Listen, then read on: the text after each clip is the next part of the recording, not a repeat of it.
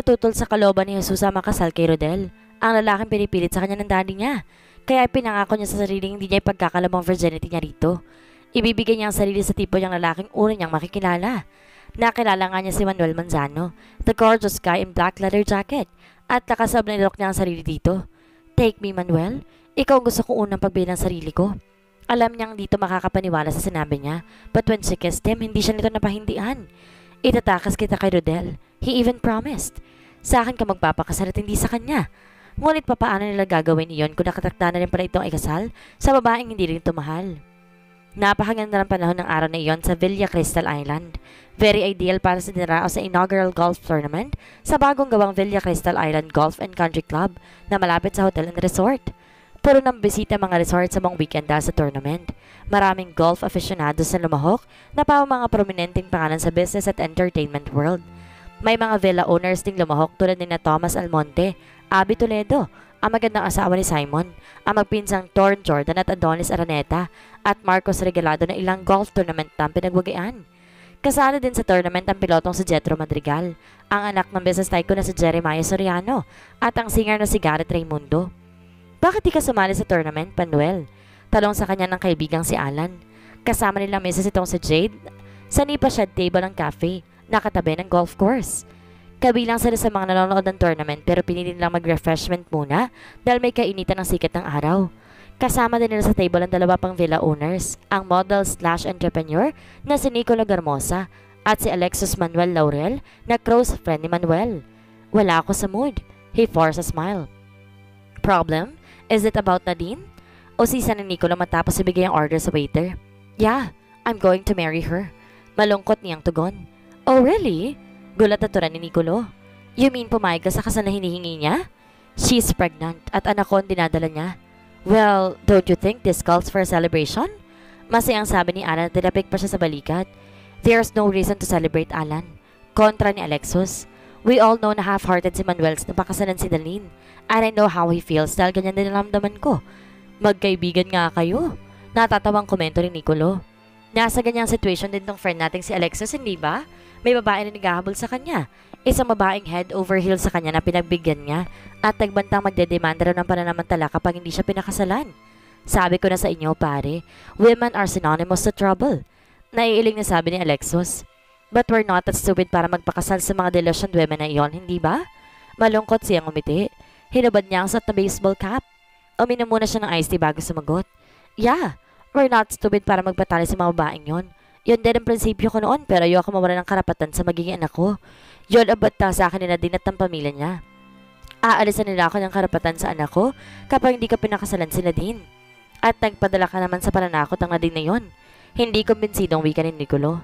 Alam kong tototohanin na Nadine na alisan ako ng karapatan sa magiging anak ko at ayoko mangyari yon. Minsan na ako nawala ng anak. I don't want it to happen again. I'm going to marry Nadine and I'm doing this for my son. Shotgun wedding yon pare. Sa tono ni Alexis na rin napag-disagree sa desisyon niya. I don't think so. Ang magiging anak ko lang naisip ko. Later kapag natauhan si Nadine na hindi ko siya talaga mahal at walang mangyayari sa pagkasama namin, siya na rin sigurong kusang bibitaw. Pwede na namin pag-usapan ng annulment, but I will make sure na mapupunta sa akin ang anak ko. Ewan ko, naiiling na sabi ni Nicolo. I don't agree with your decision. If I were you, hindi ako kakagat sa pangiipit ng pamilya ni Nadine. After all, kasalanan niya yon. May nangyari sa amin na magbakasyon sila rito sa isla. Akalain ko ba magbubuo ngayon? Besides, kaibigan ko ang brother niya. Pero init lang ang katawan yon, Manuel. Walang love. Why marry her? Talong ni Alexus. Hindi mo kilala, Alexus. Hindi ako tumatalikod sa responsibilidad. Kahit hindi kasama sa mga plano kong pakasalan si Nadine. Pero dahil dala niyang anak ko, kailangan kong harapin ang consequence. Diyan tayo magkaiba ng prinsipyo, Manuel. Katwiran Alexus. Hindi dapat magbagong prinsipyo at mga plano ko dahil sa isang babaeng ilusyonada. Katulad ni Loris. Alam naman niyang wala kami relasyon. May nangyari sa amin minsan. But I thought it was just a mere physical attraction. Hindi ko alam na plano niya palang gamitin yon para ipitin ako ngayon. But no way. I won't marry her. Hindi rin kami emotionally attached na din when we did it. Pero ang dami kong kailangan i-consider dito. Ang friendship namin ng kapatid niya at ang kapakanan ng bata. Giit niya. Well, hindi ko alam kung iko-condemn ka o hahangaan. Sabi ni Alexos, pero alam kong wise ka namang magdesisyon pare. Saludo ako sa desisyon mo, Manuel. Sabad ni Jabe. And I wish you all the best. Kailan ang wedding? At the end of the month, a simple garden wedding. Ewan ko, Manuel. Naiiling nga sabi ni Nico matapos sumubo ng lasanya. Pero gusto kong manghinayang sa isang katulad mo. You are Manuel Manzano, one of the country's most eligible bachelors. Nasa iyo lahat ng pagkakataon para pumili ng most deserving woman to be your wife. Bakit ka magpapakasal dahil lamang sa pressure ng sitwasyon? Sinabi ko na sa inyo ang dahilan ko. Pwede ba huwag niyo nang questionin ang desisyon ni Manuel? Dapat pangangaan natin siya dahil willing siya gawin ang lahat para sa magiging anak niya. Sagot ni Jade. Sorry pare, hindi kita masusuportan dyan sa desisyon mo. Naiiling na sabi ni Alexus. Minsan lang tayo magpapakasal dahil wala pang divorce dito sa Pilipinas at mahirap kumuha ng annulment. Kaya ako magpapakasal lamang ako sa babaeng gusto ko makasama for the rest of my life. A woman whom I would be happy to wake up with every morning. Well, Nadine is beautiful at galing sa well-to-do family. Komento ni Jade na nagkibit balikat. I'm sure dahil romantic itong Villa Cristal, may in love ka rin sa kanya eventually, Manuel. I don't know. Naiiling na sabi niya. But to be honest with you, hindi ang klase na din ng tipo ng babaeng gusto ko makasama for the rest of my life. She is ultra-modern. I still go for some conservative women. Ang desisyon niyang pakasalan sila din ay dikta ng sirkumstansya, hindi ng kanyang puso. It was a tough decision, but he was a man of principle. Hinaharap niyang konsekwensya sa anumang ginagawa niya. Malungkot na nakatingin si Jesusa sa expensive royal cut wedding gown na nakatakda niyang isuot para sa kanyang kasal sa Bakalawa. Katabi yun iba pang accessories na isusuotin niya. Ang sapatos at headdress na binili pa sa Italy. Ang wedding ring na halos kalahating milyon ng halaga. No wonder dahil nilalaro lamang sa palad ng kanyang magiging groom ang pera. Napakagatlabi siya. Pagkawan isang maraming mahininga ang pinawalan niya. Siya na siguro ang pinakamalungkot na bride. Napasulap siya sa Wolcock. Kung pwede ko lang pigilan ang pagtakbo ng oras para hindi na dumating ang Sabado. Sa halip na excitement, takot at pagay magsit ang kalooban na naramdaman niya. She hated his father for maneuvering the whole thing. Ito lang ang may gustong magpakasal siya kay Rodel Ventura, ang dating governor na ngayon, kilalang isang mayaman negosyante. Hindi lamang niya tiyak kung ano ng mga negosyo nito tiyamaman ng husto. Ang alam lang ni Jesus kasosyo ito sa floating casino na nag-ooperate sa Villa Crystal Island. Wala siyang pagtingin kay Rodel.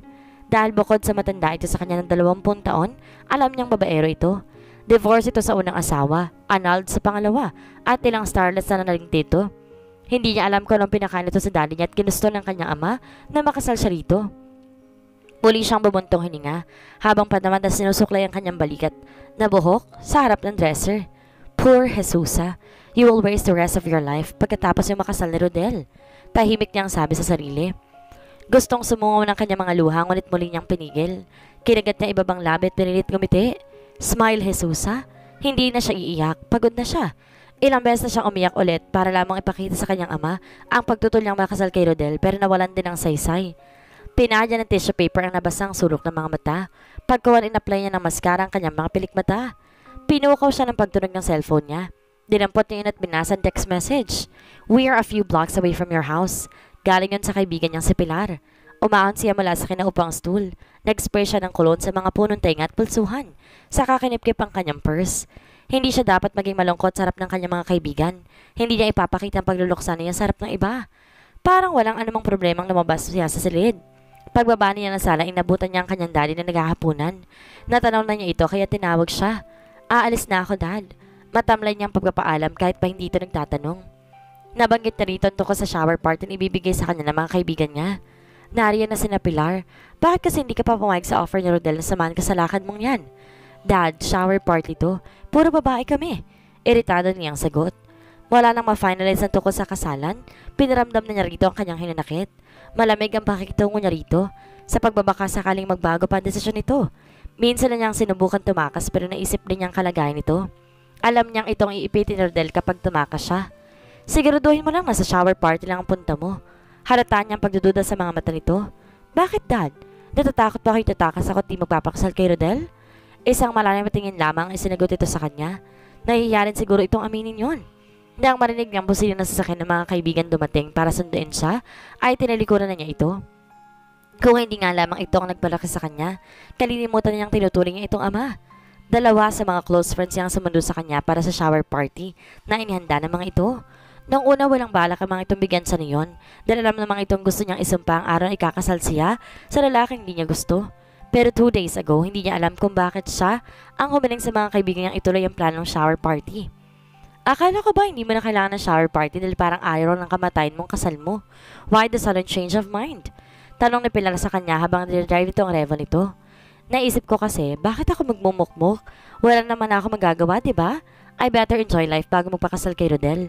Sabi ng psychology prof ko, kapag hindi mo kayang baguhin ang pangyayaring hindi mo gusto, isipin mo na lang na maging pabor yun sa'yo. Malay mo, eventually, may love ka na rin sa Rodel na yun. Kung sa bagay, hindi naman bad looking si Rodel. Sabi ni Jelay and a millionaire. Dagdag ni Pilar. Pero wala akong kaamor-amor sa lalaking yun. Pakiramdam ko, hindi rin naman siya in love sa akin. Kailangan lang niya ng sex machine. At tung governor pa siya sa bahay nila, nasangkot siya sa drug trafficking. Kahit anong gawin ko, parang di ko siya kayang mahalin. And I can't imagine myself giving myself to him. Mahawakan nga lang niyang kamay ko, tumatay ng mga balahibo ko. Gusto mo itakas ka na namin ngayon? Sabihin mo lang. Naisip ko na nga yan, Pilar, hindi ba? Pero walang paraan para magawa ko yun. Makatakas man ako before the wedding, makahanap din nila ako. Sa dami ng mga taon ng Rodel na yon. At ni Daddy, hindi rin sila titigan hanggat di ako nakikita. Ano lang gagawin ko sa buhay ko? Magtatago na magtatago. Well, kung ayaw mong tumakas, hindi tanggapin mo na lang yung misfortune mo. Sabi ni Pilar. Ayoko ibigay sa kanyang virginity ko. Gusto ko ma-frustrate siya sa unang gabi pa lang namin. What do you mean? Kurot noong tanong ni Jelay. Two days pa bagong wedding namin at bagong araw na yon, I will give myself na kahit na sinong lalaki mamit ko ngayong gabi at matipuhan ko. What? Bula na sa Jelay. Ano namang kawirduhan yan? Komplikado na nga harapin mong baga. Magkaguluhin mo palalo? Hindi ako nagbibiro, Jelay. Ang unang lalaki makikita ko na type kong pagbibigyan ko ng sarili ko and I will look for that guy tonight. He will paint the town red. Yun ang balak ni Manuel ng gabing yon. Mahigit isang oras siya nagmamaneho ng kanyang pulang Ferrari. Galing siya ng Villa Crystal Island at naisipan niyang lumuwas. Lilibangin niya ang kanyang sarili. Maglalaro siya. Hindi niya gustong malungkot na nakataktasing ikasal sa isang babaeng hindi niya naman mahal. Tinahak niya ang kabaan ng Rojas Boulevard. Bahala na kung saan siya dadalhin ng kanyang Ferrari. Basta gusto niya maglibang para pansamantala niya makalimutan ang kinakarap na problema. Kaiba sa ng shower party, naging emotional ang bridal party ni Susa. Nauwi sa kalungkutan ng dalawang oras at dapat ay party. Habang sinishare siya sa mga piling kaibigan na sama ng loob niya sa kanyang daddy sa pagpipilit nito sa kanyang pakasal kay Rodel. Dito na lang ako, Pilar. Sabi niya rito na makarating sila ng 7-Eleven branch na pinakamalapit sa gate ng kanilang subdivision. Bakit dito? Ayaw mo bang ihatid ka namin sa bahay niyo? May bibilin muna ako rito. Malapit na naman lang sa amin eh. I'll just take a cab. Are you sure okay ka na rito? Tanong ni Jelay sa kanya. Yeah. Malungkot siyang tumango sa kanigpaalam sa mga kaibigan at bumaba na. Kinawayan niya mga ito ng umandar ng palayong sasakyan. Ngunit hindi naman siya pumasok sa convenience store. Sa halip tumawag siya ng taxi at nagpatid sa isang sing-along bar na minsan rin lang napunta ng mga kaibigan. Makalipas ang dalawang minuto, nasa loob na sa Susan isang sing-along bar. Itinuro siya ng receptionist sa isang table na pandalawahan. Pumunta siya roon dahil sa nasa gawing sulok iyon. Pagkaupo, umorder siya ng drinks. Nilibang niya ang sarili sa panonood sa bandang tumutugtog habang iniinom ang in-order niyang drinks. Kahit malaki ang problemang dinadalay, nakuha pa rin niyang umiti na manaka-naka matapos na makuha ang number ng banda at magbato ng jokes ang gay na sing-along master. Pipilitin niyang aliwin ang sarili.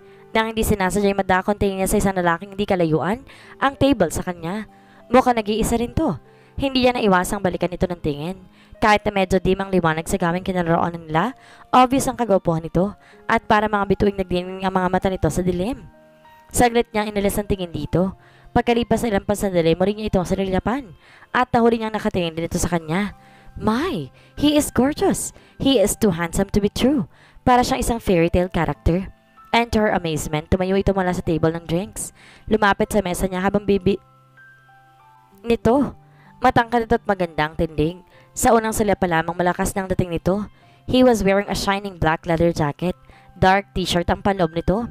Miss tulang seconds kinasuot itong denim pants na mas nakakapit sa legs nito. Hi! Bati nito with a killer smile. Na triple yata ang kagapuhan nito sa malapitan. He was tan. Raven dark ang buhok nito na ubrang model ng shampoo commercial. Hinawi pa nito ang buhok na bagyang tumatakip sa mga mata nito kung kahit lalo lamang nalantad sa kanya mukha nito. Para siyang namalikmat ang napatitig dito. His nose and the shape of his face were perfect, and his lips, red and kissable. Noon lamang siya nakakita ng lalaking gano'n kakisable ang mga labi. Kahit sa dilim, kitang-kita iyon. Gosh, baka naman lasing na ako tag-imagine ako mala Adonis sa creature. Is this man for real? Hi! Muling bati nito sa kanya. Pati ng boses ito kaisarap pakinggan. Deep and very masculine. Ha? Nasambit niya na makabawi sa pagka-mesmerize. May I join you? Yeah, sure. Sabi niyang parang hindi pa rin bumabalik sa kanyang sarili. Kanina pa kita tinitingnan. I thought you're just waiting for a date here pero kanina ka pa mag-isa dito. Wala akong hinihintay. This is a lucky night for me. Dumitaw ang bilay sa kalampis nito. Napakiramdam niya yung nagpapabilis sa tibok ng puso niya. By the way, I am Manuel. Manuel Manzano. Manzano? Yeah, may kilala ka bang Manzano? Yeah, Edo Manzano and Luis Manzano. How are you related to them? Sa pagkakaalam ko, hindi naman yun ang real family name nila. Sa kamiskit naman siguro ko sa kanila. Natawa siya na maigsi dahil alam niyang nagbibiro lamang ito. Di naman kasi ito mukhang mayabang. Hindi niya alam kung bakit biglang gawaan na pakiramdam ni Jesusa. Ganon ba ka-charming ang aura nito para ang mamimigat niyang kalooban ay biglang sumaya? Para siyang pinaligiran na nakakakantaha mga anghel. I thought you were a snob, sabi nito. By the way, hindi ko pa kilala ang kaharap ko. Ah, oo nga pala. I am Jesusa, Jesusa Cabral. Nilahad niya ang kamay nito upang tanggapin ang pagpapakilala nito. Mabilis naman itong tinanggap ang kamay niya. Hindi bola to ha, but you really have a nice name. It fits your personality. Thanks. Kiming binawi ni Jesus ang kamay. Ganon din ang kanyang tingin. Pakiramdam niya lumundag ang puso niya dahil sa mga ngiti at titig nito. Kung ang iba ay may expressive eyes, si Manuel, hindi lamang mga matang nangungusap. His eyelashes were very expensive too. Masyado malantik. Nang tawagin nitong waiter, muli niyang binalik ang tingin dito. Kahit naka-side view, perfect ang profile nito. A very special specimen na galing yata sa planeta ni Adonis. Sinulapan niya ang kaliwang kamay nito. Napangiti siya na wala siya makitang wedding ring sa dalili nito. May bungawang excitement sa puso niya. Excitement na hindi niya naramdaman sa kahit sinong lalaki. Naalala niyang sinabi niya sa mga kaibigan, Hindi ko ibibigay ang virginity ko kay Rodel. He doesn't deserve that special gift from me. At bilang ganti ko sa kanya, ibibigay ko ang sarili ko sa unang lalaking matipuhan ko before the wedding. At mukhang natagpuan na ni Jesus ang lalaking binigyan niya ng karangalang unang makaangkin sa kanya, si Manuel. Umorder pa si Manuel para sa kanila. Margarita lamang ang sa kanya. Masarap itong kausap. Nakaka-hypnotize ang soft baritone voice at manner of talking nito. Natagpuan na lamang ni Jesus ang sarili niyang katitig dito habang nagsasalita ito. Biglang nawala ang boredom niya at nakalimutan niya nakatakda na sila ikasal kay Rodel. Parang ang saya-saya ng kanyang paligid. Huhulaan ko, nagkagalit kay ng boyfriend mo kaya ka nag-iisa. Nakangiting umiling siya. Wala akong boyfriend. I find it hard to believe. He was staring at her amusingly. Maging ang makakapal nitong pilik mata ay tila nang aakit. It's true. Wala nga akong boyfriend. Ulit ni Jesusa. Bakit hindi yung mga friends mong niyaya mo rito? Kasama ko sila kanina pero pinili ko mo na mapag-isa. Problem? May kalakip na concern sa tinig ito. Sleep? Huwag nating pag-usapan yon. Let's just enjoy. Iwas niya. Nangayain siya nito magsayaw, magaan ang katawang tumayo si Jesusa at iniabot ang kamay nito. Manuel was a good dancer. Nagawa siya nitong pasunurin sa mga galaw nito. Kaya naman napansin niyang maya-maya pa'y halos sa kanila na nakafocus ang mga mata ng karamihan. Lalo na ang mga kababaihang naagaw na ni Manuel ang pansin, kahit hindi naman ito sinasadya. At hindi siya nagtataka. He could be every woman's dream man. Naging slow music ang tinutugtog ng banda. Hindi pa rin siya nito niyayang maupo. E pinagpatuloy nila ang pagsayaw. Naikulong siya nito sa mga bisig nito. Iniyamlay ni Jesus ang kanyang ulo sa matigas itong dibdib. Para siyang idinuduyan ng swabing amoy ng men's kulo nito. And she had never been so comfortable with any man na tulad ng nasumpungan niya sa mga bisig nito. Humigpit ang kapit niya sa mga balikat ito na para bang gusto niyang humingi dito ng saklolo na itakas nito para hindi matuloy ang kasal niya kay Rodel. Jesusa, are you okay? Pabulong na tanong nito sa kanya. Malapit na malapit ang bibig nito sa kanyang buhok. Naramdaman ni Jesus ang magana pagharik nito roon. His voice was so sweet that she wanted to cling to him forever. Naramdaman pala nitong may problema siya. Maya-maya niyaya na siya nitong bumalik sa table nila. May problema ka nga. Concern na sabi ni Manuel na nakaupo na sila magharap sa mesa nila. Hawak nito ang isa niyang kamay. Tumitig siya ng tuwid sa mga mata nito. Come on, let's get out of here. Let's go to another place na makakapag-usap tayo na mas maayos. Manuel was a real gentleman. Inaalalayan siya nito mula sa paglabas nila ng bar hanggang sa paglula nila sa Ferrari nito. He made her feel like a pampered queen. Wala siyang imik habang nagmamaneho ito at ginalang din ito ang pananahimik niya. His eyes concentrated on the road. Humantong sila sa Manila Hotel. Nakalalay pa rin ito sa kanya mula sa pagbumba ng sasakyan hanggang sa makaupo siya sa napili ng lamesa. Magandang ambience ng cocktail lounge sa ground floor. Very cozy. Bukod sa nakarap sa Manila Bay. Tahimik ang lugar kahit okupado ang halos lahat ng mesa. Sapat para sa isang pribadong pag-uusap. Now tell me kung anong problema mo and I am willing to listen. Untag nito sa kanya matapos silang umorder. Dumaan na mahabang sandali bago siya nagsalita. You were asking kanina kung nagkagalit kami ng boyfriend ko at sinabi akong wala akong boyfriend. Ang totoo ay kakasal na ako sa Saturday. Nakita niyang napatda ito. Lumamlam ang mga mata nito. Eh kakasal ka na? Mabigat ang pagkakabig si Manuel ng mga salita. Parang dito makapaniwala sa narinig. Yeah, eh kakasal na ako sa isang lalaking hindi ko naman mahal. Ipinilit lamang siya ng daddy ko sa akin. Kumunot ang noon nito sa narinig. Bakit ka pumayag? Wala akong magagawa. Walang nagawa ang pagtutol ko. Natahimik ito.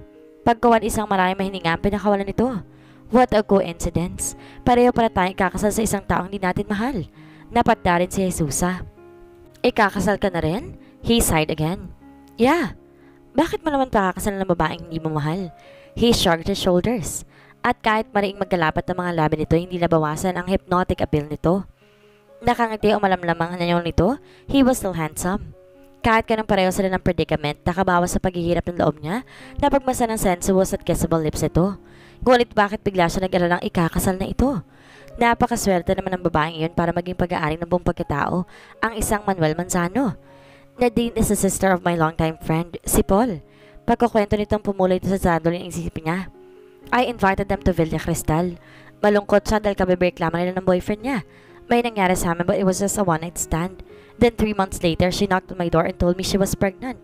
Pero hindi mo naman pala mahalang na din na yun. Enough reason na ba yung buntis siya para pakasalan mo? Hindi niya tiyak ko nahalata ni Manuel na may pagpaprotesta sa tono niya. Hindi siya pabor na pakasalan nito ang babaeng hindi nito mahal.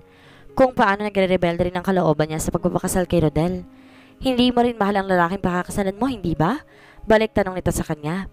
Binigyan daan muna nilang pag-serve ng waiter ng kanilang order. Wala nga siguro sa mga plano kung pakasalan siya. Willing naman ako supportan maging anak namin.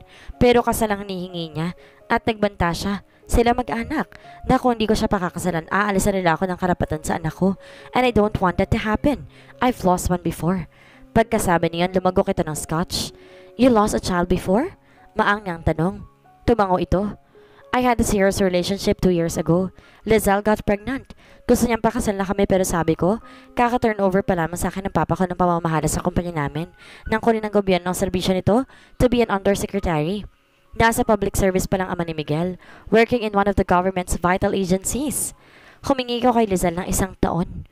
Malungkot ang pagpapatuloy niya sa pagitan ng pagkain. Nag-propose akong mag-live-in na kami muna, pero kung hindi daw kami kasal, wag na lang. Inisip niyang wala akong balak na pakasalan siya.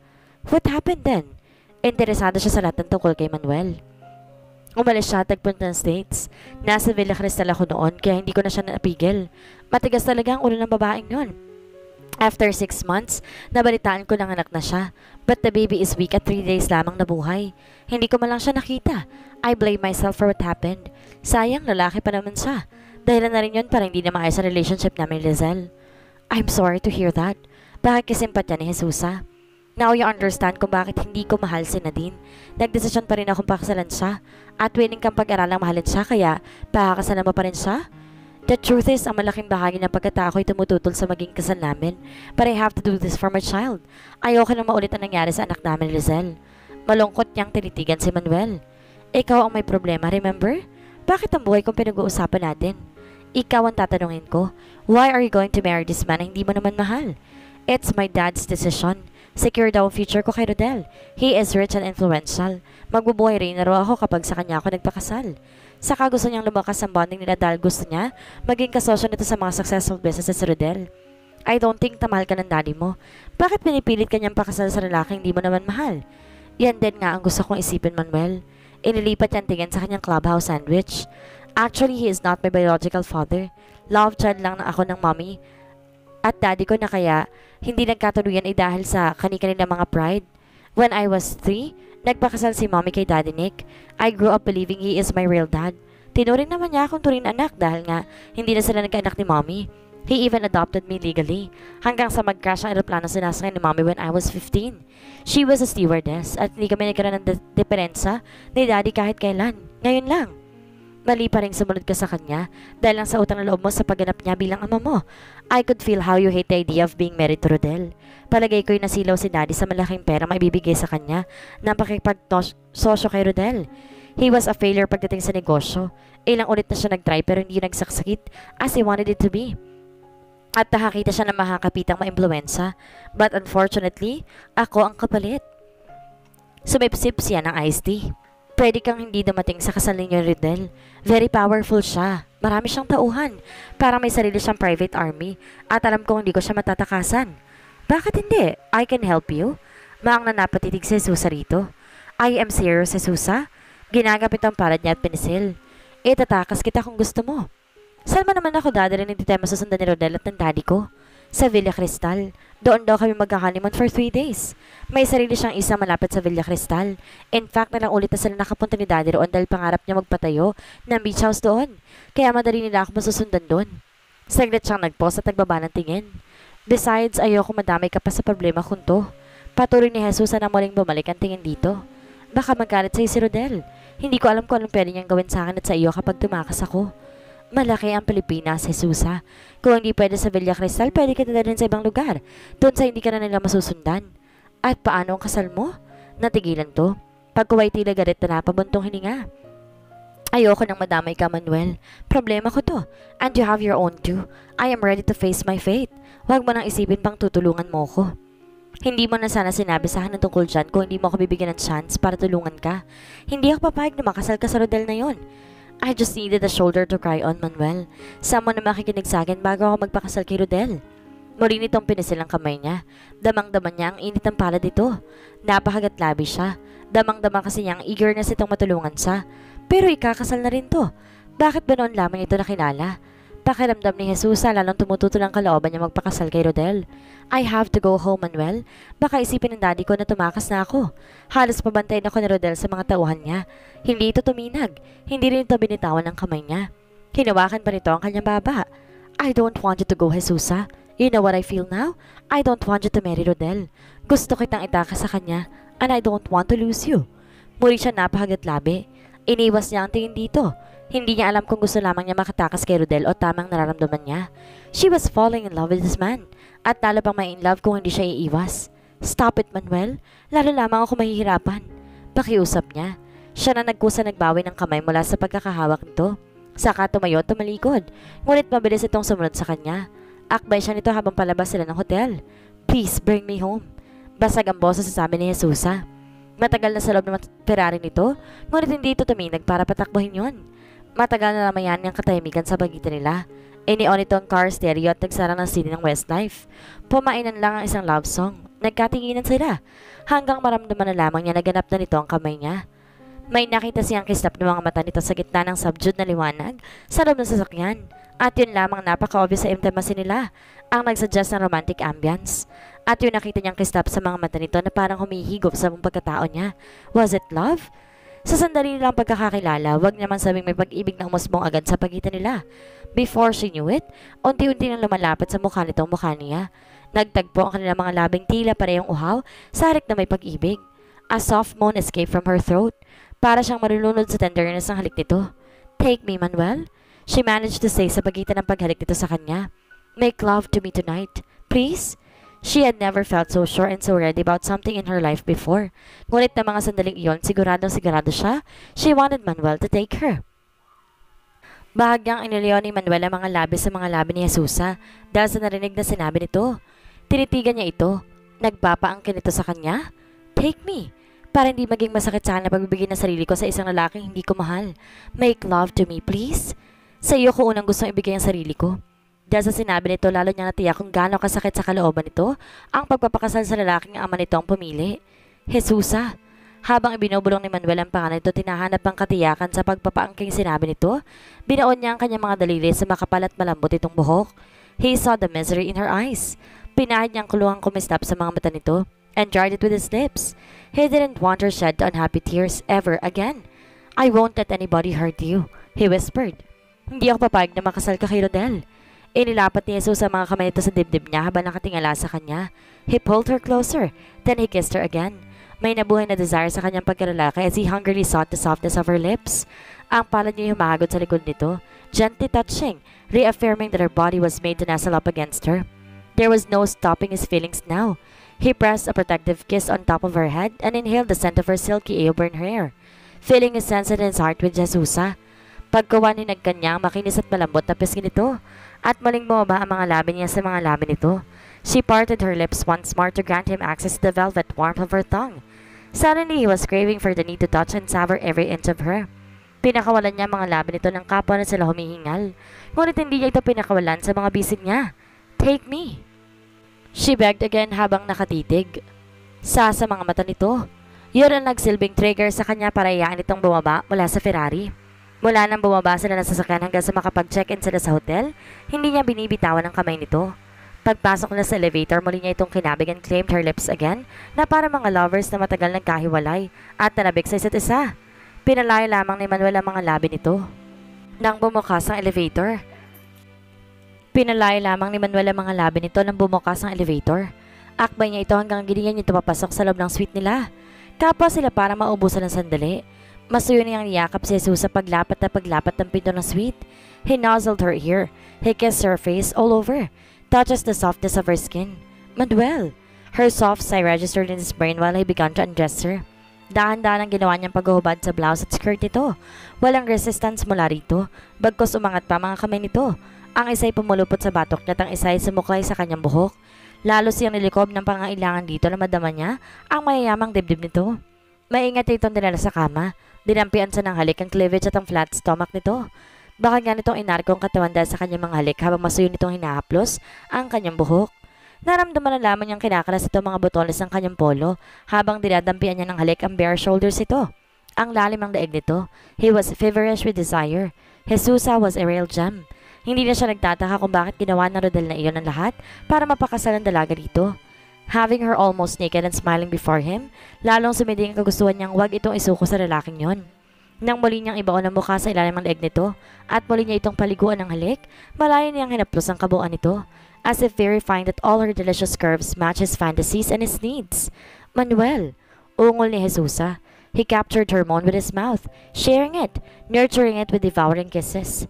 Tell me to stop if you don't like what I'm doing. He whispered erotically habang inaalis ang panloob nito. At nang bumungad kay Manuel ang kahubda ng dalaga, may kutob siyang birhen pa ito. Hindi lamang dahil nabanggit itong siya ang gusto nitong unang makaangkin dito, kundi naramdaman niya sa reaksyon ng katawan nito. Kaya dapat siyang maging mas maingat. I won't hurt you, promise. Pariniyak ni Manuel rito. She smiled as she arched her body against him. Ramdam niyang inianda nitong sarili sa pag-angkin niya rito. Muli niyang narinig ang mahinang ungol nito na magsimula ng gumalaw si Manuel. Sa hindi mabilang na pagkakataon, inangkin niya ang labi nito upang salubungin ng mga ungol nito. He wanted to give her as much pleasure as possible. Fulfillment exploded in his heart and overflowed into his soul as he felt the tangible joining of their hearts. There was only him and Jesusa. Hindi na nakapagpigil pa si Manuel at sabay nilang abot ang kaluwalhatian. Nang marinig ni Manuel ang payapang paghinga ni Jesusa, natitiyak ng tulog na ito. Nakatulog itong nakaunan sa kanyang braso. Dahan-dahan niyang inilas ang kanyang braso sa ilalim ulo nito nang maramdaman siya ng pangangalay. Inilipat niya ito sa unan. It was almost 3 o'clock in the morning pero hindi na siya dalawin ng antok. Nakadama siya ng pagod sa ilang ulit niyang pag-angkin kay Jesusa. Ngunit baliwala iyon sa kalwalhati ang nadama niya sa kandungan ng dalagang sa paniniwala niya ihulog ng langit sa kanya. Tumagilid sa paharap dito. Kahit nakatakip sa kabda nito ang puting kumot ay para nakikita niya ang bawat kurban ng katawan nitong namemorya na yata niya. Napangiti si Manuel habang nakatitig sa mga labi nito. Hindi niya pagsasawa ang halikan ng mga labing yon. Natukso siyang dami ng mga iyon, subalit nag-alala siyang baka magising ito. The tantalizing curves of her lips brought a rush of desire to his groin. Gusto ni Manuel ang kalin muli si Jesusa, paulit-ulit, sa parang mararamdaman itong nirerespeto niyang pagkababae nito. He wanted to awaken her with his warm kisses and assurance that she was loved. Ngunit ayaw niyang sirain na mahimbing nitong tulog matapos niya itong pagurin. Hihintay na lang muna niya itong magising before making love to her again. Gusto niyang gising ito para makaramdam nito ang lahat ng haplos sa talik niya. Buong ingat siyang bumaba mula sa kama para hindi ito magising. Kailangan muna niyang ilayo ang sarili dito upang malabanan niyang nararamdaman because every cell in his body ached to love her again. I think I need a cold shower. Natapos ang madaling pag-shower, naupo si Manuel sa seti na malapit sa kama. Habang tinutuyo niyang buhok, natutukso siyang muling titigan si Jesusa. Hindi ko naramdaman ng ganito sa kahit na sinong babae. The longing, the ache to have her again. God, I'm sure I love this woman. Ngunit ikakasal ito sa susunod na araw. Parang may malakas sa tinig at pwersa na sa kanyang sistema na gustong magprotesta sa pagpapakasal nito sa ibang lalaki. No, hindi ako makakapayag na ikasal siya sa Rodel na iyon. Now that I've found true love, hindi na ako papayag na mawala siya sa akin. Ngunit ikakasal na rin siya. Three weeks from now, kami ni Jesus ang dapat makasal at hindi na siya papayag na magkahiwalay pa sila. Muli siyang lumapit sa kama at nahiga sa tabinto. Marahan niya itong niyakap. Nagising si Manuel sa sikat ng araw direktang tumatama sa kanyang mukha. Bumangon siya, ngunit nagulat siya na makitang wala na siyang katabi. Jesusa? May pag-aralang hinanap niya ito sa buong suite, pero wala ito. Lalo siyang nag-alala at kinabahan. Nagmamadali siya nagbihis. Hahabulin niya ito. Baka kalabas pa lamang nito. Baka abutin pa niya ito, subalit bago pa siya makapagsapatos, napansin niya isang pirasa ng papel na nasa side table. Kinuha niya iyon at binasa. Thanks for the wonderful memory, Manuel. I will treasure this forever. Huwag mo na akong hanapin. Forget me. Dahil papakasal ako kay Rodel bukas. I love you, Jesusa. Galit na nila mo ko si Manuel ang papel.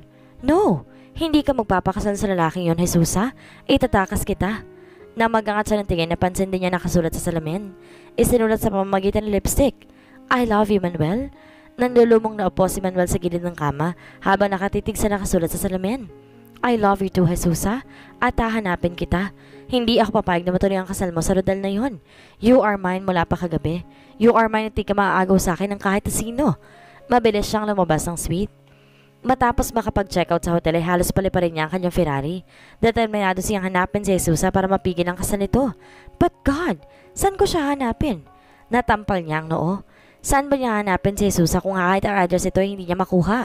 At wala na siyang iba pang nalaman tungkol sa pagkatao nito, maliban sa pangalan nito. At ang tungkol sa problema nito. Silly. Naangkay niya ito ng ilang ulit pero hindi niya nakuha ang contact number nito. Sinadya ba nito iyon para hindi na sila magkita pa? Pakiramdam niya masisiraan sa ng bait kung hindi niya muling makikita si Jesusa. Mabigat ang mga paang bumaba ng taxi si Jesusa ng pamarada iyon sa tapat ng bahay nila. An hour ago, mahigpit ang pagtatalo ng isip at kalooban niya kung babalik pa siya roon. Ayaw na niyang umalis pa sa piling ni Manuel, ngunit hindi rin matatahimik ang buhay niya kung tatakasan niyang kasal nila ni Rodel. Lalong ang pakiramdam niya na makita ang Mercedes-Benz si Rodel sa loob ng bakuran nila. The swine! Natatalanta na siguro sa hindi ko pag-uwi kagabi. Takot at takot hindi matuloy ang kasal namin.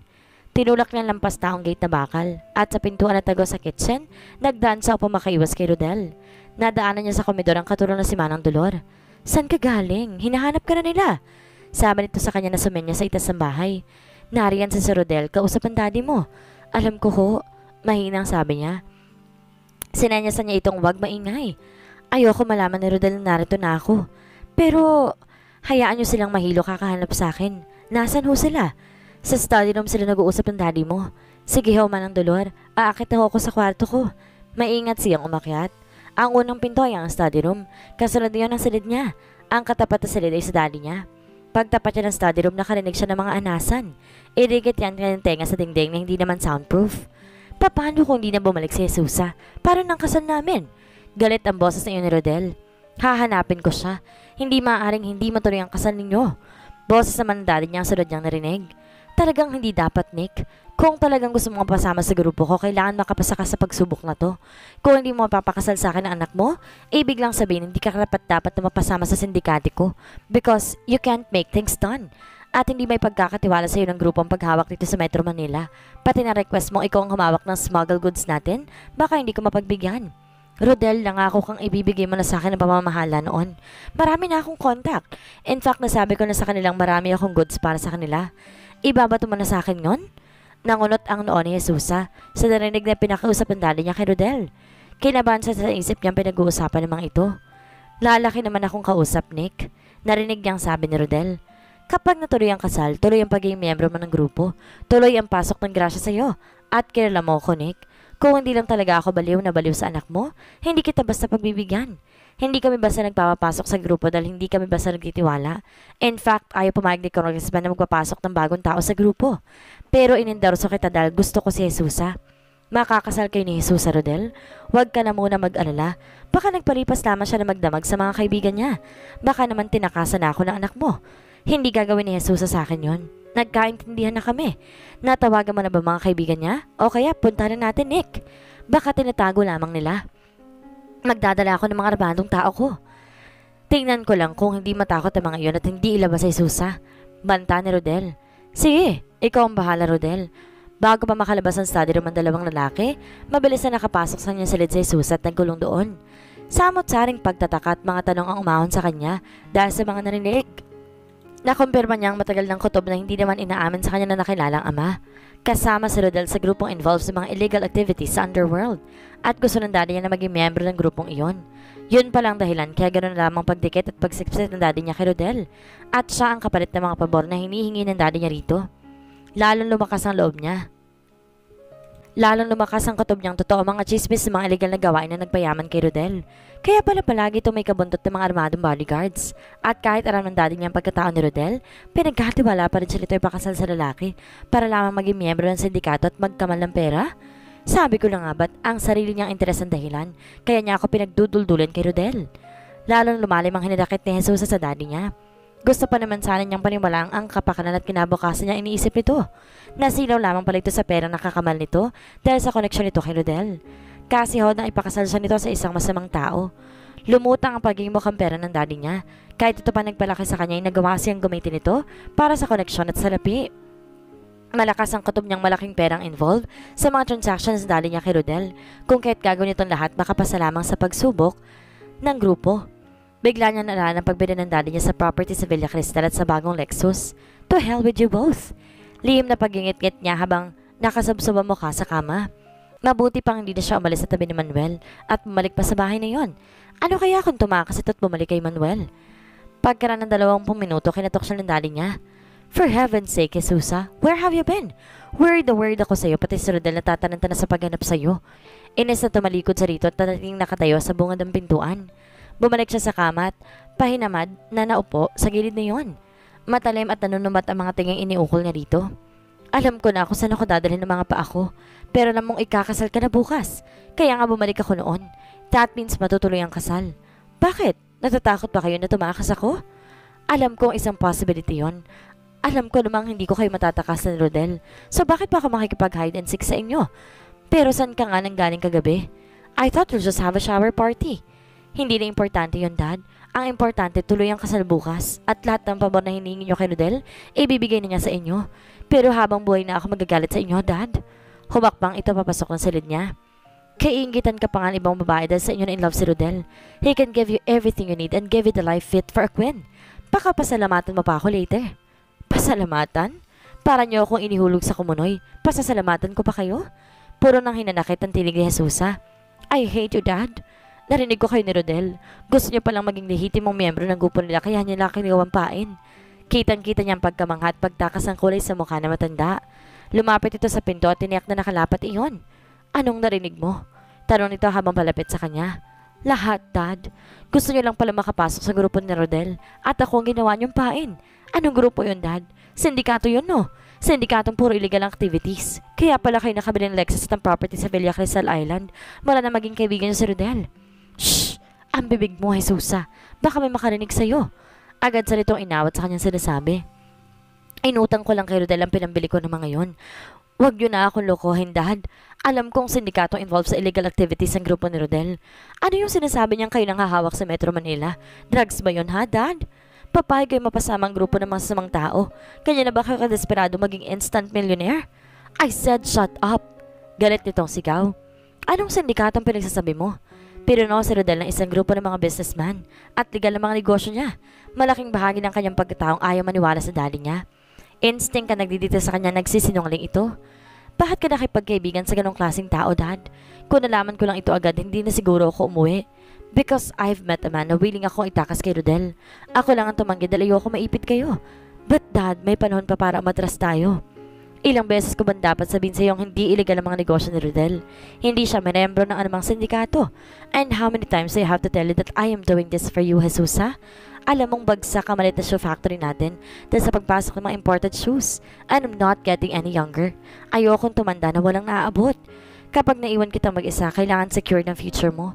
Kung hindi mo naman matututuhang mahalin si Rodel, pwede ka namang humingi ng annulment pagkalipas sa ilang taon. Kung naging mabuti ang mama nito sa kanya, dalawang kahinaan ito nagpahabak sa kanya. Ang kahinaan ng loob nito pagdating sa kabuhayan at ang mataas na ambisyon nito. Noon, naalala niya nagkukulong ito sa silid kapag humihin ang negosyo nitong shoe factory. Umabot pa nga siya sa puntong gusto na nitong ibenta ang lahat ng properties at namumundok na lamang daw sila. Ngayong may pagkakataon nitong mahiga sa pera ng walang ganong hirap, ay hindi pa rin siya ginagawa nitong kapalit. Ayoko na makarinig ng kung ano na pang alibis, Dad. Pagkawan ay sabi ni Jesusa, Total na sunod ang gusto ninyo. Hindi ko lang maiwasan magdamdam lalo na ngayon nalaman ko ng totoo. Sana hindi kayo nagkamali na pakikipaglapit kay Rodel. Mapait na wika ni Jesusa. Pera nagbibigay ng kapangyarihan at impluensya sa tao, Jesusa. Legal ang mga negosyo ni Rodel. Hindi siya kasinsama ng iniisip mo. Nakita mo naman, he is treating you like a queen. Gusto ko nang magpahinga, Dad. Malamig na sabi niya sabay higa sa kama. Patalikod dito. Narinig na lamang niya mabibigat na hakbang nito. You better rest para sa wedding mo bukas. Malumaning nito sabi bago kinabig ang pinto.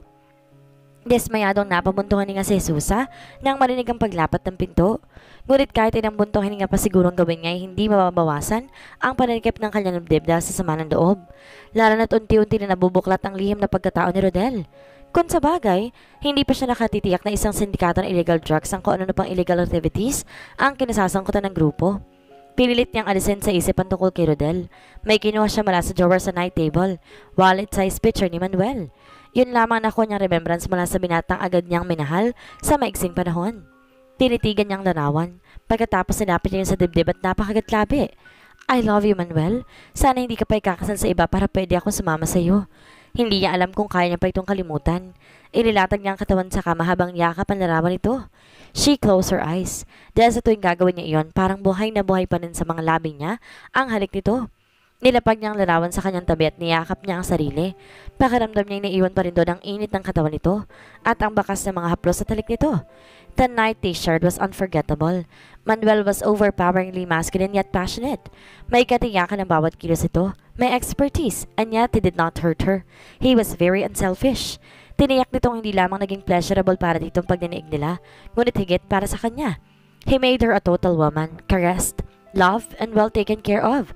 Hindi niya alam kung bakit may mga luhang sumungo sa kanyang mga mata nang maramdaman niyang kaganapan na pag-angkay nito sa kanya. Was it happiness? O kalungkutan at panghinayang dahil iyon ang una at tuling pagkakataong maranasan niyang mapa sa ilalim sa kapangyarihan ng mga bisig nito? Alam ko, nararamdaman ko. We didn't do it for the heck of it. Ginawa namin yon kung may involved na emotion at deep unexplainable kind of emotion na hindi ko alam na nag exist Maaari bang mahalin ng isang taong noon mo lamang nakilala? God knows kung gaano kabigat ang mga paa niyang iwanan si Manuel sa hotel dahil ayaw na niyang mahimalay pa rito. Pero hindi lang ako ang ikakasal, pati siya. Kung hindi ako malis doon, I would only make things complicated at baka idamay pa nga siya ni Rodel. Hindi na naman niya napigil ang mga luha habang naalala ang ilang oras sa pinagsama nila ni Manuel. For sure, babalik-balikan niya sa isip ang mga namagitan sa kanila. Maghapong wala ang daddy ni Jesus sa bahay dahil busy ito sa pag-asikaso ng mga huling detalye ng kasal. Hindi siya sumama rito kahit anong pilit pa nito. Tumawag si Rodel sa kanya pero malamig niyang sinagot ang tawag nito. Idinahilan niyang masama ang pakiramdam niya. Nang tanongin ito kung bakit umaga na siyang umuwi, nag-alibay siyang doon siya nakatulog sa isa sa mga kaibigan niya dahil naparami ang inom niya sa shower party. Isang bahagi ng isip niya nag-udyok na tumakas siya habang may oras pa. Ngunit ganoon na lamang ang pagngingit niya dahil sa may mga tauhan si Rodel na nakabantay sa bahay nila. At kung aalis daw siya sa bahay, kailangan kasama mang ito. Ang walang hiya, sinisigurong hindi ako makakatakas sa kanya. Himutok ng kalooban ni Jesus habang nakasilip siya sa bintana. Nasa ron ang mga tuwan ni Rodel na puro almado. Naglalaro ng chess ng dalawa samantalang nanonood ang isa pa. Ang isa naman nasa swing na bakal at nagbabasa ng tabloid. Maya-maya bumaba si Jesus sa garahe. Tinignan niya kung maaari siya magdaan sa likod at akyatin ng bakod. Sa kauli-uli ang pagkakataon, gusto niya makita si Manuel. Ngunit pagbukas niya ng backdoor, napansin niya isa sa mga tauhan ni Rodel na may kausap sa cellphone. Muli niyang isinara ang pinto, pero nagtira siya ng kaunting siwang. Idinidikta ng instinct niya na tiktikan ng lalaki. Maya may lumapit ng isa pang kasamahan nito. Sino yan? Si Bossing? Tanong nito na may hawak na cellphone. Oo, may tawag daw galing kay Congressman. Pinasasalubong sa atin ng basura sa Cavite mamayang gabi. Sinong lalakad? Kayo ni Tibo? Tapos utos si Bossing na daling dito ang apat na kilo. Dito sa airpot ni Jesusa? Oo, pero ilagay niya raw sa kaba ng bigas. Ipagitna ninyo. Baka makita rin naman kasambahay rito ay mabulyasa tayo. Ibinibigyan na ba talaga ni Bossing kay Nick ang south ng Metro Manila? Oo raw. Siyempre, magbiyanan na yata sila bukas. Biglang kinabahan si Jesus sa mga narinig. Lalong lumakas sa masamang kaputob niya tungkol sa grupo ni Rodel. Malamang na drugs ang basurang tinutukoy ng mga ito. Noong nanunuyo pa lamang ito sa kanya, aaminin niyang puro kabuti ang pinapakita nito sa kanya. Halos magdala ito ng grocery store sa bahay nila. Ngunit ramdam niyang sa likod ng pagiging generous ito ay may tagong kasamaan. At ngayon malinaw nang may sindikato sa likod nito. Hindi niya tinuloy ang pag-alis. Sa halip, pumasok siya ng study room. Naghalongkat siya roon. Kailangan niya makahanap ng ebidensyang may sindikato sa Rodel. Malamang na isang malaking sindikato yun ang kumakamal ang perang galing sa mga activities. Kailangan makahanap ako ng kahit anong ebidensya para makumpirma ang kutob ko. Magagamit ko yun later sa pag-file ng annulment. Yun na lamang pag-asa niyang makawala mula kay Rodel kahit makasal pa siya rito. Halos nahalongkatan niyang lahat ng gamit ng dali niya, ngunit wala siyang nakita. Naisip niyang lumipat sa silid nito, baka may makikita siya roon. Inilak niya ang pinto na makapasok doon. Naghanap siya ng mga closet. Nang walang makita sa bathroom siya nagtuloy. May kung ano nag-o-joke sa kanyang may makikita siya sa isang bahagi ng silid na iyon. Inisa-isa niya mga cabinet at pinaglalagyan ng mga towels nito, ngunit wala pa rin siyang makita. Hanggang sa may napansin sa likod ng cabinet na lalagyan ng mga toiletries. May ilang boxes sa katamtaman ng laki. Para may nagdidikta sa kanyang tingnan ng mga iyon. Kinuha niya mga kahon at hindi nga nagkamali ang instinct niya. Isang booklet at isang disket ang laman ng isang box. Hindi siya nagtagal pa sa bathroom sa takot na mabutan sa ng daddy niya. Bumalik siya sa kanyang silid at nagtuloy sa bathroom. Doon binuhat niya ang booklet. Alam niyang importante sa daddy niya mga iyon dahil nakatago sa isang lugar na mahirap hanapin. Malakas din ang kutob niyang yon na ebidensyang hinahanap niya. What is this? Talong niya sa isip habang binubuklat ang booklet. Mga pangalan at addresses na nakasulat doon. May mga pangalan na tila codename lamang gaya ng Omega, Rambo, Tarzan at Pula. May Ventura na alam niyang si Hodred ang tinutukoy. May nakalista ring mga pangalan na Major at Colonel. May mga pangalang foreign sounding, ang ilan Chinese sounding. May isang Miranda at isang Ezekiel Manzano. Pamilyar sa kanyang huling pangalan. Tama, isa yung congressman. Nabanggit iyon ng isang taon ni Rodel pero sino nakalistang ito? Mga miyembro ba sila ng sindikato? At bakit may hawak ng itong buklat si Danny? Dahil mga miyembro na rin siya ng sindikato at itong listahan ng mga taong makakadil niya? Jesus! Kinilabutan si Jesusa. Nalipat ang curiosity niya sa disket. Alam niyang mahalagang impormasyon din ang laman niyon. Natukso siyang alamin kung anong laman ng disket sa kanyang personal computer. At lalo siya nagduda sa nakita listahan ng mga pier at airport at location map ng mga iyon. Ang iba sa Metro Manila pero meron din sa ibang syudad sa bansa. Ano ang ibig sabihin ng listahang to? May nakita rin siyang mapa, may nakamarkang X at nakasulatang plant 1 and 2. Nasa drugs nga ang basurang tinutukoy. Nasa Northern Visayas. Ang isa at ang isa ay nasa Northern Luzon. Baka yun nga ang may warehouse ng illegal drugs. May lisahan din ilang taong sa palagay niya may kinalaman sa sindikato. May mga addresses pa ng ilan sa mga iyon. May taga Zamboanga, Davao at Baguio at may hierarchy pa. Nasa itas ang pangalang pula na naisip niyang posibleng si Rodel at nakita na naman niya ang pangalang Ezekiel Manzano. Manzano? Bigla niya nalala si Manuel. Is he related to this Ezekiel Manzano? Hindi man sa gaano naintindihan ng nilalamang mga impormasyon ng disket, alam niyang may vital evidence iyon na magagamit niya para makawala kay Rodel.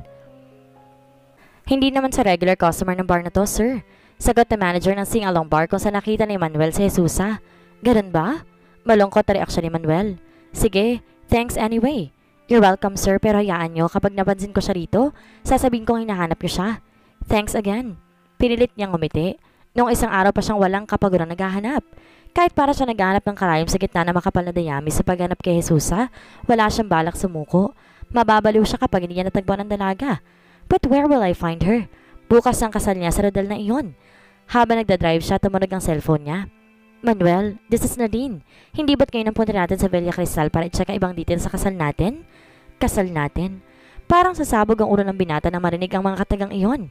Muntik na niyang makalimutang ikakasal din nga pala siya kay Nadine. Ngunit pagkatapos na makilala si Jesusa, lalo na wala ang interes niyang pakasalan ito.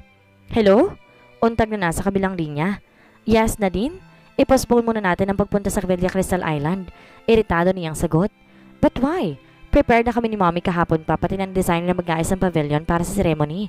We might run out of time. We only have three weeks before the wedding, Nadine. Please, may problema na ako sa opisina, okay? Kung gusto mo, kayo na lang ng mommy mo punta sa isla. May problema ka sa opisina? Eh wala ka naman doon. Tumawag ako doon, maghapon kalawara doon. Kanina naman naka-off ang cellphone mo.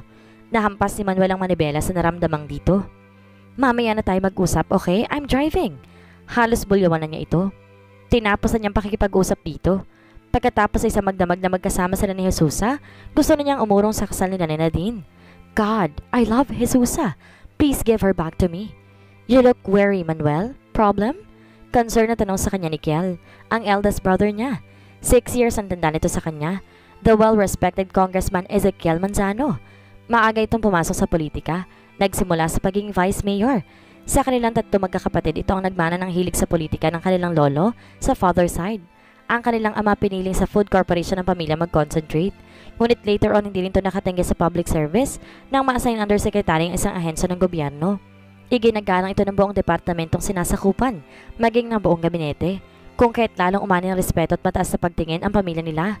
Wala ito, kuya. Kailan niya? Nasa veranda siya at maraming mag-iisip na lapitan ito. It's almost 1 o'clock in the morning. Hindi kita makikita dito sa veranda ng itong oras with a glass of wine kung wala kang problema. Tungkol ba ito sa kasal niyo ni Nadine? Do you feel like backing out? Umiling siya sa katinunggan na titirang brandy ng kanyang baso. Naiintindihan naman kita. Bro, Wika pa nito habang nakapatong isang kamay sa balikat niya. Mahirap pagpakasal sa isang babaeng hindi mo mahal, pero saludo ako sa prinsipyo mo at sa pagiging warang father-to-be mo. Wala na sanang problema, kuya. Willing akong pakasalan si Nadine. In fact, I welcome the possibility na pwede maging maganda marriage namin kahit hindi ko siya mahal. But everything changed since I met this woman the other night. Hmm. At ang babaeng yun ang dahilan kung bakit nandito ka sa veranda at umiinom? Hindi ko siya makalimutan, kuya. I love her. God, sa kanya ko lang naramdaman to. You've just met her the other night and you're telling me that you love her? Malungkot at tumango siya. Are you serious, Manuel? Yeah. After we made love the other night, hindi na siya naalis sa isip ko. Pero wala na siya pagising ko. Manuel, gusto mo ba siyang seseryosohin? Malay mo isa siyang pick-up girl na may expertise ng sa kama, kaya hindi mo siya nakakalimutan. No, kuya. Hindi ganun. In fact, she was a virgin when I took her. Ako ang lalaking pinagbigyan ng sarili niya, and she gave in to me willingly. You know what? Dahil ikakasal siya sa isang lalaking hindi niya mahal. Ikakasal na siya bukas. Ikakasal? Maang na ulit ito. Bakit sumama pa siya sa'yo kung ikakasal na pala siya sa bukas? Dahil hindi niya mahal ang lalaking yon at ayaw niyang ibigay ang virginity niya ron. Forget her, Manuel. Magugulo lang ang buhay mo. Total nag-decide ka ng harapin ang responsibilidad mo kay Nadine at sa magiging anak mo. At tulad ng pinangako ko sa iyo, a cruise to the Caribbean ang wedding gift ko sa inyo. Alam kong hindi ka mahirapang mahalin si Nadine. She is pretty at galing sa isang mayaman at respetadong pamilya. Siya ang nababagay sa iyo. But I love Jesusa. Siya ang gusto kong pakasalan. Pero saan mo siya hanapin? Besides, ikakasal na rin pala siya. It would only mean trouble and more complications. Mariing payo ni Kiel sa kanya. Stop thinking of her. Baka init lang ng katawan yan. Mauna na ako matulog sa'yo. Hectic pang schedule ko bukas. May session sa umaga. May dadalhan pa akong kasal in the afternoon. Iniwan na siya nito. He respected his brother so much. He looked up to him. Ngunit hindi niya matanggap ang advice ito. Hindi na ganoon kadaling kalimutan si Jesusa. Naku, Day, stop crying na. Masisirang makeup mo. Paalala ni Vanessa, ang gay na nag-a-apply ng makeup ni Jesusa. Dalawang oras na lamang at kakasal na siya kay Rodel at baka wala na makakapigil doon.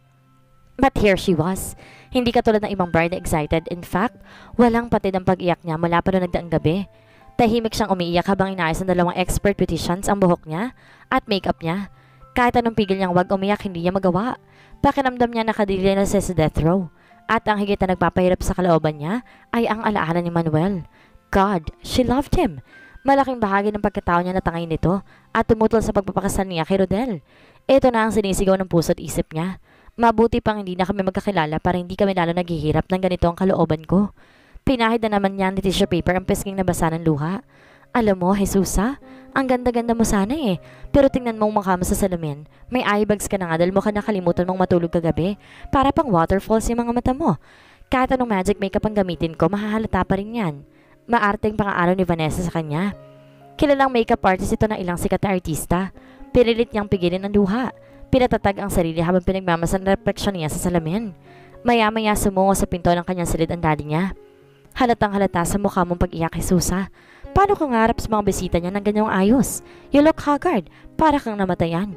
Daig ko pa naman talagang namatayan.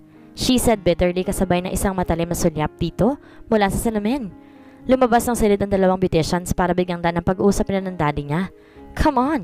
Puro may sinasabi mga dadalo sa kasal ninyo. Baka nakakalimutan mo ang ninong niyo sa senator at ang iba pang miyembro ng gabinete na kaibigan ni Rodel. Kaya malakas ang loob niyang gumawa ng masama dahil marami siyang koneksyon. Malakas ang taong sasandalan niya kahit mabukas siya sa kasamaan niya. Hindi ba kayo natatakot sa pinasong yun to, Dad? What are you talking about, Jesusa? You know what I'm talking about, Dad. Ikaw mas nakakilala kay Rodel. Masamang tao siya. Baka madami tayo kapag nabukonto ka sa mga kababalaghang ginagawa niya. Anong kabalbalan ang pinagsasabi mo? Matalim na tingin ang binigay nito sa kanya. Mahal ka ni Rodel at yun ang importante. Wala ka na magagawa, kaya italaga mo na buhay mo sa kanya. He will take good care of you. Yun ang inassure niya sa akin. No one can ever take good care of me other than Manuel. Lihim niyang pagpaprotesta. Sa kanya pinukul ang daddy niya na nanunumbat na tingin. Kung magkakaroon lamang siya ng pagkakataon tumakas ay gagawin niya. Where have you been, Manuel? Don't tell me na galing ka na naman sa paghanap sa babaeng nakilala mo the other night. Tanong ni Kel sa kanya na makasalubong ito ng hapong iyon. Kakarating lamang niya. Maaga siyang umalis para sa paghanap kay Jesusa. Crazy. Pero pinunta niyang lahat ng simbahang kaya niyang puntahan para lamang pigilan ang kasal nito. But he na para siyang pumapana sa dilim sa ginagawa niya. Pabagsak na naupo si Manuel sa pang-isang sofa habang hinihintay ng kanyang uyang asawa na kasama nitong dadalo sa kasal ng isang kaibigan. Nagbabaka sakali ako makikita siya. He said with a shrug, You're crazy, Manuel. Bakit pinagkakabalahan mo pa ang panahon ng Jesusa na yon? Babae lang yon. Gana ba siya ka-espesyal para magkaganyan ka ng dahil lamang sa kanya? Call me crazy but she is a real gem, kuya. Napailing ito habang natatawa. Makakalimutan mo rin sa Manuel? Mabuti pa sumama ka na lang sa amin ni Daisy. Dadalo kami sa kasal ng friend ko sa Green Hills. Umiling siya. Wala siya sa mundo dumalo sa kahit anong kaninong kasalan. Daisy sweetheart, 4.30 na. 5 o'clock ang wedding at malayo itong Las Piñas sa San Juan. Tawag ng kuya niya sa asawa niya mula sa hagdan. Nakakaya naman kay Rodel kung tayo. Rodel? Napamaang si Manuel nang marinig ang pangalang yon. Did you mention Rodel? Talong niya sa kapatid nang lumapit sa rito. Yeah, si Rodel Ventura. He is my friend, the ex-governor. At siyang ikakasal ngayon. Bakit mo na itanong? Napansin niyang hawak itong wedding invitation. Sa harap na sagutan ng pagtataka nito ay kinuha niya mula sa kami nito ang invitation na may ribbon na lavender at binasa niyang pangalan ng maikakasal. Partikular ang pangalan ng bride. No! Nanlaki ang mga mata ni Manuel. Jesusa Cabral. Si Jesusa. I know this is the Jesusa that I've been looking for this past two days. The lady I met two nights ago. Sabi niya sa kanyang kuya. Are you sure, Manuel? Tanong nito sa kanya. Yeah, hindi ako pwede magkamali. Si Jesusa to. Well, you have a problem, Brad. Kilala ko si Rodel. He had talked so much about this woman, and there is no way na pakakawala niya si Jesusa. Pero hindi siya mahal ni Jesusa kaya hindi ako papayag na makasal sila. Aagawin ko sa kanya si Jesusa. You're looking for trouble, Manuel? Ngayong alam ko na kung sinong pakakasal ng babaeng tinutukoy mo, lalo kung may dahilan para payuhan kang kalimutan mo ng Jesusa na yon. Hindi mo kilala si Rodel Ventura. Seryosong sabi nito. Sa tono nito, alam niyang binabalaan sa nito na parang may kakambal na panganib kung pakikialaman pa niya si Jesusa. Ngunit wala siyang balak pakinggan ang sinasabi nito. Nagmamadali siyang tumalikod. Where do you think you're going, Manuel? Habol ng kuya niya sa kanya.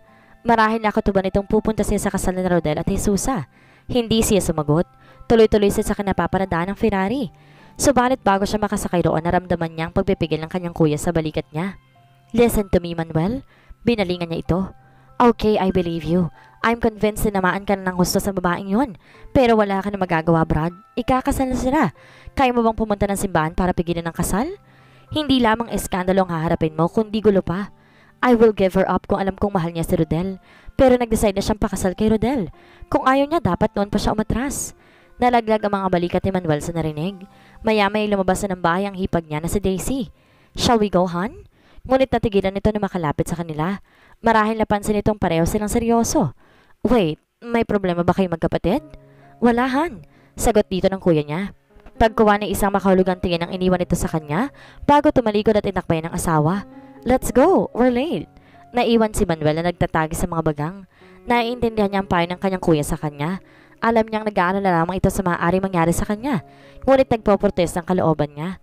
Halos dalawang araw niyang hinanap si Jesus para maagaw ito mula kay Rodel.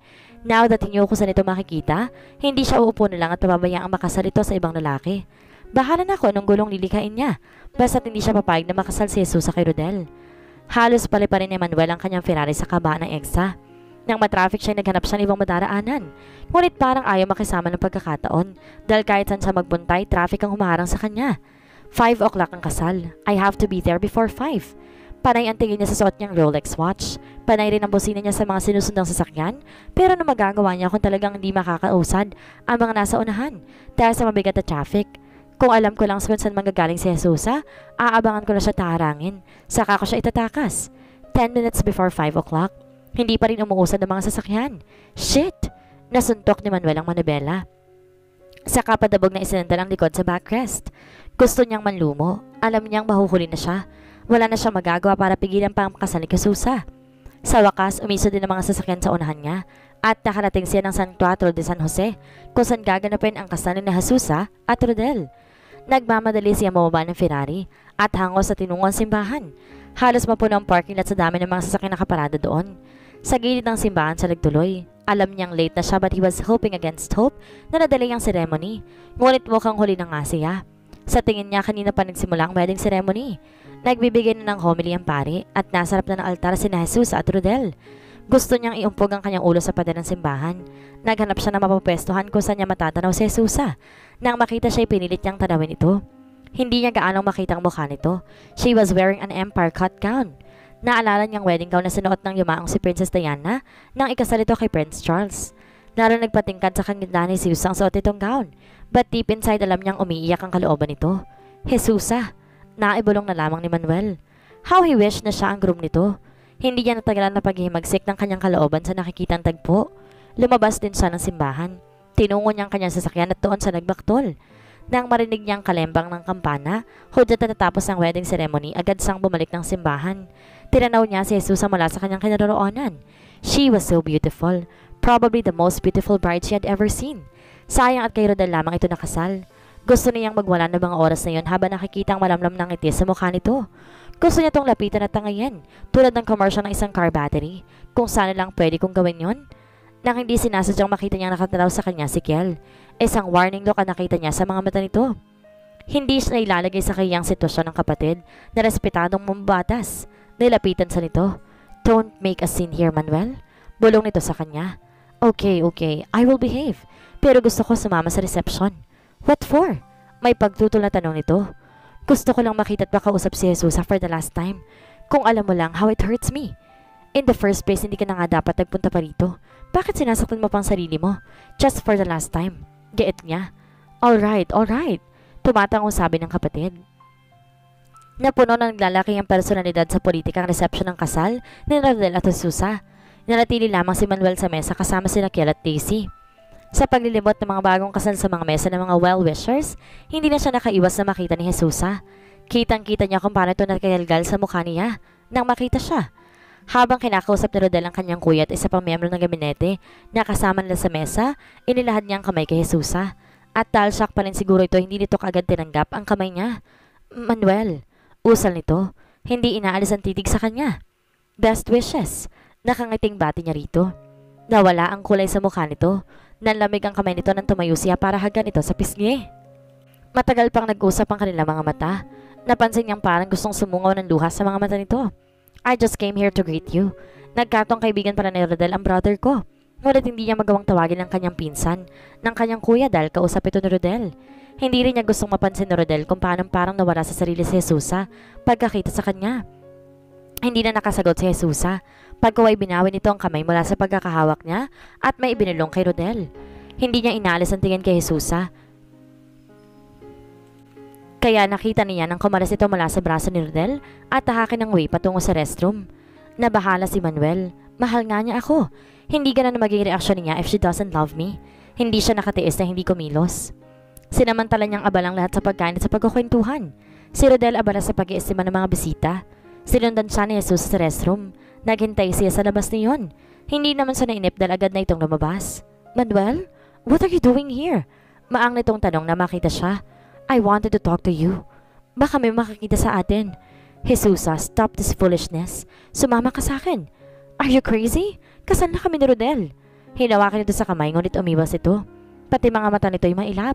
Parang ayaw sa lubungin ng mga tingin niya. Bakit nagpunta ka pa rito? Ikaw ang gusto kong tanongin, Jesusa. Hinanap kita. Mula nang umalis ka ng hotel nang walang paalam, wala na akong ginawa kundi ang hanapin ka. In fact, gusto kitang salubungin para itakas kanina. I just ran out of time. Forget me, Manuel. It is the right thing to do. Umiwas ito sa kanya takman tatalikod. Ngunit tumarang siya sa daraanan nito. Please, Manuel, pakiusap nito. Ako ang mahal mo, Jesusa. Sinabi mo yun.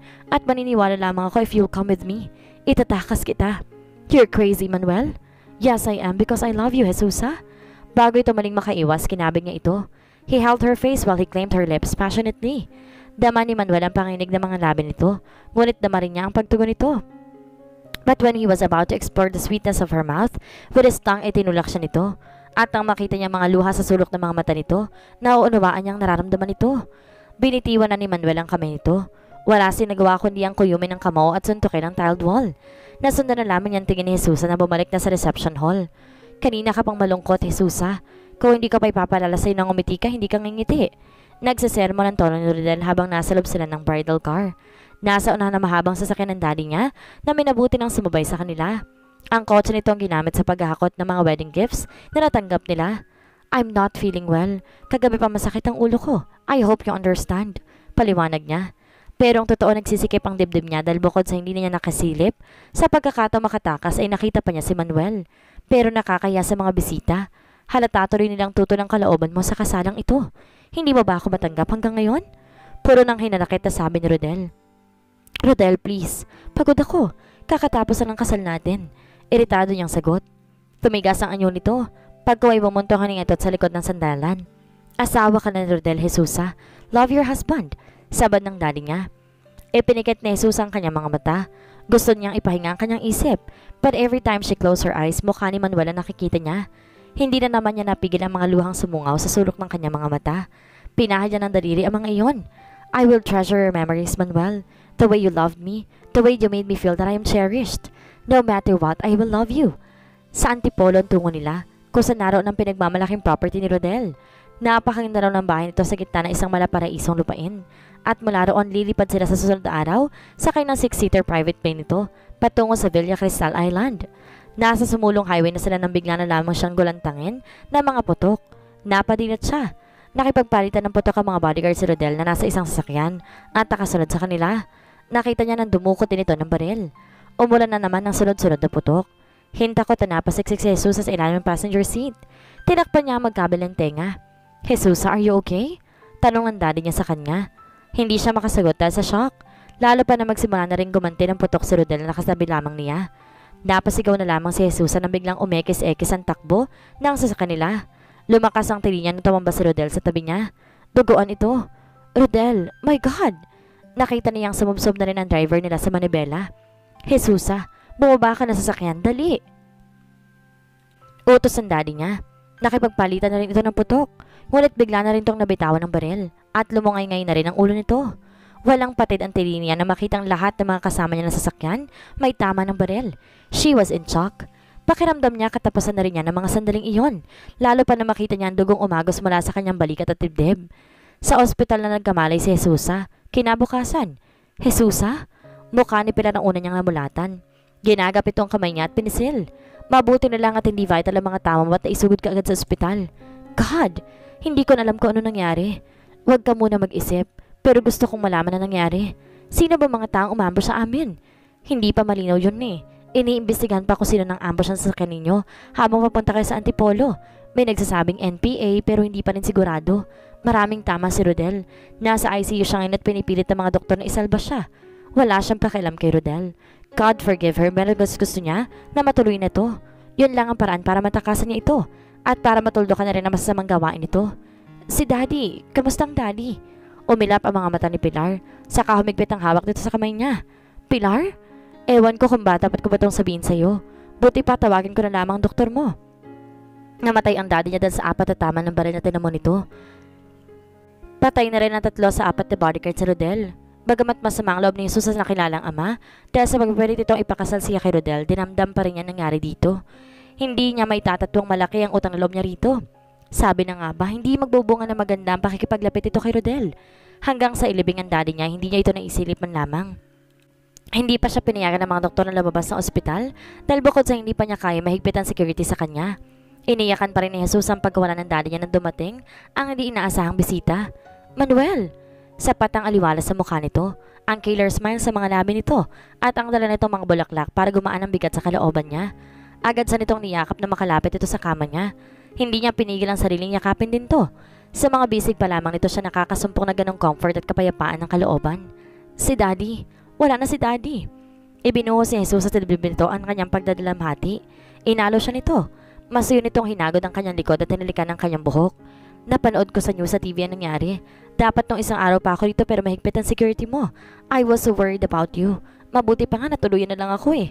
Parang batang sabi niya. Stop talking like that. I thank God that you're alive. Nabuhay ka para sa akin. Pero buhay din si Rodel. Sinabi ng doktor niya kanina na nakalampas siya sa critical condition. Hindi pa rin ako makakatakas sa kanya, Manuel. I'll think of another way para makawala ka kay Rodel. Kung kailangan itakas kita rito sa ospital, gagawin ko. Napatitig si Susa sa mukha nito. How she loved those expressive eyes and brows, and those kissable lips. Kung nga lamang na wag na siyang kumalas sa pagkakayakap nito. Paanong kasal mo kay Nadine? Tanong ni Jesus rito ng saglit na magkahiwalay ang kanilang mga katawan. She will understand. My family and her family will understand. Paano kung di kanya bigyan ng karapatan sa maging anak nyo? It's up to her. Basta, hindi ko tatalikuran ang responsibilidad ko sa bata. Besides, bibigyan mo rin ako ng anak, hindi ba? Inilapat niya ang kanyang hintuturo sa mga labi nito para pigilan ang mga sasabihin pa nito. I love you, Jesusa. Dadalhin kita sa Villa Cristal at kahit anong gawin ni Rodel, hindi kita ibibigay sa kanya. Sira ka ba? There's no way na matatakasan natin si Rodel. Bago pa siya makaiwas na ikulong na nito ang mukha niya sa dalawang palad nito and kissed her passionately, possessively as if he owns her, na para bang hindi siya kasal kay Rodel. Ayaw sana niyang tugunin ang halik nito but she was hungry for his kisses too. At wala siyang ibang lalaking gustong umangkin sa mga labi niya kung hindi si Manuel. She opened her mouth para malayang i-welcome ang mga labi nito. Napaungol si Esusa dahil sa pleasure na iniluluhod at tinudulot ng mga halik nito. Kahit alam niyang mali, ikinawit niya mga kamay sa batok nito Bahagya siyang lumiyado pang idikit ang katawan niya sa katawan nito. She wanted to feel the warmth of his body again. Hindi pa sana niya itutulak si Manuel kung hindi niya napansin ang pagbukas ng pinto ng private suite na kinaroroonan niya at sumangawang nurse. Excuse me. Namumula sa hiyang pagngin ito ng dispensa. Pero may ilang pulis na gusto makipag-usap sa iyo, Miss Cabral. Napatingin si Jesus kay Manuel. Siguro mga investigador yan na gusto makakuha ng ilang information sa nangyaring ambush sa inyo. Paliwanag dito sa kanya na parang pinapahiwatig na wala siyang dapat ikatakot. Sige nurse, please let them in. Utos niya rito. Hindi nagtagal tatlong otoridad ang pumasok. Good afternoon, Mrs. Ventura. Bati namang ito sa kanya. Mrs. Ventura? Nireject ng pagkatao niyang pangalang yon. Nagpakilala sa kanya ang pinaka-leader ng grupo. Pagkatapos pinakilala rin ito ang mga kasama. Ikaw pa lamang ang pwedeng kausapin among the survivors sa nangyaring ambush. Kaya ikaw lang makukuha na namin ng impormasyon tungkol sa tunay na nangyari. Pahayag ng pinaka-leader. Nakita mo ba kung sino mga tumambang sa inyo? Kung saan sila nanggaling at kung may nakilala ka ba sa kanila? May kaaway ba si ex-governor Ventura na posibleng gumawa nito sa kanya? O sisa ng isa pang polis? Kaaway? Bigla niyang alala ang booklet at disket na nakuha niya sa loob ng bathroom ng daddy niya. Kung pinuno ng isang sindikato si Rodel, malamang na marami magka-interes sa buhay nito. Mga NPA na nagkokondena sa mga salot ng lipunan o kaya taong nasasagataan ng sindikato nito. O posible rin mga kaaway ni Rodel. May kumistap na ideya sa isip ni Jesusa. Kung totoo nga ang kutob niyang sangkop sa underworld activities ng grupo ni Rodel at tungkol sa limang sindikatong nilalaman ng booklet at disket, magagamit niya mga yun para makawala na siya mula rito. Kung sasabihin niya tungkol sa kutob niya at ibibigay sa mga otoridad ang booklet at disket, posibleng mapag-aralan ng mga iyon. At kapag napatunayan tungkol sa isang sindikatong nilalaman ng mga iyon, tsak na imbestigahan si Nadine. Kapag napatunayan konektado ito sa isang sindikato, makukulong ito. May sapat na siyang dahilan para mag-file ng annulment. May sasabihin ako sa inyo sa palagay ko'y makakatulong para masolve ang kasong to. Sabihin niyo sa amin, Mrs. Ventura. Pakongombinse sa kanya ng pinaka-leader. Batid niyang nakakatakot ang gagawin niya. Hindi simpleng bagay ang pinagtatapat niya, lalo pa kung mapapatunayang totoo ang mga hinala niya. Pero gagawin niya yon para mabigyan ng hostisya ang pagkamatay ng dali niya at matapos ang kasamaan ni Rodel. At para makawala na rin sa ng tuluyan dito. Her love for Manuel was enough para maging matapang siya. Si Manuel na rin nag-request na bigyan ng security si Jesus habang nasa ospital pa ito pagkatapos ng mga binigay nitong impormasyon sa otoridad. Pabalik-balik siya sa ospital para lamang masigurong kaligtasan nito. Kapag napatunayang vital ang mga ebidensyang binigay ni Jesus sa mga polis, tiyak na makukulong si Rodel and she would be freed of him. Nakangiti si Manuel habang nagda-drive pa uwi sa bahay. Galing siya mula sa ospital ng gabing yon. Wala nang hadlang sa kanila ni Jesusa. Ngunit biglang nawalang ngiti sa mga labi niya nang maalala si Nadine. Paano ang kasal nila? More than two weeks na lamang at araw na ng kasal nila. Pagdating niya sa kanilang manson, hindi niya asang aabutan sa bahay si Nadine at ang mommy nito. Ilang araw na kami sa Villa Cristal. Ang sabi mo, susunod ka. May panunumbat sa tono nito nang sumunod sa kanya sa tabi ng swimming pool. I've been busy this past few days, Nadine. Paibas na sagot nito. Palagi na lang yan ang alibay mo. Would you tell me honestly, balak mo pa bang ituloy ang kasal na to? Nagmumukha akong habol ng habol sa'yo, Manuel. Baka nakakalimutan mong hindi ko pinagpipilitan ng sarili ko sa'yo, hindi ba? Sarcastic na bali niya rito. Hindi mo nga pala ako pinilit. Yeah, I agree. Dahil hindi akong klase ng lalaki magpapapressure sa kahit na sino. Pero emotional blackmail ang ginamit mo sa akin, hindi ba? You must remember na nakumbinsi mo akong pakasalan ka dahil lang sa anak ko.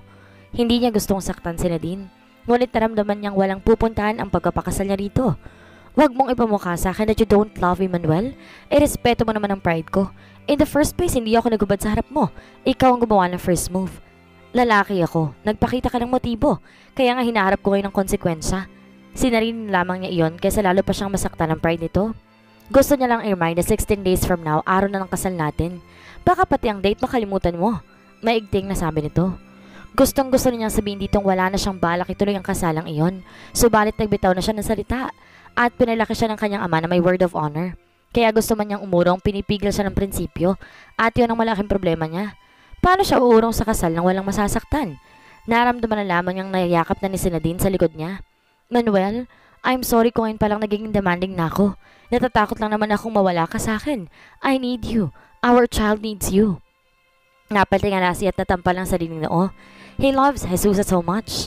Nakasilip na sila ng pag-asa makakalas ito sa kasal nito kay Rodel. Pero pinangako na niya ang pangalan kay Nadine dahil sa anak nilang dinadala nito. God, what shall I do? Nakumpirmang isa sa mga pinuno ng isang malaking sindikato si Rodel ayon sa mga impormasyong laman ng booklet at disket na ibinigay ni Jesus sa mga otoridad.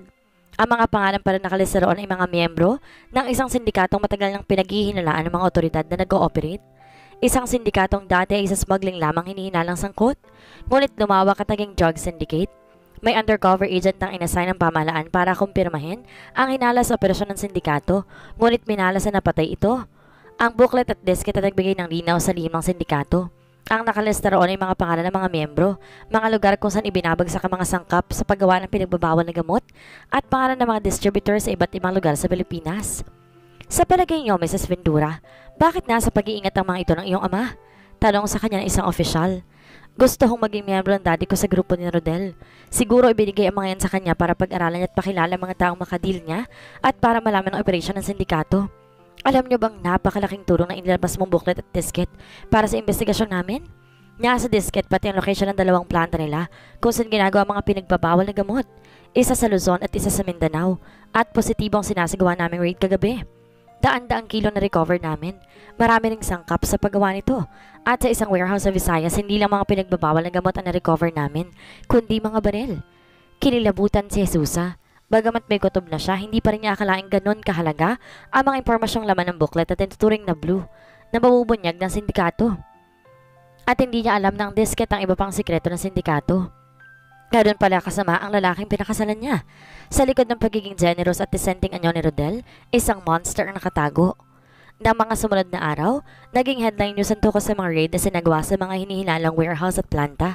Lumika na malaking iskandalo tungkol doon dahil sa ang mga pangalan ng ilang prominenteng pangalan, tulad ng ilang police officials, ang pangalan ni Rodel at ni Congressman Ezekiel Manzano. Ang ilan pala sa mga ito ay matagal na ring under surveillance, dahil na lang may kaugnayan sa sindikato ng ilegal na droga sa Pilipinas. Minsan ang pinaghinalaan si Rodel Ventura na pagiging drug cuddler ng governor pa ito. Ngunit dahil sa kakulan ng ebidensya, hindi ito makasuhan. Pero ang isang pangalang hindi inaasang makikita sa listahan ng mga pinuno ng sindikato ay si Congressman Ezekiel Manalo. Naroon niya lamang na lamang kapatid pala ni Manuel. Napanood niya sa isang news program ang magpatid kaya nalalaman na kapatid ni Manuel ang congressman. God knows, wala akong alam sa sindikatong yan. Maraing tangge ni Congressman Ezekiel Manzano sa media people na dumagsa para interviewin ito. Hindi ko kailangan sumali sa sindikatong yan para magkaroon ng pera. Kilala niyo naman ang pamilya ko. This is ridiculous. I know my brother. Sabi naman ni Manuel. Hindi niya sisirain ang pangalan namin. Kung sa bagay, mahirap paniwala ang sangkot si Congressman Manzano sa drug syndicate na yan. Sabi ng polis mo manabantay niya sa ospital. Irespetado ang pangalan ng congressman na yon, pati na ang buong pamilya Manzano. Hindi ko alam na kapatid ni Manuel ang Ezekiel Manzano na iyon. Does it mean na nakaladkad ko pa ang pangalan nila sa kahiyan? Jesus! Baka magalit pa sa akin si Manuel. Hindi niya akalaing pati ang pamilya ni Manuel ay masasagataan sa ginawa niyang pagbubunyag ng mga tinatagong ebidensya ng kasama ni Rodel. Forgive me, Manuel. I didn't want this to happen. Hindi ko gustong masaktan ng pamilya mo. Of all people, bakit ang pamilya pa nito nakaladkad niya sa iskandalo at sa mga ebidensyang ibinigay niya sa mga otoridad? Paglabas ng ospital, agad na tinuloy ni Jesusa sa isang safe house ng NBI. Alam ng mga otoridad na malalagay sa panganib ang buhay niya dahil sa mga nilabas niyang ebidensya. Ginawa siyang state witness sa sinilaan sa Witness Protection Program ng pamahalaan. Galit na galit si Manuel dahil sa pagkakadawit ng pangalan ng kanyang kuya Kiel sa mga ebidensyang nilabas ni Jesusa. Pagkatapos na mahingla ang pangalan ng pamilya nila, pinatakta na ng media ang bahay nila. Maging ama nila hindi nakaligtas sa mahilang pangalan sa eskandalo. See?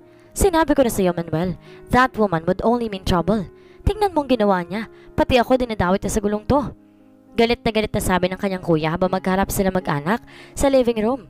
Ang mama at papa nila na apektadong apektado sa skandalo, ang bunso nilang kapatid at ang asawa at anak ng kuya niya.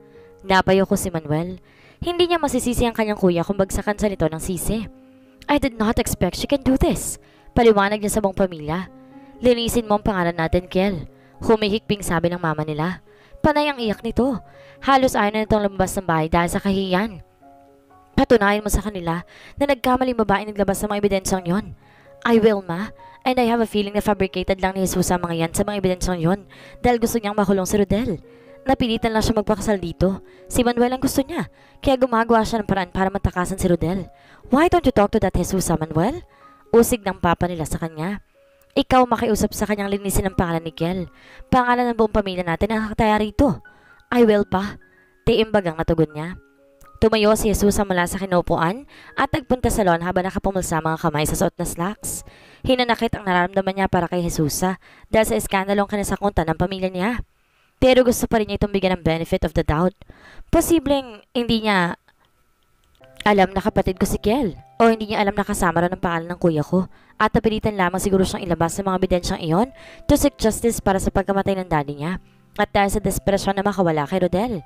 Posible din gusto niyang tapusin ang kasama ni Rodel at lalong posibleng ang pagmamahal niya sa akin ang dahilan kaya niya nilabas sa mga nalalaman niya. Pangungumbinsin niya sa sarili. Ngunit mapatunayan mang hindi totoong sangkot ang kanyang kuya sa sindikato ni Rodel, malilinis pa ba ang pangalan ng pamilya nila? Papaano na ang kahiyang inabot nila? At papaano pa mapapatawad ng pamilya niya sa Isusa? Sinikap ni Manuel na makausap ng personal si Jesusa, ngunit mahigpit ang security nito. Hindi raw siya maaaring dalhin sa safe house nito. Nanganganib daw kasi ang buhay nito sa iba pang nabunyag na miyembro ng sindikato. Hindi ko ba siya pwedeng kausapin kahit sa phone lang? Pakiusap niya sa NBI official na kausap niya. She is my girlfriend. Pero kapatid ka ni Congressman Manzano, hindi ba? Oo. Dalo kang hindi pwedeng makausap ni Jesusa. Sangkot ang pangalan ng kapatid mo sa sindikato at pinaprotekta namin ang witness namin. Allegation pa lang yan. Hindi niya naiwasan magtaas ng boses. Hindi pa man parang hinaturan ng kanyang kuya. Halos lahat ng tabloid, broadsheet at sa TV, palagi na lamang iniog na yung pangalan ng kanyang kapatid sa sindikatong nagbunyag dahil kay Jesusa. Okay, sige. Itatanong namin sa kanya kung paano siya makausap ka kahit sa telepono, pero kailangan mo-monitor namin ang pag-uusap nyo. Malungkot sa safe house sa kinaroroonan ni Jesusa na nasa labas ng Metro Manila. Kahit may TV at stereo na maaari niyang paglibangan, matinding pagkainip pa rin ang nararanasan niya. Limang araw pa lamang siya roon, bored na siya. Kung naroon lamang si Manuel, kahit siguro habang buhay na siyang magstay doon, okay lang. She missed him so much. Pinagkakasya na lamang niya sa sariling tingnan ng maliit na larawan nito na kinupit niya mula sa wallet nito. Namimiss pa rin kaya niya ako o kinalimutan niya ako dahil sa mga nangyari. Jesusa, Pukaw sa kanya ng policewoman na isa sa mga bantay niya sa safe house. May tawag ka galing sa headquarters. May gusto raw makapag-usap sa'yo. Sino raw? Si Manuel Manzano daw. Si Manuel? Tila lumundog ang puso niya pagkarinig sa pangalang iyon. Ayaw sana namin siyang pagbigyan pero importante raw na magkausap kayo. Tsaka boyfriend mo raw siya eh. Sagot na nasa kabilang linya ng sagutin niyang telepono. Gusto siyang makausap ni Manuel? Sa mga nangyayari sa kanya, alam niyang sa mga bisig lamang nito siya makakaramdam ng comfort. Ngunit alam niyang may nagbago na pagkatapos ng ginawa niyang expose at ng pagkakakaladgad ng pangalan ni Ezekiel Manzano sa sindikato. Matatanggap niya ang galit ni Rodel at ng iba pang nabunyag na sangkot at protektor ng sindikato, pero hindi ang galit ni Manuel. Kung siyang masusunod ang gusto niya ay makausap ang personal ng binata, ngunit mahigpit ang pagbibigay ng seguridad sa kanya. Limitado mga taong kailangan makaalam ng safe house sa kinaroroonan niya, lalo pat inimbestigahan ng malalaking taong sangkot sa sindikato. Sinasala ni mabuti mga taong maaari niyang kausapin, kaya magkakasya na lang muna siya sa telepono. Sige, kakausapin ko siya. Why did you do this to my family, Jesusa? Why my brother? Punong-puno ng galit at tinanakit ang boses ni Manuel. Bahagyang inilayo ni Jesus ang auditibo sa kanyang tenga. Noon lamang niyang narinig ng ganoon kaigting ang pagsasalita nito. Manuel, I can explain. Huwag ka muna magalit sa akin. Samo niya. Kahit ano explanation pang gawin mo, the harm has been done. I am so disgusted with you, Jesusa. Patuloy nito. I have loved you and you know that. I know you are desperate na makatakas kay Rodel. Pero bakit kailangan mo pang magdamay ng ibang tao? Manuel, hindi ako basta nagdadamay. Hindi ko alam na kapatid mo si Congressman Ezekiel Manzano. Honestly, I have no idea. Besides, kung ano naman ang mga ebidensyang pinakita ko, yun na yun. At hindi ko kasalanan kung kasama pa ng pangalan ng kapatid mo ron. You could have least talked to me. Kung totoong minahal mo ako, hindi mo gagawin sa akin to. Tama nga sigurong family ko. Hindi kita dapat pinagkasayan ng panahon at atensyon noon. You disappointed me, Jesusa. Mabigat ang bitaw nito ng mga salita. Napakagat labi si Jesusa. Wala akong intensyong sirain ng pamilya mo. Paliwanag niya. Pero nagawa mo na, Jesusa. Since your expose, hindi na natahimik ang buhay ng pamilya namin. Hindi niya malaman ang gagawin. Hindi siya handa sa panunumbat ito. You have to clear my family's name. Utos iyon mula sa powerful voice nito. Paano ko gagawin yun? Wala naman talaga ako sa posisyon para sabihin kung sino mga totoong kasama sa sindikatong yun at kung sinong hindi. Nang ibigay ko yung blue book at disket na yun sa mga authorities, wala ako ibang intensyon kuning mabunyag ang hinihila na naming kasamahan ni Rodel. Damn you, Jesusa. Walang alam si Kuya Kiel sa sindikatong to. Sikpat nito.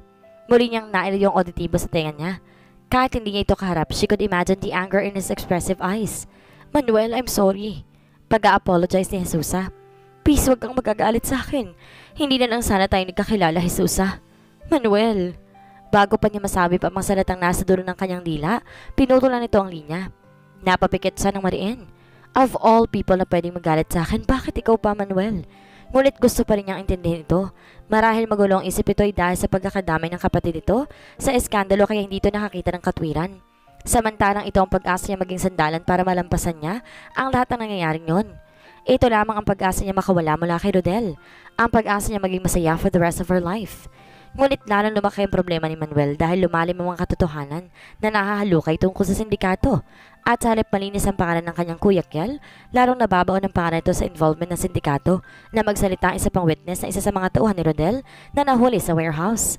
Ito ang nagkumpirma na totoong sangkot ang mga parang nasa Blue Book at isinalaysay nito ang lahat ng nalalaman tungkol sa nasabing sindikato na si Rodel ang pinuno. Lahat ng kasama ng sindikato ay nabunyag, larong nadain si na Rodel at Kiel. Nasampahan ng kaso mga ito, si Kiel sa ombudsman at dahil sa mga corroborating evidences, bumaba ang warrant of arrest at detain ang mga ito.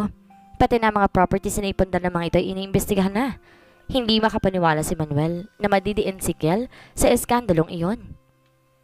Hindi siya naniniwalang sangkot ito sa sindikatong yon. He was a respected man. Kasalanan mo to, Jesusa. Naikayom ni Manuel ang kamay niya dahil sa puot sa dalaga na nagsimula ng lahat ng iyon. At hindi nakayanan ng mamanla ang eskandalo. Apat na araw bago ang kasal nila na din, inatake ito sa puso. How is she? Humahango sa tanong ni Manuel ang sumugod siya sa ospital. Galing siya ng Intelligence Division ng Krame. Personal niyang inasikaso ang pagkakahuli sa kanyang kuya Kel. Malakas na pag-iyak at sinagot sa ng tita Lauren niya. Younger sister ito ng kanyang mama. Nang lingunin niya ang kanyang papa, yukong-yukong ulo nito habang nakaupo sa isang mahabang bench na nasa labas ng emergency room. Ito ang nilapitan niya. Pa, how's mama? Bagamat kinakaba na si Manuel sa maaaring isagot ito, nagbabaka sakali pa rin siya, hoping against hope na wala nangyaring masama sa kanyang mama. Ngunit nang mag-angat na mukha ang papa niya, iluhaan din to. Hindi masukat ang pagdadalamhati sa mukha nito. Kinabig siya nito. Pa, she's gone, son. Sabi nito sa galgal na tinig. Hindi na niya nakayanan ang lahat. Gone? Halos bumingi sa kanya ang delegasyon ng iyon ng kanyang papa. At isang tao lamang sinisisi niya sa lahat ng iyon. Si Jesusa. Dapat araw ng kasal na nila din sa makalawa. Ngunit dahil sa mga pangyayari pinagpaliban muna iyon. Nakakuyom ang mga kamo ni Manuel habang kausap ang kanyang kuyokel. Dinalo niya ito sa krame at inihatid niya dito ang masamang balita. Ngayon, nakita mo na ba kung anong klaseng babae ang Jesusa na yun? Siya ang sinusumbatan nito. Didn't I tell you she in trouble? Dahil sa nangyari sa inyo, nagawa niya ipahamak pati ang lalaking pinakasalan niya. At wala siyang pakialam kahit sino pang madawit. She destroyed our family, Manuel. You must destroy her too.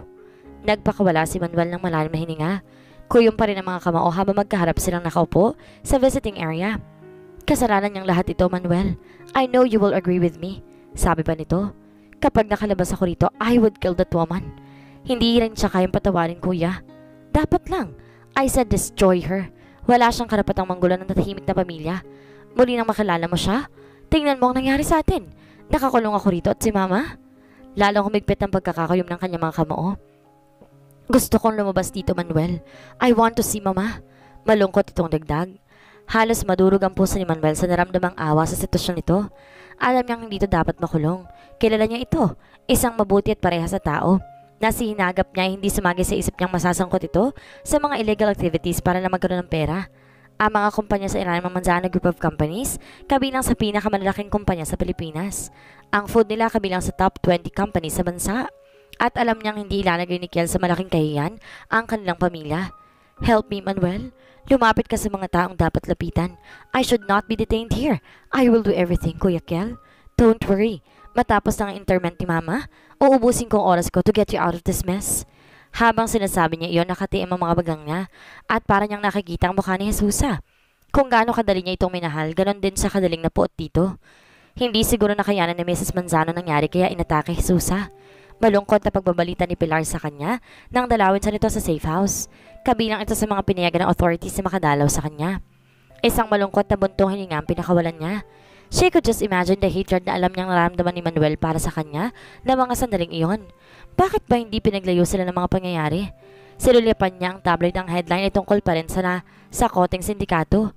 May kuharong inaresto ng mga polis Congressman Ezekiel Manzano. Binigyan sa ng wary look si Pilar. Ano ba tong ginawa ko, Pilar? Lalo yatang lumaki ang problema. Pati ang pamilya ni Manuel na damay. At galit na galit siya sa akin ngayon. Hindi ka dapat makaramdam ng guilt. No! Tama lang ginawa mo. Komento nito habang inaayos sa mesa ang dala nitong mga pagkain. Isang maliit na bilaon ng pansit malabon at sopaw na bola-bola na alam nitong gustong gusto niya. At kung may mga nadamay man, hindi mo kasalanan yon. Besides, anong malay mo kung talagang sangkot si Congressman Manzano sa sindikatong yon at pilit naman ang dire-deny dahil nahihiya siya sa pamilya niya. Pilit siyang umiti. Lumapit siya sa kinaroonan ng kanyang kaibigan at siya ang kumuha ng dalawang plato at baso. Kompleto ang saifa sa kinaroonan niya. May kitchen, living room at dalawang bedrooms. Thanks for that vote of confidence, friend. Tinamaan ka talaga sa Manuel na yun, oh. Palunok pa nito sa kanya. Nakapwesto na sila sa harap ng four-seater dining table. Obvious ba? Mapapasok ba ako sa gulong ito kung di dahil sa pagmamahal ko sa kanya? Heroin ka nga kung tutuusin. Biruin mo, kaya pala lumalala ang problema sa illegal drugs ito sa Pilipinas dahil sa mga sindikatong katulad niyan. At malalaking tao pa mga miyembro, ha? Kaya pala malakas na loob na mag-operate. O di, istariray ka ngayon? Bida ka sa lahat ng news. Tuwang-tuwa sa'yo pati si Madam President. Pero hindi si Manuel. At yun ang nagpapahirap sa kalooban niya. Biruin mo, ang sama-sama pa ng lalaking pinakasalan mo? Come to think of it, baka ang langit ang gumawa ng paraan para makatakas ka kay Rodel. Pero natatakot ako sa kanya, Pilar. Sabi ng security ko rito kahit nakakulong si Rodel, malamang kumikilo sa mga tuwan niya at ibang sangkot sa sindikato para ipapatay ako. Balak nga nilang ilipat ako sa ibang safe house this week at hindi na ako pwedeng tumanggap ng bisita maliban sa mga immediate families ko. Pero ang tita Flora mo na lamang ang nasa iligan at ang pamilya niyang may tuturing mong pamilya. Who will take care of you? Si Manuel sana pero dahil sa nangyari, lalo na sa pagkamatay ng mama niya, para ko na nakikita ang galit niya sa akin. Forget him, Jesusa. Lalo namang magugulang buhay mo. Payo nito sa kanya. Kumain na lang tayo, okay? Forget Manuel. Para namang galon kadalang gawin yon. Para ng kasal pare? Tanong kay Manuel na Nicolo at Garrett. Nagdesisyon siya magbakasyon muna sa Villa Cristal pagkatapos mailibing ang mama niya. He felt he badly needed a break. Para nang sasabog ang ulo niya pagkatapos sa masakit na pangyayari. Kailangan niya maglibang kahit sandali. Nag-golf shot sa mama kina Garrett at Nicolo na mag-scuba diving sa kabilang isla. Nadine's family understands. Alam naman na ang sitwasyon ng pamilya ko. Hanggang ngayon hindi pa nakaka-recover ang buong pamilya sa pagkamatay ni Mama at hindi pa rin namin alam kung malalampasan ni Kuya Kel ang kinasasangkutan niyang problema ngayon. Alam mo, Manuel, hindi rin kami makapaniwala when the news broke tungkol sa sindikato raw ni na ex-Governor Ventura at ang brother mo. Sabi ni Nicolo, Knowing your family? I myself could not believe na nangyayaring lahat ng to. Nasa isang nipa sila sa beach at kakatapos sama nila mag-jetski. ski. You mentioned kanina na kilala mo yung state witness, si Jesus Cabral? Tanong ni Garrett habang naglalagay ng yelo sa kanilang mga baso. Nakayom ni Manuel ang isang kamao ng maalalang dalaga. Kinuwento niya sa dalawang kaibigan kung paano sila nagkakilala ni Jesusa. Some women means trouble. Naiiling na sabi ni Garrett kapag daka. Tingnan mo si Alexos, mukhang mapipilitan din pakasalan ng Loris na yon. Siguro nga, women means trouble. Pag ayaw niya na nagkibit balikat. Hindi ko mapapatawad si Jesus sa ginawa niyang gulo sa buhay ko. I thought love at first sight yung mama sa'yo. Tanong ni Nicolo. Tinutok niya ang tingin sa basong hawak niya bago sinagot ito. Jesusa was like a tornado. Bigla na lamang siyang dumating at binulabog ang buhay ko. Awang-awa ako kay Kuya Kel at sa mag-ina niya. Pati si Papa hanggang ngayon nahihirapan makarecover sa pagkawala ni Mama. She must be a real gem dahil in love ka agad sa kanya. May kahalong panunoksong sabi ni Garrett. Yeah, I must admit, she is a real gem. Pero madali ko na siya makakalimutan dahil sa ginawa niya sa pamilya ko. Kailan natin nire-reschedule ang wedding, Manuel? Tanong nila din sa kanya. Inabutan siya nito sa fitness gym na nasa ground floor ng hotel. Pangatlong araw na niya sa Villa Cristal at hindi niya inaasahang darating ito.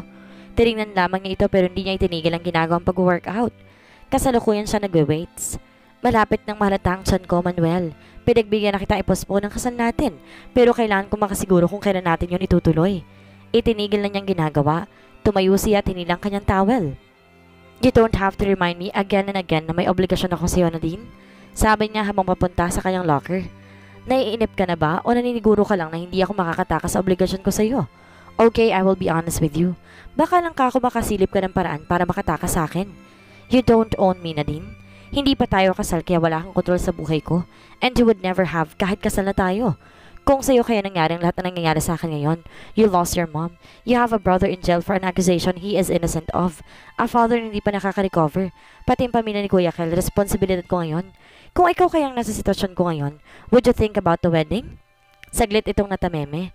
I can understand your situation, Manuel, but I just wanted to make sure na matutuloy ang kasal. Isang matalim na tingin ang binigay niya rito. You want me to be honest with you? Balik tanong niya rito. I might back out of this one wedding kapag patuloy mo akong kinulit. Agad nagdilim mukha nito. Bumalatay ang galit doon. You won't dare do that to me, Manuel. Hindi mo pwedeng gawing alibay yan para na makaiwas ka sa akin. Don't let me believe na totoong naririnig kung gusto mo nang umurong sa kasal natin dahil may nakilala kang isang babaeng hindi mo nakalimutan at gusto mong makasalan ngayon. Larong naningkit ang kanyang mga mata. Ito ba ang babaeng pakakasalan niya? Demanding, nagger, narrow-minded? Heavens! Lahat ng turn-offs niya sa isang babae taglang niya din. Bago pa siya makapagsalita ng hindi maganda, inis niyang nila ang bag na pinaglalagyan niya ng gym suits at tinalikuran ito. Manuel! Agad itong sumunod sa kanya. Nagpunta ako dito sa Villa Cristal to have a break. Pagkatapos sinundan mo ako para lang inag at i-pressure. Galit niyang sabi habang nauuna naglakad palabas ng gym. You were never that rude and cold to me na magdesisyon kang pakasalan ako, Manuel. Gusto ko nang maniwalang na in love ka na nga sa babaeng yon. Who is she, Manuel? She is somebody special and I must admit, siya ang babaeng gusto kong pakasalan. Mariing sabi niya nang palabas na sila ng hotel. Ngunit noon yon, bago pa gumawa ng gulo si Jesus sa pamilya niya, Sinabi lamang niya kay Nadine iyon para matauhan ito. Sumakay ito sa passenger seat ng kanyang Ferrari nang sumakay na siya noon. At dahil siguro nag-alala itong lalo siya magalit ay hindi na ito kumibo habang tinatahak nilang daan pabalik sa village. Hanggang sa makarating sila sa villa hindi kinabuo ni Manuel si Nadine. Dinatan niya rin ng mami nito at ang nakatatan ng kapatid na si Paul, ang long-time friend niya. Komportabling kumikilo sa mga ito sa loob ng bahay niya. Nasa kusina si Tita Rosal at mukhang naghahanap ng mailuluto sa refrigerator. Samantalang si Paul nakata sa mga paa sa center table habang nanonood ng TV. Napailing siya at home na at home mga ito sa bahay niya. Wala na rin ginawa mga ito kundi ang tanungin kung kailan nire-reschedule ang napaspo na kasal nila ni Nadine. Nagtatanong ng close relatives and friends namin, Manuel. Hindi namin alam kung anong isasagot.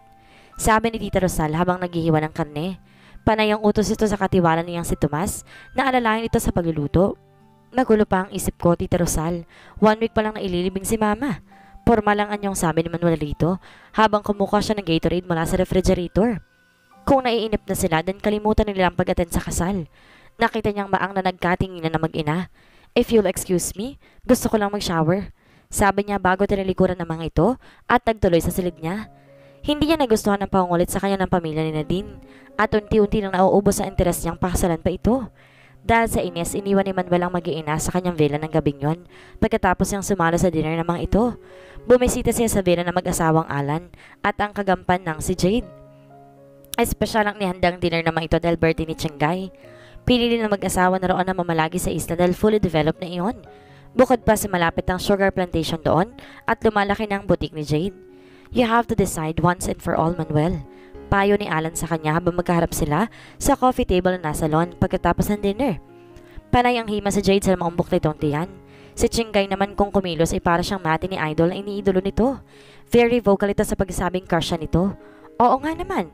Kung talagang hesitant ka ng pakasalan si Nadine, bakit hindi ka maging honest sa kanya? Segunda ni Jade. At sa sarili mo na rin. Dagdag pa ni Alan. What do you think, Chingay? Well, I can only speak for myself pero kung alam ko namang hindi ako mahal ng lalaki, hindi ko siya pipilitin pakasalan ako just because I'm having his baby. Pero iba si Nadine. Sabi niya, Well, hindi ko masisisi si Nadine. Ako man na nasa posisyon niya, hahabulin din kita. Pabirong sabi ni Chingay na halatang gusto lamang pagaanin ang mood niya. Yun nga palang si Jesusa. How do you feel about her now? Interesadong usisa ni Alan. Damn her! Kung gaano ko siya kadaling minahal, ganon ko siya kadaling kinamuhian. Hindi ko siya mapapatawad at gusto ko na siyang burahin sa isip ko. Nagulat si Manuel nang lumipat sa silid niya si Nadine. Why are you surprised? Eh kakasal na naman tayo, hindi ba? At magkakarak na tayo. Inatadong napabuntuhan ni nga habang humihila ng pantulog mula sa closet. Hindi niya alam kung bakit ngunit hindi niya naibigan ang mga ginagawa nito. Hindi ka naman dati nag stay dito sa kwarto ko kapag sa villa ko ah. Pero magiging mag-asawa na tayo. Akala ko ba conservative ang pamilya mo? But I'm already pregnant. Sintonado naman kung mag pa ako. Another turn off point para kay Nadine. Sa loob-loob niya. Nahiga ito sa tabi niya matapos halos maligo ng pabango sa harap ng dresser. She was wearing a see-through nightie matapos magtagal lang sa loob ng bathroom. Yumakap ito sa kanya. Hindi siya nakadama ng kahit kaunti mang desire para dito. Nadine was beautiful and sexy. Hindi parata ang tiyan nito dahil 4 months pa lang. Hindi niya gusto mang insulto o manakit ang damdamin ng babae. He was not that ungentleman and insensitive. Ngunit wala siyang maramdaman pangailangan kay Nadine. Silly pero si Jesus ang naalala niya ng mga sandaling iyon. He never felt such feverish desire na nadaman niya rito sa kahit na sinong babae. Damn this feeling. Hindi ko na dapat pang isipin ng babaeng yon. Naramdaman niya ng hagkan sa Nadine sa punong tenga niya. She was trying to seduce her, ngunit wala pa rin siyang maramdaman. Hinagkan niya ito and cupped her breast, trying to feel something, ngunit wala pa rin. Agad niyang itinigil ang paghalik dito. Muli siyang umayos ng higa tumitig sa kisame. Manuel, why? Kurot tong tanong ito sa kanya habang hinapos ang balikat niya. I'm sorry, Nadine, but I'm still mourning for my death. At sa dami ng problema ko ngayon, I'm not in the mood for this. At gusto niyang murahin ang sarili dahil sa Jesusa pa rin ang hinahanap ng kabuuan ng pagiging lalaki niya. Tatlong safe house ang pinaglipatan kay Susa para lang matiyak ang kaligtasan niya mula sa mga taong nagtatangka sa buhay niya. Noong una matapang siyang panindigan ng ginawang expose dahil suportado siya ng pamahalaan. Ngunit itong huli parang gusto na niyang umatras dahil alam niyang lalo lamang lalayo sa kanya si Manuel at posibleng tuluyan itong mapuot sa kanya kapag nag-testify pa siya sa korte na posibleng magdiin pa sa kapatid nito. Ano? Gusto mo nang umurong? Hindi makapaniwalang bulalas ng abogado ng NBI. Nakausap niya ng umagang iyon Nag-aalangan siyang tumango. Naiinip na ho ako dito sa safe house. Pakiramdam ko hindi na normal ang buhay ko. Tsaka ayoko mawala sa akin si Manuel kapag lalo na din ng kapatid niya sa iskandalong to. Pero nasimulan mo na ito, Jesusa. Hindi na ganun kadaling umatras. Dahil sa mga ebidensyang binigay mo at sa testimony mo, nabunyag na existence ng sindikatong iyon. Isa pa marami ng lumitaw na nagbigay na ng testimony na nagko-collaborate ng mga ebidensyang inilabas mo. Natatakot kasi ako. There's no turning back, Jesusa. Sumabog na ko sa sindikato. Wala ka namang dapat ikatakot eh. Pinangangalagaan ka ng gobyerno. Hindi ka magagalaw ng mga yon. Tsak na hindi ka makakalaya ang mga asawa mo at ang iba pa niyang kasama. Ang feeling ko kasi matapos mananhat ng to, hindi na rin ako makakabalik sa normal na buhay. Sabi niya sa kausap. Bakit naman hindi? I will live in danger for the rest of my life dahil marami nang galit sa akin. Katulad na lang ng mga pamilya ng mga taong sangkot sa sindikato. Kung yun lang kinatatakot mo, marami ng paraan para hindi ka makilala ng mga taong magtatangka sa buhay mo. Like what? Like cosmetic or plastic surgery. The government can provide if you, kung i-request mo. Lalo pa kung tatagal ang malaki ang banta sa buhay mo. Malalaking tao na sagasaan mo sa expose mo, Jesusa. Kaya tutulungan ka ng gobyerno para mabagong itsura mo at hindi ka na makilala ng mga kalaban. You can even change your identity. Really? Hindi siya makapaniwala sa mga narinig. Yeah, kaya wala ka nang dapat ikatakot. Meron pa, ang galit ni Manuel. Makakaya kong harapin ang galit ng iba but not Manuel. He is everything to me. Kung ilang beses nagpadala si Susan ng sulat kay Manuel para paulit-ulit magpaliwanag na hindi niya gustong saktan ng pamilya nito, pati ng pakikiramay niya sa nangyari sa mama nito. Nagkita silang muli ni Rodel nung kailangan na siya na umarap sa proper court bilang star witness na magte-testify sa existence ng sindikato. Kahit anong pagsisikap niya, hindi niya maiwasan na matatalim itong tingin sa kanya. Puro ng puot at panunumbat ang mga mata nito nang maupo siya sa witness stand. Ngunit ang lalo nagpalamig sa dugo niya ay nang makita ang lalaking minamahal niya, si Manuel. Kasama pa nito ang pamilya nito. In that particular moment, nahiling niya sanay may kakayanan tao, tulad sa pagong na itago ang ulo. God, kung alam ko lang na magkakaganito, hindi ko na sinabi ng malalaman ko. Habang nagbibigay ng kanyang testimonya, ay hindi niya naiwasan magtama mga mata nila ni Manuel. At kung may namamatay sa matalim na titig, matagal na siyang bumulagta sa kinaupuan. Hindi niya halos maibok ang kanyang bibig. Pagkatapos ng hearing, napalibot na sa kanya mga escorts niya paglabas na ng gusali. At muling nagtama mga mata ni Manuel na noon ay palula na sa sakyan nito. Hindi man ito magsalita, damang-daman niya panunumbat sa mga mata nito na para bang sinasabing ikaw ang may kasalanan ng lahat ng nangyayaring gulo sa buhay ng pamilya ko. Hindi kita mapapatawad, Jesusa. I hate you. Agad siyang nagyuko ng ulo. Habang pasakay siya ng official car na NBI, kusa na lamang umagos ang kanyang mga luha. She had lost the man she loved. Kailangan mag-decide ka na ngayon, Manuel. Bago kami bumalik sa Maynila, kailangan may definite date ng kasal natin para may isagot naman ako sa mga friends and relatives ko. Parang sasabog ang ulo ni Manuel dahil sa inis sa pangungulit ni Nadine. Nasa beach sila ng mga sandaling iyon kung saan siya naroon ay nakabuntot ito. Ito rin ang gumagawa ng paraan para tuluyang maubos ang turn-on points niya rito. Naniningkit ang mga matang tumayo siya mula sa pagkakaapo sa buhanginan. You know what, Nadine? The problem with you is that you nag me too much. At para may maisagot ka sa mga kaibigan mo nagtatanong kung kailan matutuloy ang kasal natin, tell them na kalimutan nila ang tungkol sa kasal. Napatda ito. What? I said forget about the wedding. You brute. Biglang tila, naging tigre ang magandang mukha nito. Hindi mo magagawa sa akin to magagawa ko na din. At para na rin sa kabutihan nating dalawa kung hindi na natin tutuloy ang kasal. Dahil alam kong walang pupunta na marriage na to. I will just support our child. Damn you! Damn you!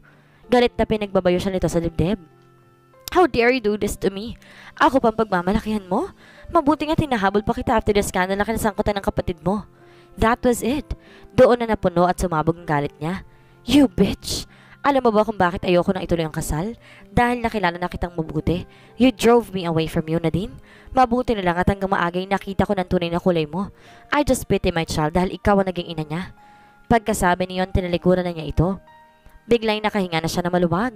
Wala na si Nadine sa buhay niya. Good riddance. Buong tapang na hinarap ni Manuel ang galit ng mga magulang ni Nadine, lalo ng kaibigan niyang si Paul. Ngunit agad niyang piniliwanag ang kanyang side, and he was sure that it was the right thing to do. Hindi naman niya pababayaan ang anak ng isisilang ni Nadine. Kahit paalisan siya ng karapatan dito. Paano kung totohanin nila na ang bantang alisan ka ng karapatan sa bata? Tanong ni Garrett sa kanya. Nanonood sila ng shooting ng isang pelikula na doon ginawa sa isla. Nagiging paboritong location place sa mga movie at TV producers ang Villa Cristal. May balita rin sa sunod na buwan ay isa namang foreign movie ang isushoot doon. And no less than Jean-Claude Van Damme ang pangunahing bida. Naghibit balikat siya. Ipaglalaban ko ang karapatan ko sa bata. Pero nagbanta silang ilalayo sa akin ng bata. Dadalhin daw nila sa States. Well, magkikita pa rin naman siguro kami ng anak ko in due time. At ipaliliwanag ko sa kanya na hindi ko gusto ang mga nangyari. Na mahal ko siya pero nagkataong hindi ko magawang mahalin ng mother niya. At ayoko na makisi sa isang pamilyang walang love between his parents. Hindi kayang talagang dahilan na hindi mapagpapakasal kay Nadine ay si Jesus sa Cabral? Nakangiti si Garrett ang iba to ang naghuhuling tanong na iyon sa kanya. Bahagyang nagtagi sa mga bagang ni Manuel. Yes, aaminin niya. Madalas pa rin sumasagi sa isip niya ang dalaga. Ngunit hindi dahil namimiss niya ito. He despised her. Sa tuwing maalala niyang kanyang mama at may isip niyang nasa kulungan si Kiel at naghihintay ng hatol gusto itong durugin sa mga kamay niya. Pinagsisiyan niya ang gabing nagkatagpo sila nito. Pakiramdam niya ginamit lang nito ang lahat ng tao para makawala mula kay Rodel. At malas niya, isa siya sa nagamit. Nadawit pang pamilya niya. Hey, you didn't answer me. Untag ni Garrett sa kanya. Sa halip na sagutin ang tanong nito ay nagbiro na lamang siya. Tingnan mo si Aramina. Nakatingin dito sa gawin natin. Mukhang tinamaan sa'yo. Siniko pa niya ito. Na-inlove yata yan sa boses mo kagabi. Hinandugan nito ng kanta sa cocktail lounge ng hotel ng mga artista, staff at crew ng pelikula noong nagdaang gabi At maging ang mga ito ay kinilig sa international singer. Malas nila na isang lana sa isang babae ang puso ko. Ganting biro nito. Sino yung childhood sweetheart na hinahanap mo? Bilib din naman ako sa iyo eh. Parang siya na lang ang babae sa mundo. Bakit di mo pa siya kalimutan? Ang dami ng babaeng nagkakanara pa sa iyo. Malungkot na umiling ito. I know, makikita ko rin siya. Magkikita ulit kami. Gustong magtatanong ni Jesusa sa tuwa nang malaman niyang hindi natuloy ang kasal ni Manuel at Nanin. Alam mo ba kung bakit, Pilar? Kausap niya sa cellphone ng kaibigan. Hindi ko nga nalaman ang dahilan eh. Bigla ako nabuhay ng pag-asa, Pilar. Pag-asa ka dyan. Ikaw nga to may sabing halos kainin ka na ng buhay ni Manuel eh. Nabura ang ngiti sa mga labi niya. Hindi man nakasal si Manuel kay Nadine, malabo na rin siyang balikan ito. Dahil alam niyang napalitan na ng puot ang pagmamahal ito sa kanya. Dahil sa malimit na pagkakahilo at pagsusuka ni Jesusa, ipina-check up siya. Magtataltong ba na siya noon sa ilalim Witness Protection Program? Bigla siyang kinabahan. Hindi kaya buntis ako?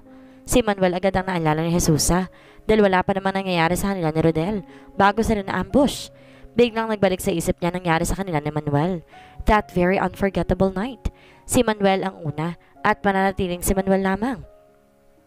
Bakit ho pregnancy test, doktora? Maangyang tanong sa doktor na pinagdalhan sa kanya. Kasi wala naman ako nakitang sakit sa iyo at ang mga nararamdaman may sintomas ng pagdadalang tao. Sintomas ng pagdadalang tao? Lord, paano nga kung buntis ako? You're married, hindi ba? Hindi niya binigay sa doktora ang totoong pangalan niya for security reasons. Kahit ang lumabas siya ng safe house, nag-disguise siya. Nakasuot siya ng wig, shades at malong na karaniwang gamit ng mga Muslim women. Yes, doktora, I'm married. Alanganin tugon niya. Yun naman pala, why worry? Ah, uh, kasi first baby ko ito kapag nagkataon. Hindi ko pa kasi ina-expect doktora eh. Pag-aalibay na lamang niya. Ngunit ang totoo, abot-abot ang kaba niya. She would love to have Manuel's child pero iba ang sitwasyon nila. Kung hindi sana abnormal ang kanilang sitwasyon, she would be very happy kapag nakumpirmang buntis nga siya. Ngunit ang pangamba niya naging totoo. The doctor confirmed that she was more than 3 months pregnant. Aren't you happy? Nagtatakang tanong nitong napansin marahil ang pagkabaang niya. Uh, I'm happy, doktora. May good news ka sa husband mo pag uwi mo. Ito ang resulta ng pregnancy test mo. Mamaya sa dinner nyo, ilagay mo to sa gitna ng dining table. Kunwari ito ang main course. And I tell you, this would be the best surprise you could ever give to your husband. Yeah. Tumatangong pakli niya. Thank you, doktora. Pakiramdam ni Jesus na lalo lumaki ang kanyang problema pagkalabas niya ng klinik. Anong gagawin ko? Sasabihin ko ba kay Manuel ang tungkol sa kondisyon ko? Paano kung hindi niya tanggapin ang batang ito dahil galit sa akin? Kailangang malaman ni Manuel ang kalagayan mo, Jesusa. Suhestyon ni Pilar sa kanya. Magkausap sila sa cellphone. Malaki ang galit niya sa akin, Pilar. Paano pang sabihin ko sa kanya? Paano kung madami ang bata sa galit niya at tanggihan niya? Maaawa lang ako sa anak ko. Malay mo naman, baka mawala pang galit niya sa'yo kapag ka nalaman niya na buntis ka. Kung gusto mo, gumawa ka ng sulat para sa kanya. Ako ang bahala magbigay. Saka ko na lang siguro sasabihin sa kanya kapag humupa ng galit niya sa akin. Pero anak din niya yan at dapat niyang malaman. Natatakot nga akong tanggihan niyang anak namin. Baka isipin pa niya ginagamit ko lang to para mawala ang galit niya sa akin. Alalahanin mo, nakakulong ang kapatid niya dahil sa akin. Sa tingin mo, yan ang tamang gawin mo, Jesusa? As of now, I think this is the best thing to do, Pilar. Mr. Manuel Manzano? Napalingon si Manuel sa likuran niya na marinig ang tinig na tumawag sa pangalan niya. Pasakay na sana siya sa kanyang Ferrari galing na Manzano Towers. Bakit? Tanong niya sa babaeng nalingunan. Natitiyak niyang hindi niya ito kilala. I am Pilar, best friend ni Jesusa. Sumadya ko sa inyo dahil may gusto sana akong sabihin sa inyo. Nagsalubong ang mga kilay niya pagkarinig sa pangalan ni Jesusa. I'm not interested kung ano man sasabihin mo. Kung inutusan ka niya para magpaliwanag ng side niya, I'm sorry. But I don't want to have anything to do with her. If you will excuse me, nagmamadali ako. May sinasabi pa ito ngunit hindi niya ito naintindihan dahil nagmamadali na siyang lumunan sa kanyang sasakyan. Marinig lamang niyang pangalan ni Jesusa, nagiinit ang ulo niya. Ayaw na niyang makarinig pa ng kahit ano tungkol dito. I'm sorry kung naging intrimitida ako, Jesusa, pero gusto ko lang makatulong sa iyo. Naawa ako sa biging baby mo kaya pinuntahan ko na si Manuel nang hindi nagpapaalam sa iyo. Paliwanag ni Pilar sa kanya ng tawagan sa nito at ipagtapat nito ang tukol sa paglapit nito kay Manuel at ang pang-isnab ng binata. Hindi naman ako nagtatampo sa iyo, Pilar. Pero nakita mo, tamang kinatatakutan kong hindi magpapakita ng interes si Manuel sa pinagbubuntis ko. And I can't blame him. Alam kong wala na siyang pakialam sa akin mula nang mamatay ang mama niya. Isang bagay na lamang gusto niya mangyari. To get out of this mess para makapamuhay na siya ng normal. Natapos na rin ang pagiging state witness niya sa loob ng dalawang buwan. Aalis na siya ng safe house. Naghihintay na lamang si Rodel at Ezekiel Manzano na matapos ang pagdinig sa kaso habang nakakulong. Nakatitiyak na siyang mahahatulan ng mga ito. Ngunit sa isang sulok ng isip ni Jesusa, ipinalangin niyang sana nga ay hindi totoong involvement ng kapatid ni Manuel sa sindikato. Sana kapangalan lamang, para hindi naman tuluyang mapuot si Manuel sa kanya. Few months from now, I will give birth to this baby. Sabi niya sa kausap na bugado mula sa Department of Justice. And I have all the reason para mabuhay ulit ng normal.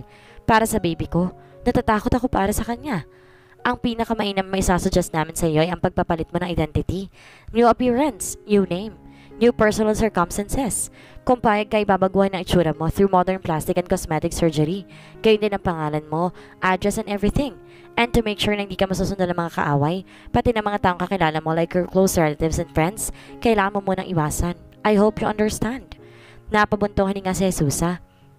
Nagbabago siya ng anyo, ng pangalan, na iba pang detalye ng pagkatao niya at pati ang mga taong malapit sa kanya, kailangan muna niyang iwasan. Mahirap yata yon. Sa buong buhay niya nun lamang siya nakaramdam ng ganong feeling na parang kailangan niyang talikuran ng dati niyang pagkatao. Para na kami ni Manuel. Jesusa, payag ka ba sa option na yon? Untag sa kanya ng kausap.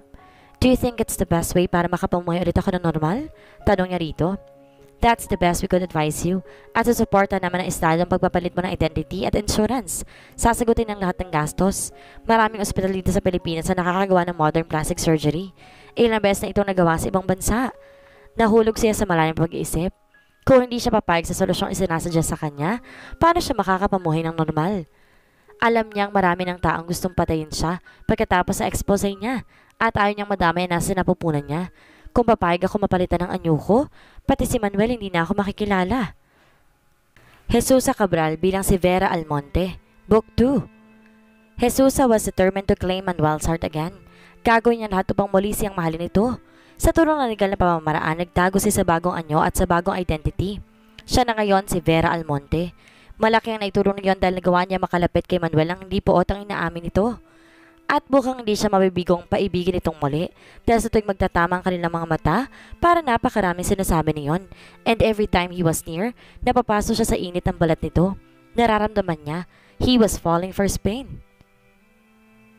Ngunit paano kung matuklasan ni Manuel na siya si Jesus Cabral na kinamumuhian ito at nagtago lamang sa bagong anyo? Mabuhay kayang muli ang puot sa puso ng binata o susundin niya ang sinasabi ng kanyang pusong mahalin ito at magpatawad? Maliwanag na maliwanag ang paligid sa loob ng malawak na bakuran ng mga manzano sa Ayala, Alabang. Tila lahat ng bituin sa langit ay doon nakatunghay ng gabing iyon. Halos bumaharin sa pagkain. Paroot pa rito mga waiters ng Villa Marie na siyang nag-cater sa pagtitipong iyon. Para bang hindi dinaan ng sunod-sunod na unos ang tahanang iyon itong mga buwan? Para bang lahat ng pait ay kanyang takpan ng mga halakhak ng paghaba ng alak? At ng masayang kwentuhan ng mga bisita naging bahagi ng buhay ng mga manzano. Obviously, lahat gusto makibahagi sa kaligayahan ng pamilya. Ang punong abala sa selebrasyong iyon, walang iba kundi si Manuel, because there was a reason to celebrate. Napakawalang sala si Kel sa pagkakasangkot ng pangalan nito sa sindikato ni Rodel Ventura.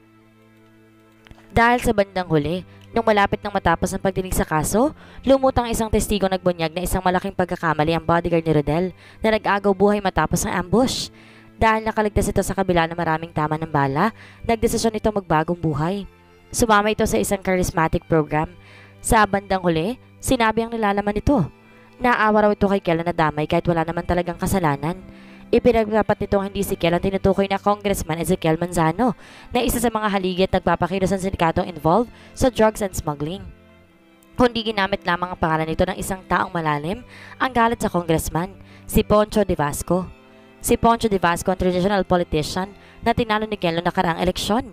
Hindi nito matanggap ang pagkatalo kung kahit dihim ito nagigante. At ginamit nga nitong pangalan ni Kel para sa dalawang purpose upang itago ang tunay na pagkatao at upang sikialang pasamain at ipitin kapag sumigaw ang mga lihim ng sindikato. May mga ebidensyang nailabas ang bodyguard ni Rodel tulad ng mga larawan. Inimbestigahan si Poncho de Vasco at nakasabat ng ilang kilo ng shabu sa underground room ng bahay nito. Questionable rin ang biglang pagdami ng ari-arian nito. Walang sino man nagkahinalang maaaring gawin yun ng matinik na si Poncho de Vasco. Tingnan mo nga naman ang katusuhan ng de Vasco na yun, no? Sabi ng isang kaibigan ng pamilya Manzano, nakaumpok ni na Manuel at Kiel sa isang mesa. Akalain mong ang pangalan pa ni Kiel ang ginamit niyang codename para itago sa sariling identity at si Kiel ang madiin?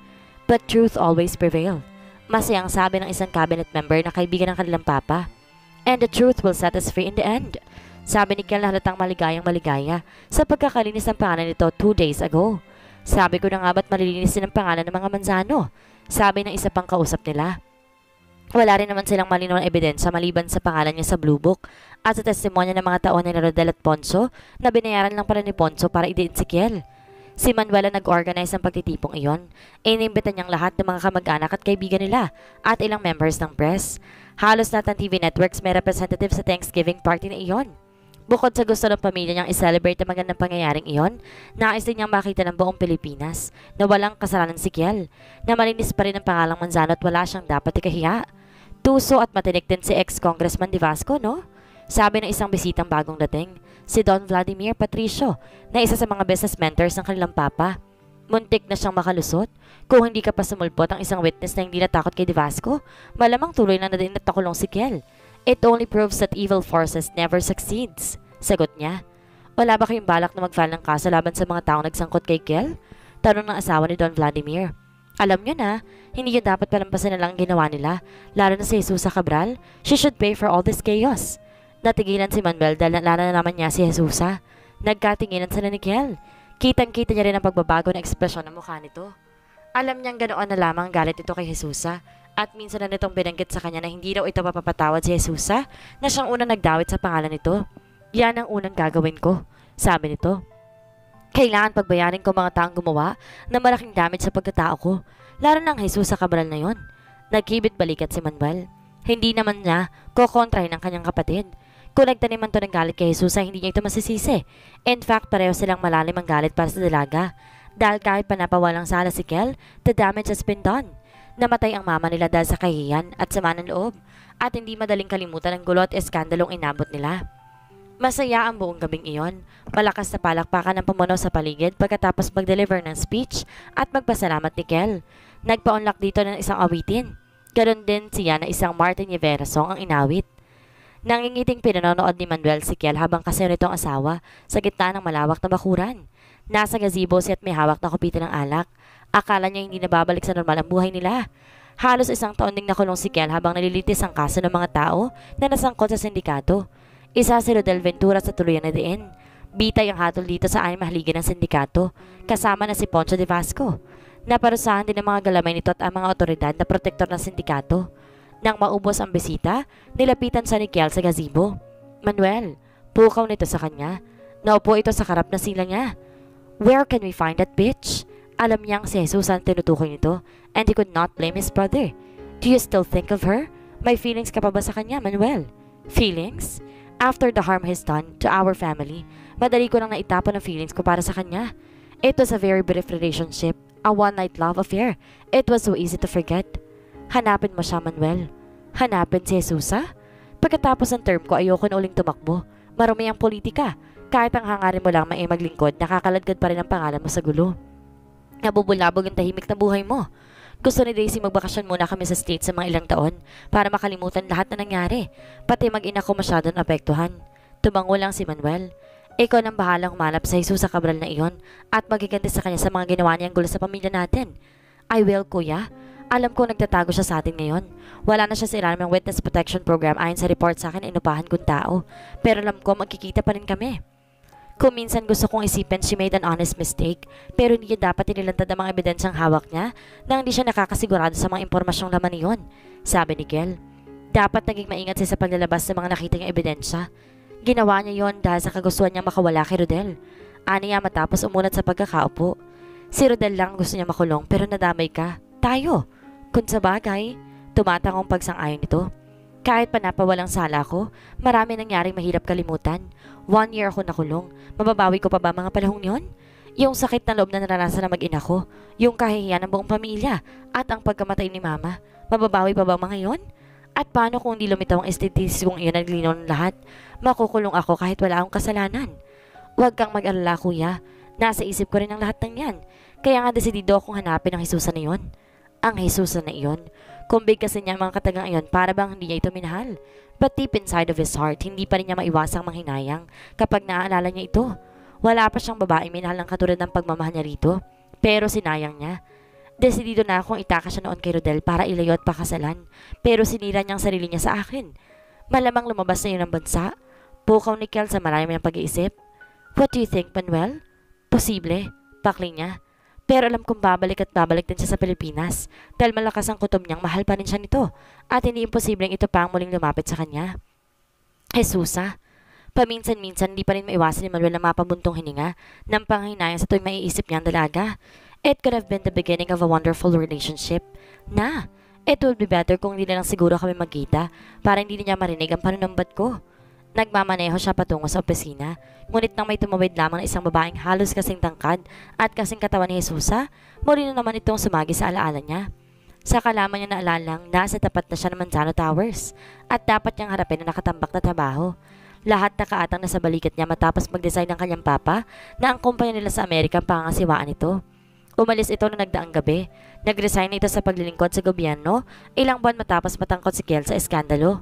Ngayong nakabalik na siya sa normal na buhay, makaharap na niya ang natambak na trabaho. Pagbabang pagbaba niya ng kanyang Ferrari, agad siyang sinalubong na isa sa dalawang security cars ang gusali. Sir, may nakita hong bata dito sa harap ng building kaninang bandang alas 6. Ano? Bata? Hindi makapaniwala ang reaksyon niya habang papasok siya sa lobby ng gusali. Yes, sir. Bata ho. Baby. Baby? Lalong kumunot ang noon niya. Oho, Nakita ko na lang kanina sa harap ng building nang palitan ko ang nakarelyebo ko. Narinig ko lang na umiiyak ang bata. Nang hanapin ko ho, nakita ko isang baby bathtub kung saan ho nakalagay ang bata. Mga ilang taon na. Mga 4 months pa lang siguro, sir. 4 months lang? Napalakas ang tinig niya. Opo, sir. Pagkaganda-gandang bata. Lalaki ba o babae? Lalaki, sir. Nasaan? Nandun ho sa personal department. Pinagkakagulan ho nga ng mga empleyado eh. Hindi namin alam kung anong dapat gawin sa bata kaya hinintay ho namin kayo. Tsaka may, may sulat na naka-address para sa inyo eh. Para sa akin? Lalo siya nagtaka. Papasok na sila sa personal department. Nakita niya nagkakagulo sa isang mesa mga tauhan niya. Agad na nagsihawi ang mga ito na makita siya. Nilapitan niya ang umiiyak na sanggol na karga ng head niya sa personal department. Jesus! Hindi kaya kinidnap yan at iwan dito sa atin? Mukhang hindi ho, sir eh. Sabi ng gwardya. Kasi napan din daw ng newsboy sa tapat nitong building natin na may babaeng aali-aligid na may dala ng baby bathtub na yan. Pero hindi naman niya kalaing iiwan ng bata dahil abala siya sa pagtitinda ng dyaryo. God! Sino walang pusong nagawang mag-iwan ng anak niya? Ilang buwan pa lang ang batang yan. Hindi ba dapat mahiwalay sa mother niya yan? Mga 3 months pa lang siguro ang batang to, sir. Sabi ni Lani, ang head ng personal department. Eksperto to pagdating sa baby dahil anim ang anak nito.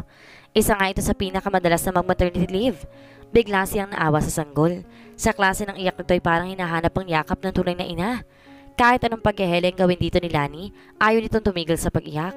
Hindi alam ni Manuel kung awa lang sa bata o ang pagkakaalala niya sa dalawang anak na nawalang dahilan kung kaya't kinuha niya ito mula kay Lani. Hindi man sa marunong magkarga ng sanggol, may kung anong kakatuwang pakiramdam ang pumunod sa kalooban niya nang malipat ito sa mga bisig niya. Isinayaw-sayaw niya ito upang patahanin. Amuse na nakamasid sa kanya. Ang mga empleyado nakapalibot sa kanya. Sir, hindi bagay sa inyo. Yung gapo niyo yan, hindi kayo bagay magbabysit. Sabi ng staff niya si Pedro. Napuno ng tawanan ng personal department. Bahagya rin siyang natawa. O sige, kayo magpatan sa batang to. Kawawa naman. Muli niyang binigay kay Lani ang sanggol. Baka nagugutom yan. Magutos ka ng bibili ng gatas at feeding bottle, Lani. Yes, sir. Ito nga palang sulat na nakaipit sa diaper ng bata, sir. Iniabot sa kanya ng isa pang tauhan ng personal ang sulat. It was written in black ink. Puzzled na binasa ni Manuel ang sulat. Dear Mr. Manzano, may nakapagsabi ho sa akin isa kayong mabuting tao. Matagal ho kong pinag-isipan kung kanino ko iiwan ang anak kong si Joaquin. Ayoko magkalayo kami pero hindi ko na siya maalagaan. HIV positive ho ako at alam kong hindi magtatagal. Unti-unti na maging full-blown ng AIDS ko. Sa inyo ko ay pinagkatiwalang ipakop ko pang anak ko dahil alam ko ho, mabibigyan niyo siya ng magandang buhay at kinabukasan. Ana, Nahulog si Manuel sa maraming pag-isip habang tinititigan siya ng sanggol. Sinong ana na ito? And why me? Of all people, bakit sa akin ibibili ng batang ito? Mukhang sa inyo talaga balak ibigay ang bata, sir. Sabi ni Pedro. Mukha nga. Sabi niya sa mga kaharap. Malamang nakilala kayo ng ina ng bata, sir. I don't know. I have no idea kung sino maaari mag-iwan ng anak niya sa akin. Wala akong kilalang ana. Anong balak niyong gawin sa bata, sir? Tanong ni Pedro sa kanya. Hindi ko alam. Ano bang alam ko sa pag-alaga ng bata? Ang gwapo-gwapo ng batang to, sir. Kung hindi lang marami na akong anak, ako na mismong kukup ko sa batang ito eh. Sabi ni Lani. Muling inagaw ng pag-iyak ng sanggol ang pansin niya. Parang kinukurot ang puso niya sa pag-iyak nito. Nagpabili na ba kayo ng gatas at feeding bottle? Wala bang parang para mapatahan natin to? Hindi niya alam kung bakit natataranta siya ng mga sandaling iyon. Iisa lamang gusto niya mangyari, ang mapatahan ito. Sir, pwede siyang dumede sa isang breastfeeding mother. So, ni Lani. Sino rito sa opisina nagpapa-breastfeed? Si Ida, sir. Three months pa lang yung baby niya at nagpapabreastfeed pa siya.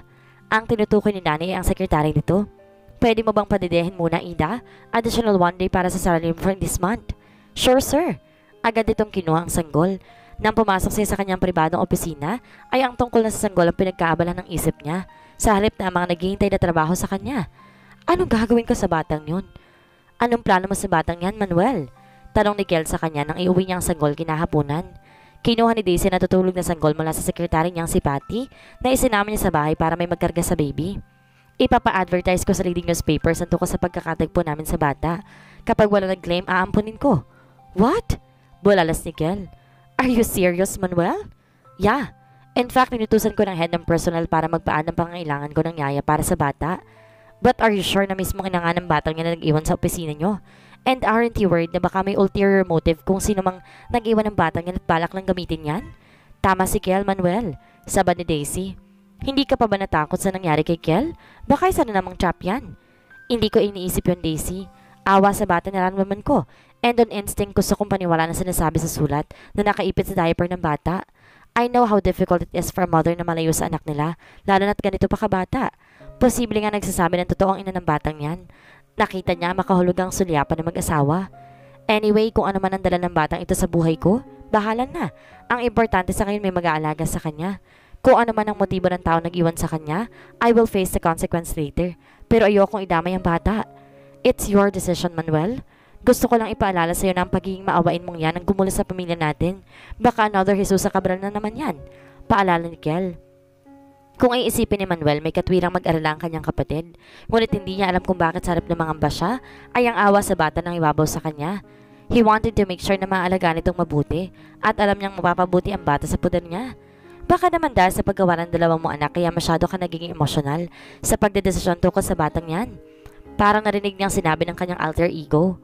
Aaminin niyang isa iyon sa mga dahilan kung bakit nagdesisyon siya na iuwi ang sanggol. At kung wala mag-claim at maghahabol dito, gusto niyang kupkupin na ito ng tuluyan. Totoo namang may tama sa puso niya ang pagkakita sa sanggol. Matagal na siya dapat naging daddy. He had lost two children. Ang anak niya kay Lisa na namatay agad matapos si Silang at ang anak ni Nenedi na inireyo nito sa kanya dahil sa pag-urong niya sa kasal nila. Sabik na sabik na siya maging daddy at pupunan ng sanggol na biglang dumating sa buhay niya ang kasabikan niya sa dalawang anak na nawala sa kanya. Nagpa siya si Manuel na sa silid niya patulugin ng sanggol. Katabi niya ito sa kanyang kama. Sa pag-aaral niyang baka mahulog ito ay pinaligiran ito ng unan. Sa paanan na lamang siya nahiga sa pangambang baka madaganan niya ito. But he couldn't. Mas gusto niyang abalayan ang sarili sa pagmamasid sa sanggol na nahihimbing na. Hindi niya maintindihan kung bakit may excitement siya nakapa sa dibdib habang pinagmamasan ito. He is so cute. Maganda rin siguro ang mother niya. Kawawa naman sila mag-ina. Kailangan nila magkahiwalay kahit hindi naman dapat. Buong ingat ang hinaplos sa makapal na buhok nito. Matangos ang ilong nito, mamula-mula ang maumbok ng mga pisngi. Haratang alagang-alaga ito ng ina. It only shows na mahal na mahal ito ng ina at namang namawalay sa anak para na rin sa kabubuti ng bata. Pero bakit ako? Does his mother know me? Nagtataka na isip ni Manuel. Bakit hindi na lamang lumapit sa kanyang ina nito at personal na ibinigay ang bata? Medyo napapuzzle siya. Kung sa bagay, baka mapahamak na naman siya kapag naniwala sa kung sino mang ina ng batang ito. Another Jesus sa Cabral, na pagkatapos kunin ang simpatya niya at mahulog ang kalooban niya, ay siya pa nagdala na malaking gulo sa buhay niya at ng kanyang pamilya. No way! I don't want another Jesus sa Cabral in my life. Mas mabuti na rin siguro hindi na nagpakilala sa kanya ang ina ng batang ito. Kung may masama man itong motibo, saka na niya po problemahin.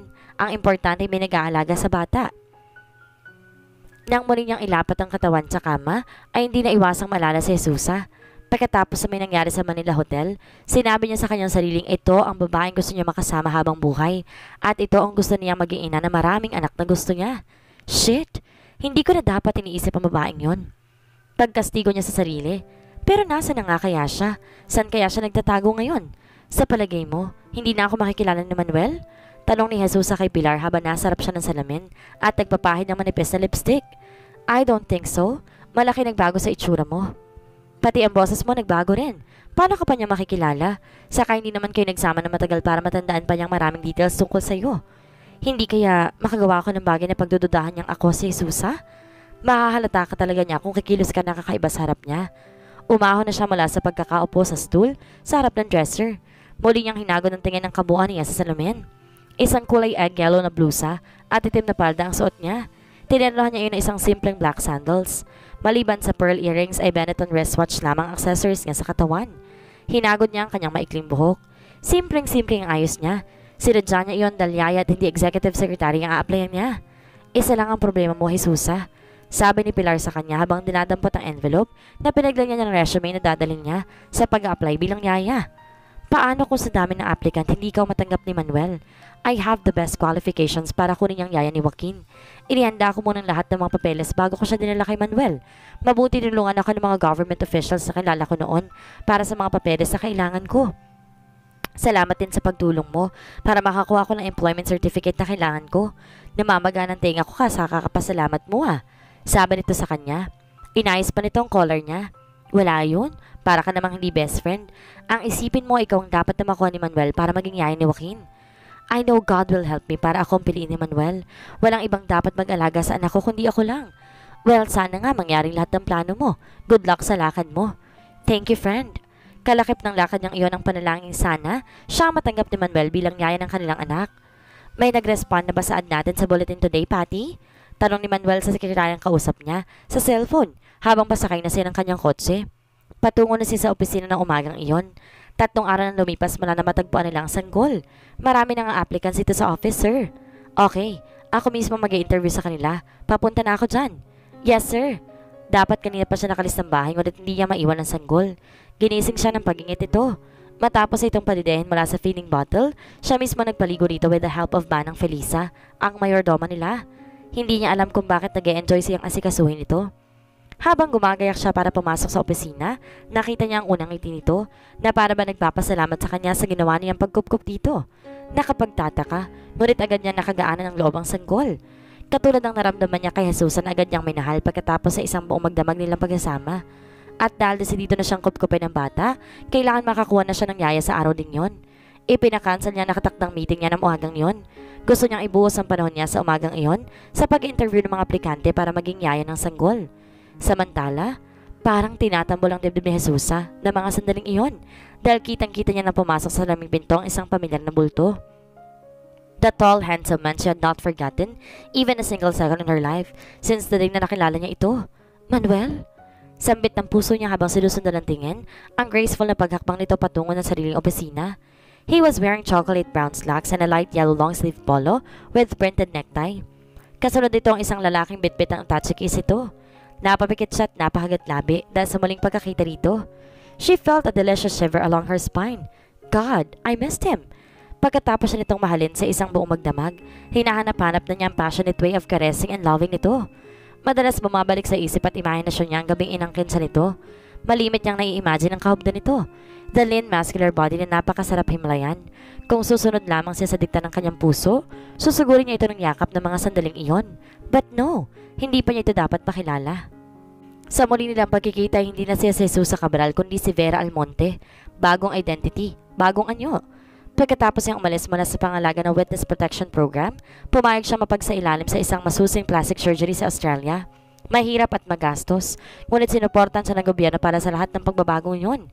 Nung una muli siya nag-alinlangan, pero naramdaman niyang malaking panganib na may magtangka sa kanyang buhay. Muntik na siyang makulong sa nasusunog na apartment, na pansamantala niyang tinuluyan nang umalis siya ng safe house. Akala niya ay wala na magtatangka sa kanya dahil nakakulong na si Rodel, si Poncio de Vasco at iba pang mga miyembro ng sindikato. Ngunit binilaan siya ng mga taga-NBI na maaaring marami pang galamay ang sindikato na pwedeng sumubaybay sa bawat kilos niya at magtangkang iligpit siya. Isang gabi nagising na lamang siya na susunog ang kanyang apartment. Galing sa ibaba ang sunog. Kulob ang apartment na nasa loob siya ng kaliyang, kaliyang iyon. Sinadya niya iyon para makaiwas sa mga kalaban, pero muntik pa siyang matrap doon. Malamang na nagpakilos pa rin si Rodel ng mga galamay nito laban sa kanya. Alam niyang puot na puot ito sa kanya at matitinik ang mga galamay ng sindikato. Nasundan pa rin siya kahit anong pagtatago ang gawin niya. Nakalapit sa apartment niya nang walang nakakahalata at muntik nang magtagumpay na mailigpit siya. Mabuti na lang at natulungan siya makalabas sa mga bombero mula sa nasusunog na apartment. Labis din ang pasasalamat niya na hindi apekto ng pinagbubuntis niya na magwawalong buwan na noon. Kung meron man apekto na boses niya dahil sa pagkakalanghap niya ng maraming usok na nakaapekto sa kanyang lalamunan. Ngunit makakatulong din pala sa kanya iyon para hindi makilala ni Manuel, maging ang boses niya. Hindi ka titigilan ng sindikatong yan kahit nahuli ng mga ulo. Naalala niyang sabi ng government lawyer na nag-aasikaso sa kanya noon. Kung ako sa'yo, itutuloy kong pagpapabago ng anyo at identity. Mahihirapan ng mga kalaban mo na makilala at masundan ka pa ang kanyang anak ang main reason kung bakit siya tuluyan na kumbensing sa mailalim sa prosesong iyon. Kailangan niyang mamuhay ng normal para dito. Alam niyang susundan siya ng mga kalaban kahit saan siya magpunta kapag hindi siya nagpabago ng anyo at identity. Pati ng mga mahal niya sa buhay ay malalagay sa panganib. Marami siyang tiniis para lamang makapamuhay sila ng normal ng kanyang anak. Isang buwan pagkatapos ng isilang si Joaquin, pumayag siyang sumailalim sa isang plastic surgery sa Australia. Ibinilin muna niyang kanyang anak sa tita Flora niya na nasa iligan. Habang pinaghihilom mga sugat na likha ng plastic surgery, inaayos naman ang pagpapalit ng kanyang pangalan sa tulong na rin ng mga ahensya ng gobyerno. Ngayon, hindi na siya masusunod ng mga taong gustong pamatay sa kanya. May bagong birth certificate na siya at bagong personal circumstances. Masakit man sa loob niya, itiniis niyang malayo muna sa kanyang anak. Bakit niya ginawa yon? I love Manuel so much. Gusto ko magkalapit sila ng anak namin. Kapag nagpamahal na rito si Joaquin, marahil ay madali na siyang mapapatawad nito. Gusto niyang mahalin siya nitong muli. Gusto niyang lumaking normal ang kanilang anak. May amang hindi nagpupuot sa mami nito. First applicant, Miss Vera Almonte. Narinig ni Jesus ang tawag ng sekretarya pagkalipas sa limang minuto makapasok si Manuel sa loob ng opisina nito. Biglang tumahip ang dibdib niya. Nangangatog ang kanyang mga tuhod nang tumayo siya. Hindi kaya makilala siya ni Manuel? Ang sabi nga, kapag minahal mong isang tao, kahit nakatalikod ay makikilala mo pa rin. Jesusa, wag sana yon ako makilala. Kinailangan muna ni Jesus ang huminga ng malalim bago tuloy pumasok sa loob ng opisina ni Manuel. Agad siyang sinalubong ng lamig. Bahaga siya ng aligkig. Hindi niya alam kung dahil sa lamig na dulot ng aircon o dahil sa nervous na muli nilang pagharap ni Manuel pagkalipas ng halos isang taon. Nakita niyang nakayuko ito sa binabasang resume. Pakaramdam niya ikakapusin siya ng hininga sa isiping heto siya, face to face with him again. May kakatwang damdaming unti-unting gumagapang sa buong pagkatao niya. Kahit sabihin pang may anak na ito sa kanya, mistula pa rin siyang teenager na gustong mag-swoon dahil karap niya ng mga sandaling iyon ng kanyang crush na malimit na humahalik sa kanya sa mga pangarap at imahinasyon niya. Behave, Jesusa. Baka maharata ka ni Manuel. Saway niya sa sarili. Hindi siya dapat pakaramdam ng ganoon dito sa mga sandaling iyon. Isang bagay ang dapat niyang pagtuunan ng konsentrasyon and that was to give her the best in this interview para matiyak niyang siya ang makukuhang yaya ni Joaquin. Nang mag-angat na mukha si Manuel, agad nagdama ang kanilang mga mata. Halatang nagtaka ito na makitang hindi pa rin siya tumitinag sa kinatatayuan malapit sa pintuan.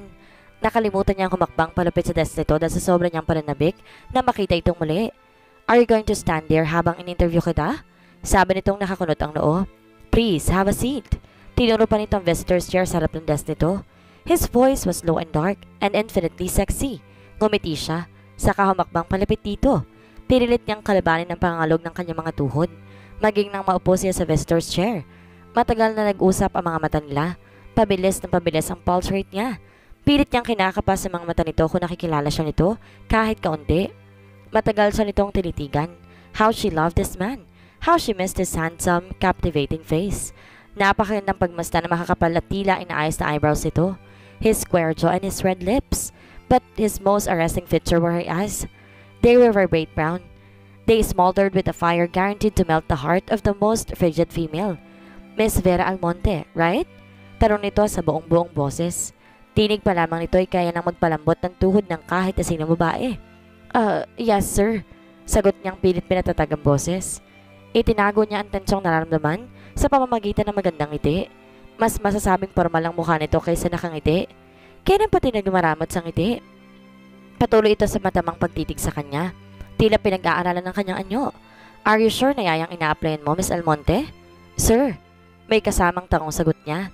Noon lamang na tiyak na hindi na siya nakilala nito. Kung sa bagay, sa laki na pinagbago ng anyo niya, mahirapan itong makilala siya.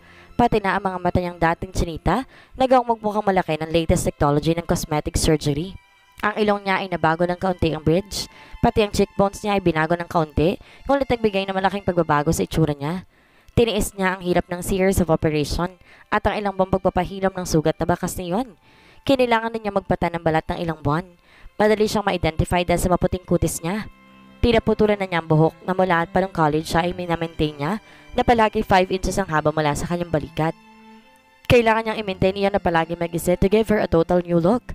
Naniniwala siyang malaki ang nagagawa ng haircut sa anyo ng isang tao.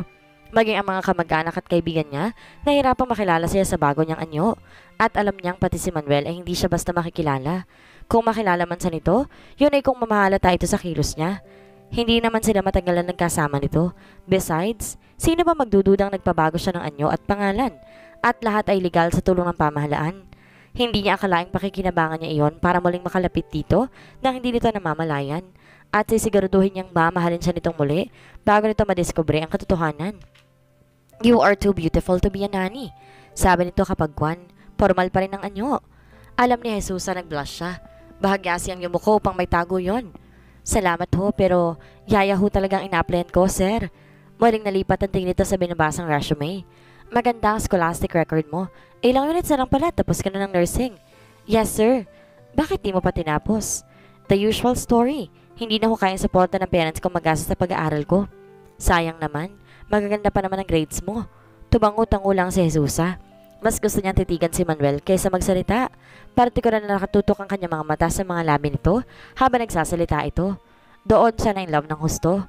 The upper lip was thinner, tila isang sariwang makopa. Fuller ang lower lip which made him look authoritative. Ang very impressive sa resume mo ay ang one-year experience mo sa isang school for special children. Ano tong school for special children? Tanong ito in a very business-like manner. It's a school for autistic children, para sa mga deaf and mute, at para sa mga batang mas mababa ang mental age sa kanilang chronological age, meaning mga batang hindi normal ang development ng isip, silang tinatawag na special children. I see. Tila na-impress na tumangutango ito. Isa pang magandang qualification mo ay ang 6-month experience mo sa isang bahay ampunan na pinatatakbo ng isang foundation. Yes, sir. Kimi ang iting sagot ni Jesusa. Lahat ng credentials na dala niya hindi talagang sa kanya, kundi sa kapatid ni Pilar na nagtatrabaho na sa abroad. Nursing undergraduate ito. Sa tulong na naging kaibigan niyang abogado na nasa ilalim siya ng Witness Protection Program, nagkaroon siya ng ganung mga dokumento bilang si Vera Almonte. Actually, ang niyahanap kong yaya ay hindi ko anak. Seryosong sabi ni Manuel. Pamangkin niyo, sir? Painosenteng tanong niya. No, an angel whom I believe is heaven sent. Gusto niyang mangitin ng mga sandaling iyon. An angel, heaven sent. Iisa lamang ibig sabihin niyon. Tinanggap nito ng buong puso si Joaquin. Thank God, hindi na sayang ang mga plinano niya.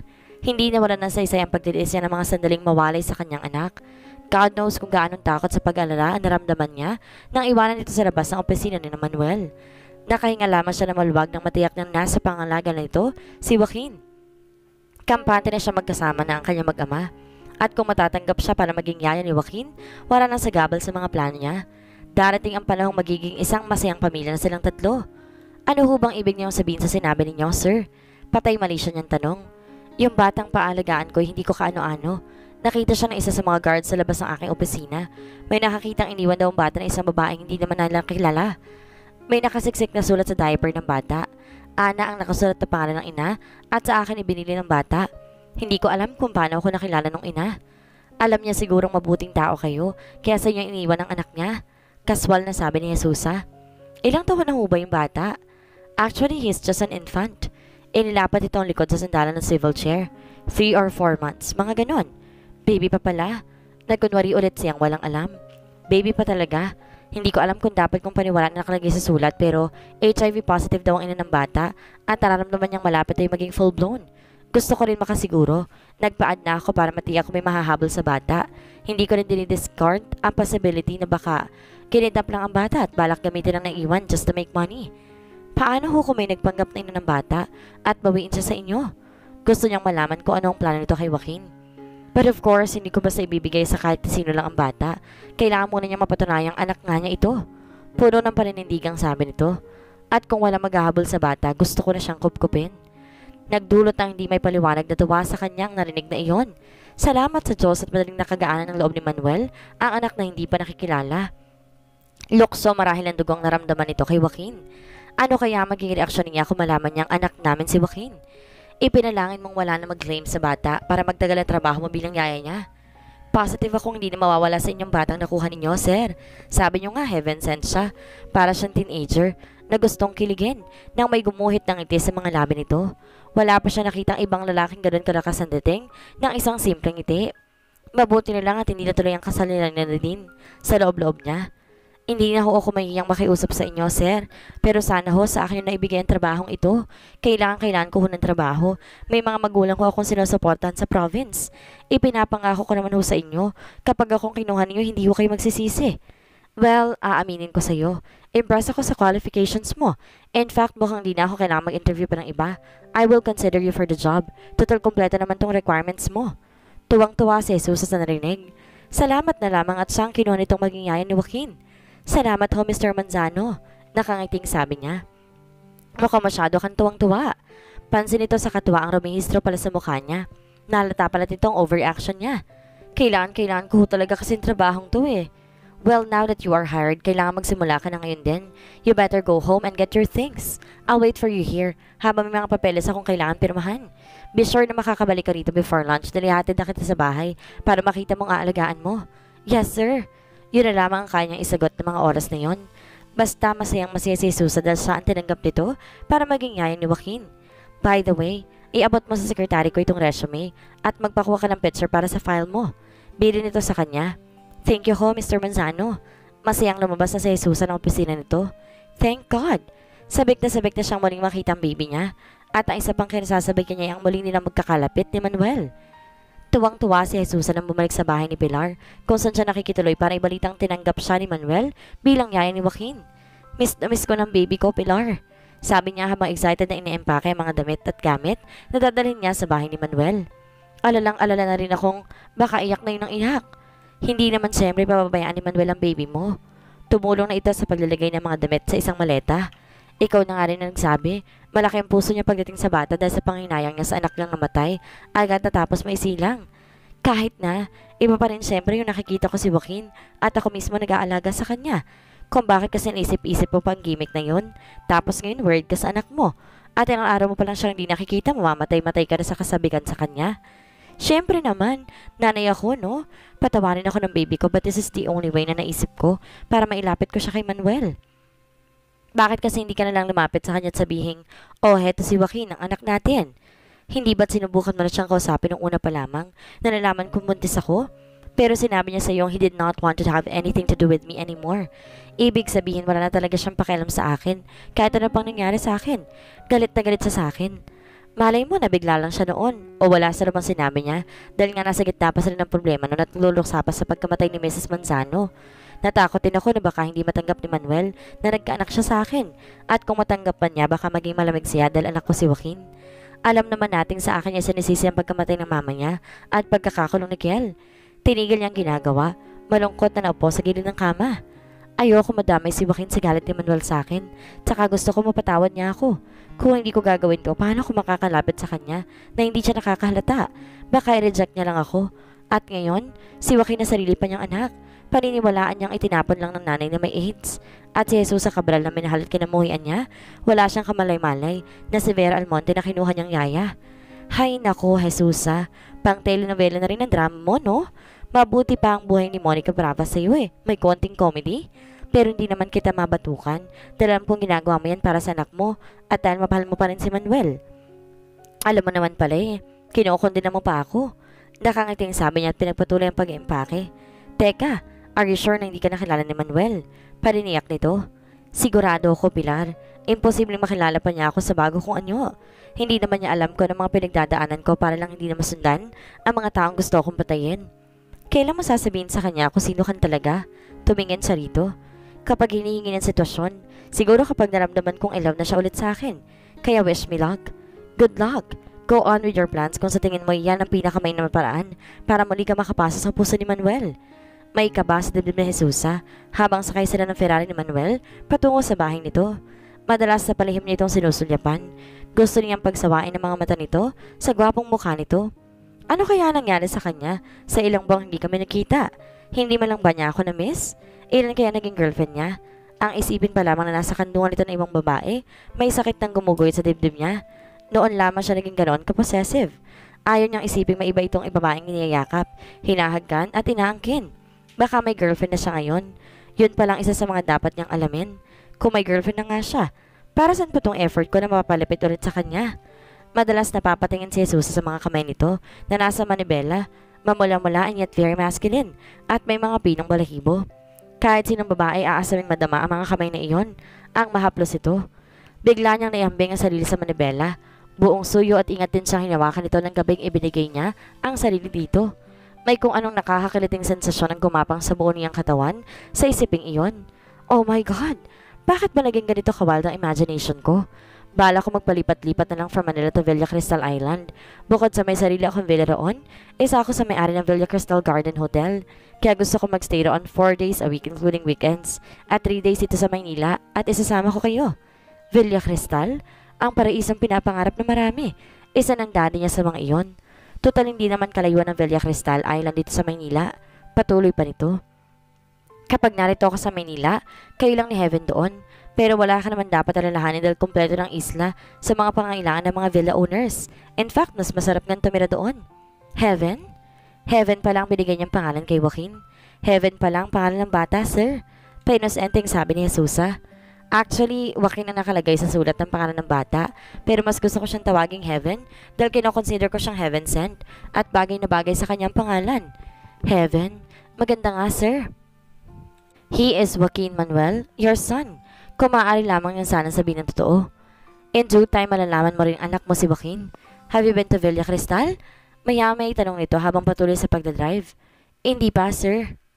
Pagsasinungaling ni Jesusa, ipinalangin mong wala nang bumaway kay Heaven para hindi ka mawala ng trabaho. Ah, bukas nga pala patitingnan ko siya sa doktor. Dahil kung totoong may HIV virus ang mother, posibleng meron din ang anak. Ba bahala kayo, sir. Nakadama siya ng guilt dahil kailangan pa niya itong papaniwalain sa isang kasinungalingan. Pero hindi niya talaga ito gustong linlangin. Dala lamang yun ang pangamba niyang baka sa kulam ang isalubong nito sa kanya kung magpakilala siya rito. Basta importante magkakasama na silang tatlo. Nasa alabang na sila na mapansin niya ang malimit na pagsulap ni Manuel sa legs niya. Isang puting paldan above the knee ang haba ng suot niya nang bumalik siya sa opisina nito. At kapag nakaupo siya nagmumukhang maigsi iyon. Natatanda niya nung una sila nagkita at may nangyari sa kanila. Naibalo nito sa kanyang may legs niya ang tinuturing nitong isa sa mga best assets niya. Weakness daw nito ang mga babaeng may long and perfect shape of legs. May pili ang ideyang kumistap sa isip ni Jesusa. Kung weakness sa babae magandang legs, lalo kong ilalantad sa kanya ang mga binti ko para unti-unti siyang ma-inlove ulit sa akin. Gaya nga ng inaasahan ni Jesusa, napakaganda naman siya ng mga manzano. Isang tahanang tila nagsisimbolize ng masayang samahan at matiwasay na pamumuhay. Nanasira niya ng madawit ang pangalan ng kapatid nito sa sindikato. Pero hindi siya dapat makadama ng guilt. It was an honest mistake. Hindi niya alam na ginamit lamang ng isang tusong Ponso de Vasco ang pangalan ni Kel. Kung hindi pala nangyari mga yon, dapat bahagi na siya ng tahanang iyon. Agad na hinanap ng kanyang mga mata si Joaquin. Ipinakilala siya ni Manuel kay Manang Felisa. Matagal na raw itong mayordoma ng pamilya. Nasa kwarto ko ang bata, sir. Natutulog. Ako muna kasi nag-alaga sa kanya dahil maaga rin umalis si Ma'am Daisy. Ang baby ko. Gusto niyang takboy ng kinaroroonan ni Joaquin, ngunit inawat niya ang sarili. God knows hindi rin naging madali sa kanya ang ginawa niyang pag-iwan sa kanyang anak sa harap ng Manzana Towers. Nagtago lamang siya sa hindi kalayuan upang makatiyak na hindi ito maaano. Nakahinga lamang siya na maluwag nang kunin ito ng security guard at ipasok na sa loob ng gusali. Kung may inutusan siyang ibigay ang bata kay Manuel, tsak na magtatanong pa ito at hindi ba sa tatanggapin ng bata. At kung sakaling hindi siya tatanggap ito para maging yayan ni Joaquin, ang plano niya ibawin agad ang kanyang anak. Na mga sandaling iyon, pakiramdam ni Jesusa, daig pa ang isang taong nalayo sa kanya si Joaquin. Ngunit hindi niya maaaring ipahalata ang pananabik niya sa kanyang anak. Nang samahan sa ni Manuel sa salita kinaroonan ni Joaquin, inabutan nga niya itong himbing na himbing sa gitna ng kama at napapaligiran ng maraming unan. Napangiti siya sa muling pagkakita rito. Gusto niya itong sugurin ng yaka pero hindi dapat makalata si Manuel. My baby, he is so cute, isn't he? Pukaw nito mula sa likuran niya habang pinagmamasa niyang anak. Um, oo sir, ang gwapong-gwapong bata pala niya. Pinilit niyang itago ang pananabik sa kanyang tinig. Kontroladong kontrolado niyang pagpapalaya ng pananabik kay Joaquin. Gustong gusto niyang bakatin ito, but again, inawat na naman niya ang sarili. Nasa kwarto ko ilang gamit yung pinabili ko kay Lani. Pagdating ko mamaya, mamili tayo ng mga gamit niya. Sabi ni Manuel habang nakatunghay siya sa bata at ito naman nakatayo sa pintuan ng servant's quarter. Oho, sir. Gusto ko lang ipaalala sa iyo, Vera, na kailangan alagaan mong mabuti si Heaven. Gusto ko sa kanya mo lang ibubuhos ang atensyon mo. Did I make myself clear? Yes, sir. May kasamang tangong sagot niya. Ngunit nalulungkot siya sa malamig na tingin nito sa kanya habang nagbibigay ng instructions. Damang-dama niyang relasyon nilang employer-employee na lamang. Wala na siyang mabanaag na kaunti mang emosyon mula sa mga mata nito. Ayaw niyang isipin pero mukhang may malaking pagbabago dito. Pakiramdam ni Jesusa hindi na ito kasing empathetic na tulad nung una niya ito nakilala. Kung pagbabasihan niya ang palaging formal na mukha nito, ang matipid ng ngiti, ang malamlam ng mga mata, ang matamang titig at ang malamig na tono nito, mawawari niyang mukhang hindi na ito capable. Magmahal, yun ba ang epekto ng kasalanang nagawa ko sa kanya? At sa pamilya niya, masyado ba siyang nasaktan dahil minahal niya ako ng totoo? I have to go. May kamiting pa ako at 4 o'clock. Sabi nito sa tonong formal pa rin. In fact, manaka-naka lamang siyang sinulya pa nito. Mas matagal ito nakatingin sa natutulog na si Joaquin. Kung may kailangan si Heaven, sabihin mo lang kay Manang Felisa. Oho, sir. May disappointment niyang sabi. Sinundan niya ito ng tingin nang tumalikod ito. Napakagitlabi si Jesusa. Kanina pa niya ito gustong yakapin. Pinipigilan lamang niyang sarili. She loved him so much. Bawat surok ng kanyang pagkatao umaasam na muli nitong mahalin. Nang maiwan sila na Joaquin sa silid na iyon, ay saka pinalayan ni Jesus ang pananabik dito. Hinawakan niyang malit na kami nito at hinagkan. Gusto niya itong kargahin at yakapin na mahigpit, ngunit ayaw niyang maistorbo tulog nito kung kahit nagkasya na lamang siyang hawakan ng kamay nito. Narito na tayo sa bahay ng daddy mo, Joaquin. Kung hindi lamang nadamay si Kel sa expose na ginawa niya at hindi nagalit sa kanya si Manuel at ang pamilya nito, natitiyak niyang tuwang-tuwa ito sa anak nila. Ngunit dahil sa mga nangyari sa pamilya Manzano, alam niyang tinuturing niya siyang kaaway ng mga ito habang unti-unti namang lumalaki ang tiyan niya. Sorry my baby, pero ito na lang alam kong paraan ni mommy para hindi ka madamay sa galit sa akin daddy mo. Mapapamahal ka sa kanya bago niya malamang anak ka ng babaeng dahilan ng pagkamatay ng mama niya at na malaking kahiyan sa pamilya niya. Help me para mapatawad ako ng daddy mo. Alam niyang madaling mamahalin ni Manuel ang kanilang anak, ngunit siya ay magbabaka sakali pa lamang. Inihatid sila ni Manang Felisa sa isang guest room na magiging silid nila ni Joaquin. Katabing katabi lamang inang bedroom ni Manuel ayon sa mayordoma. Bibili raw si Sir ng crib at iba pang gamit ni Heaven. Sabi ni Manang Felisa sa kanya. Ang swerte ng batang yan ay kay Sir Manuel siya napunta. Oo nga ho. Pakli ni Jesus habang pinapalitan ng diaper si Joaquin. Halos ayaw niyang bitawan ng kanyang anak mula nang ihatid siya ni Manuel sa mansyon. Masyado siyang nasabi kay Joaquin kung kahit hindi niya namalayan, pati ang pagtakbo ng oras. 6.30 pa lamang nakabalik na si Manuel sa mansyon. Dumiretso siya agad sa pintuan. Kamusta si Heaven? Hindi ba nag-iiyak? Hindi naman sa iyakin, sir. Pakli niya habang walang korap na nakatingin sa mukha nito. May dalitong staff toy at agad nilapit sa kanilang anak. Yumuko ito habang pinapakita kay Joaquin ang staff toy at pinatutunog sa harap nito. Muntik na siyang mapasinghap dahil sa pagkakalapit nila. Magharap lamang sila kaya langhap na langhap ni Jesusa ang mamahaling men's crew na gamit ito na humalo sa natural na amoy nito. Para siyang nahihipnotismo na katitig sa mukha nito nang hindi nito alam. Kung may karapatan lamang siya ay gusto niya itong sugurin ng yakap at halik.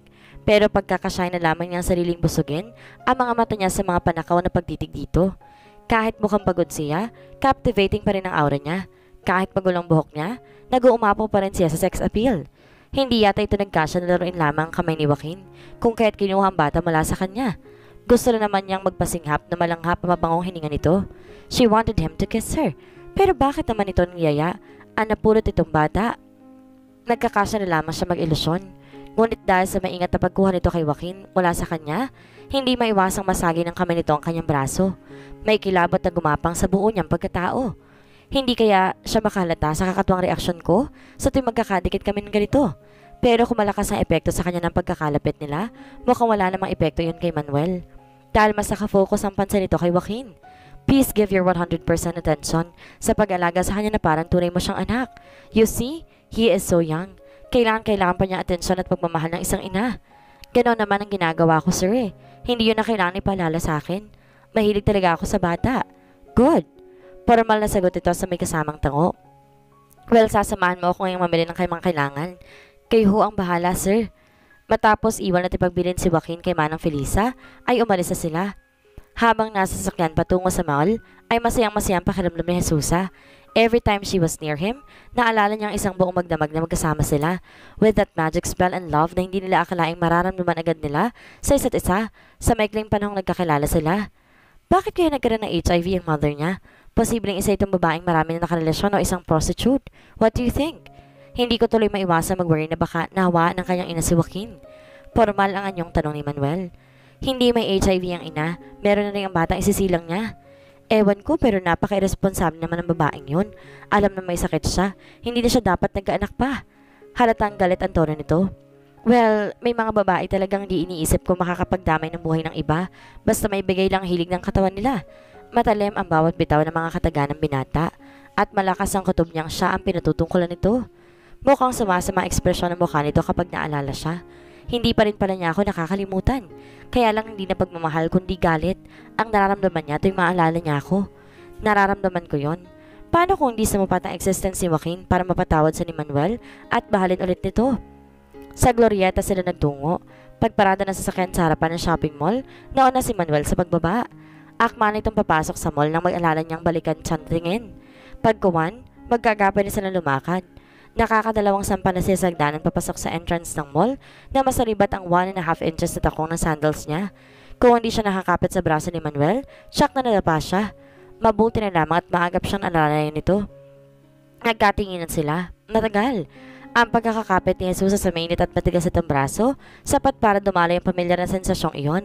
His mere touch made her shiver inside. Palagi na lamang iyong naramdaman every time he was near. Para itong napasang binitawan siya.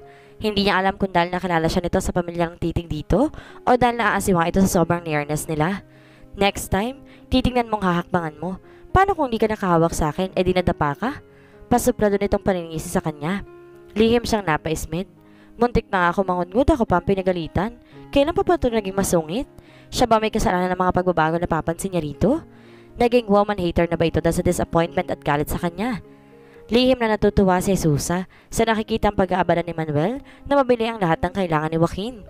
Mukhang hindi siya mabibigong mapalapit at mapamahal ang anak sa sarili nitong ama.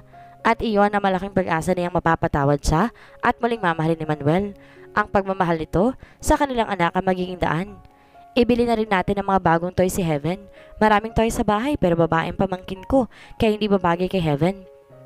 Kung walang kukuha sa kanya within a month, magpapagawa ko ng nursery room para sa kanya at pupunuan natin yun ng toys. Yes, sir. Nakangating pag-ayon ni Jesusa.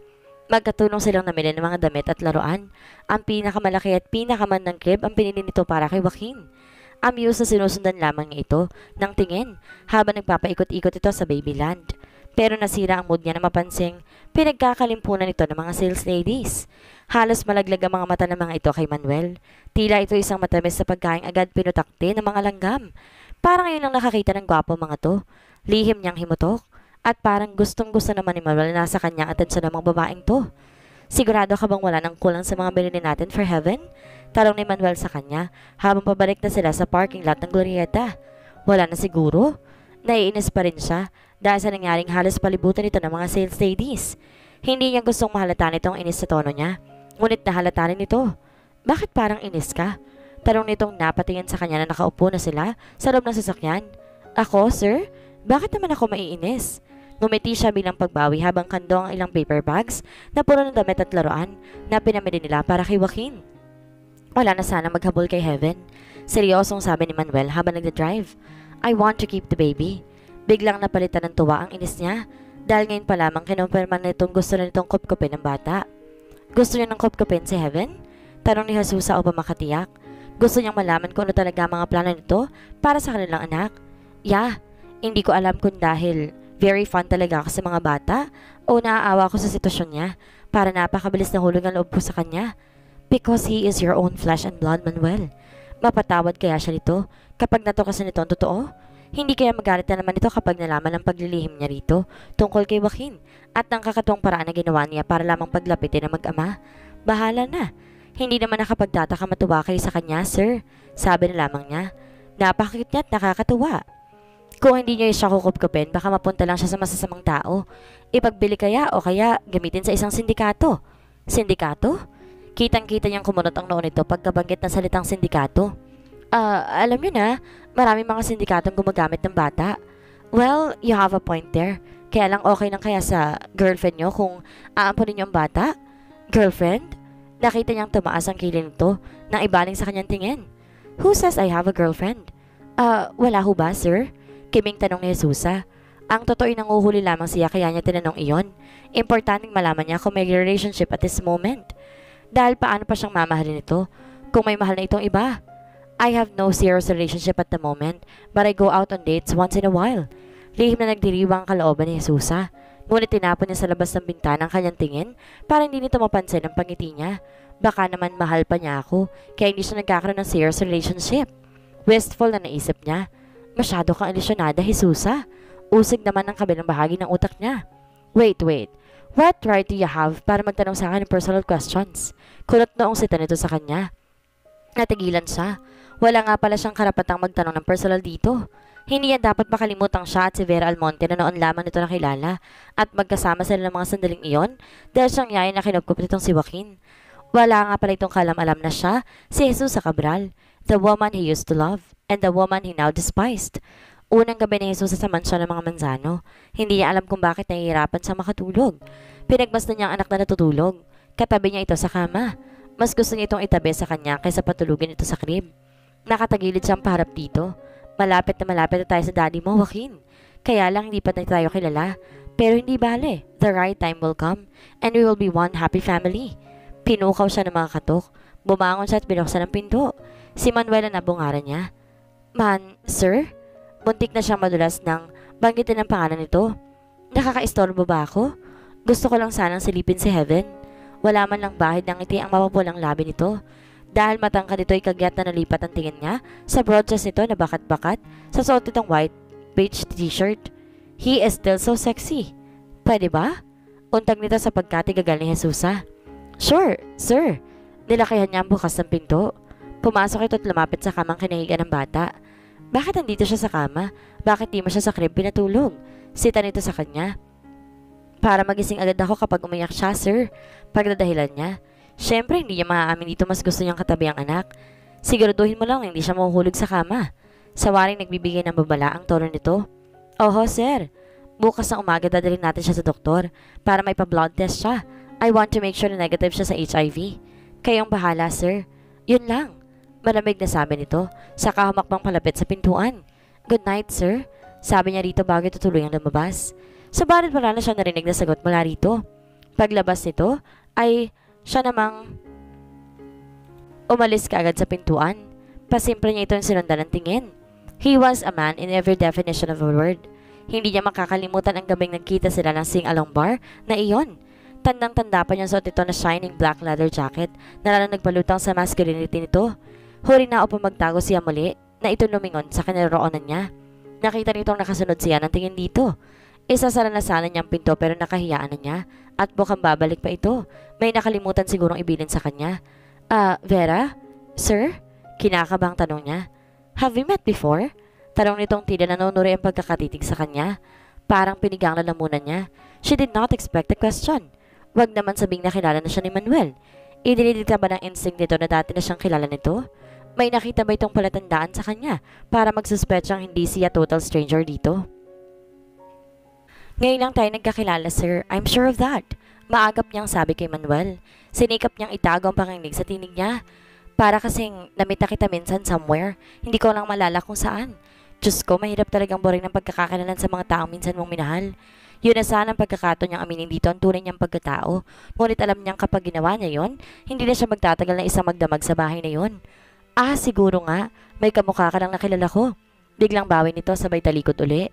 This time, di nito lumiling-lumingon pa. Hay, kala ko nakilala na niya ako. Nakahinga siya na maluwag. Nang maisa na niya ang pintoy sumandal sa dahon niyon. Sana maaari niyang aminin kay Manuel kung sino siya talaga. Ngunit malaking damage ang nagawa niya sa pamilya nito at matindi pa rin ang galit ito sa kanya. Kaya hihintay muna niyang mapalambot si Joaquin ang puso nito sa kanya. Pero makakatulog pa ba siya? Ganong pinuntahan siya nito sa silid nila ni Joaquin? Pakiramdam niya iniwan ang amoy nito roon. Hi, Manuel. Parang hindi lang kami ngayon nagkita. Yun ang ginigit ni Manuel sa sarili habang nanonood ng isang James Bond movie sa cable. Wala rin ang focus ng isip niya, kundi sa pilit niyang pag-alala kung saan sila una nagkita ni Vera. Pero bakit hindi ko maalala? Nag-decide siyang i-off na lamang ang TV at umayos na sa pagkakahiga. Hindi kaya may inaalala naman siya kapag nakikita niya si Vera? Si Jesusa? Yeah, I could say may resemblance sila. Pero bukod doon, para may mga bagay pang pareho sila. Ines siyang bumalikwas ng bangon. Ah shit, why would I waste my time thinking of her? Kung hindi dahil sa kanya, buhay pa sana si mama at hindi na bahira ng pangalan namin. Kinalimutan na niya si Jesusa at kinumbinsin niya ang sariling she was not worth the love na ibinigay niya rito. Nagagandan nga lamang siguro siya sa yaya ni Heaven. Aminado si Manuel. Sexy si Vera. Mas bagay ito mag-model ng underwear at lingeries kaysa magsuot ng white uniform. Marahil dahil na rin sa halos dalawang buwan na siyang hindi nakikipag-date kasi kahit kaninang babae kaya siya nagkakaga noon. Masyado kasi siyang naging busy. Pati na si Marga na panay ang padala ng naughty and provoking messages sa kanya, hindi niya napagtutuunan ng pansin. Ipinasya niyang tawagin ito sa susunod na araw. Dito na lamang niya ibubuhos ang lahat ng init ng katawan niya. Liberated ito, isang babaeng tinuturing siyang boyfriend, ngunit mag-boyfriend pa lamang sila kapag kailangan nilang isa't isa. Kinabukasan ng umaga, nakilala ni Jesus ang mag-asawang Daisy at Kel. Ipinatawag siya ni Manuel kay Manang Felisa sa silid ni Lalamukin para sumabay sa pagbe-breakfast ng pamilya. Kung ang pagbabasihan lamang ay ang anyo at personalidad ni Kel, hindi mo nga iisipin maaari itong masangkot sa isang underworld group.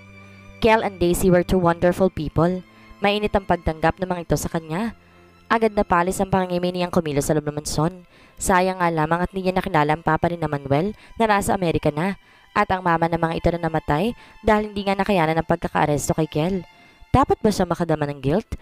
O dapat siya magpaliwanag sa mga ito at sabihin wala siyang intensyong sirain ang pamilya ng mga ito?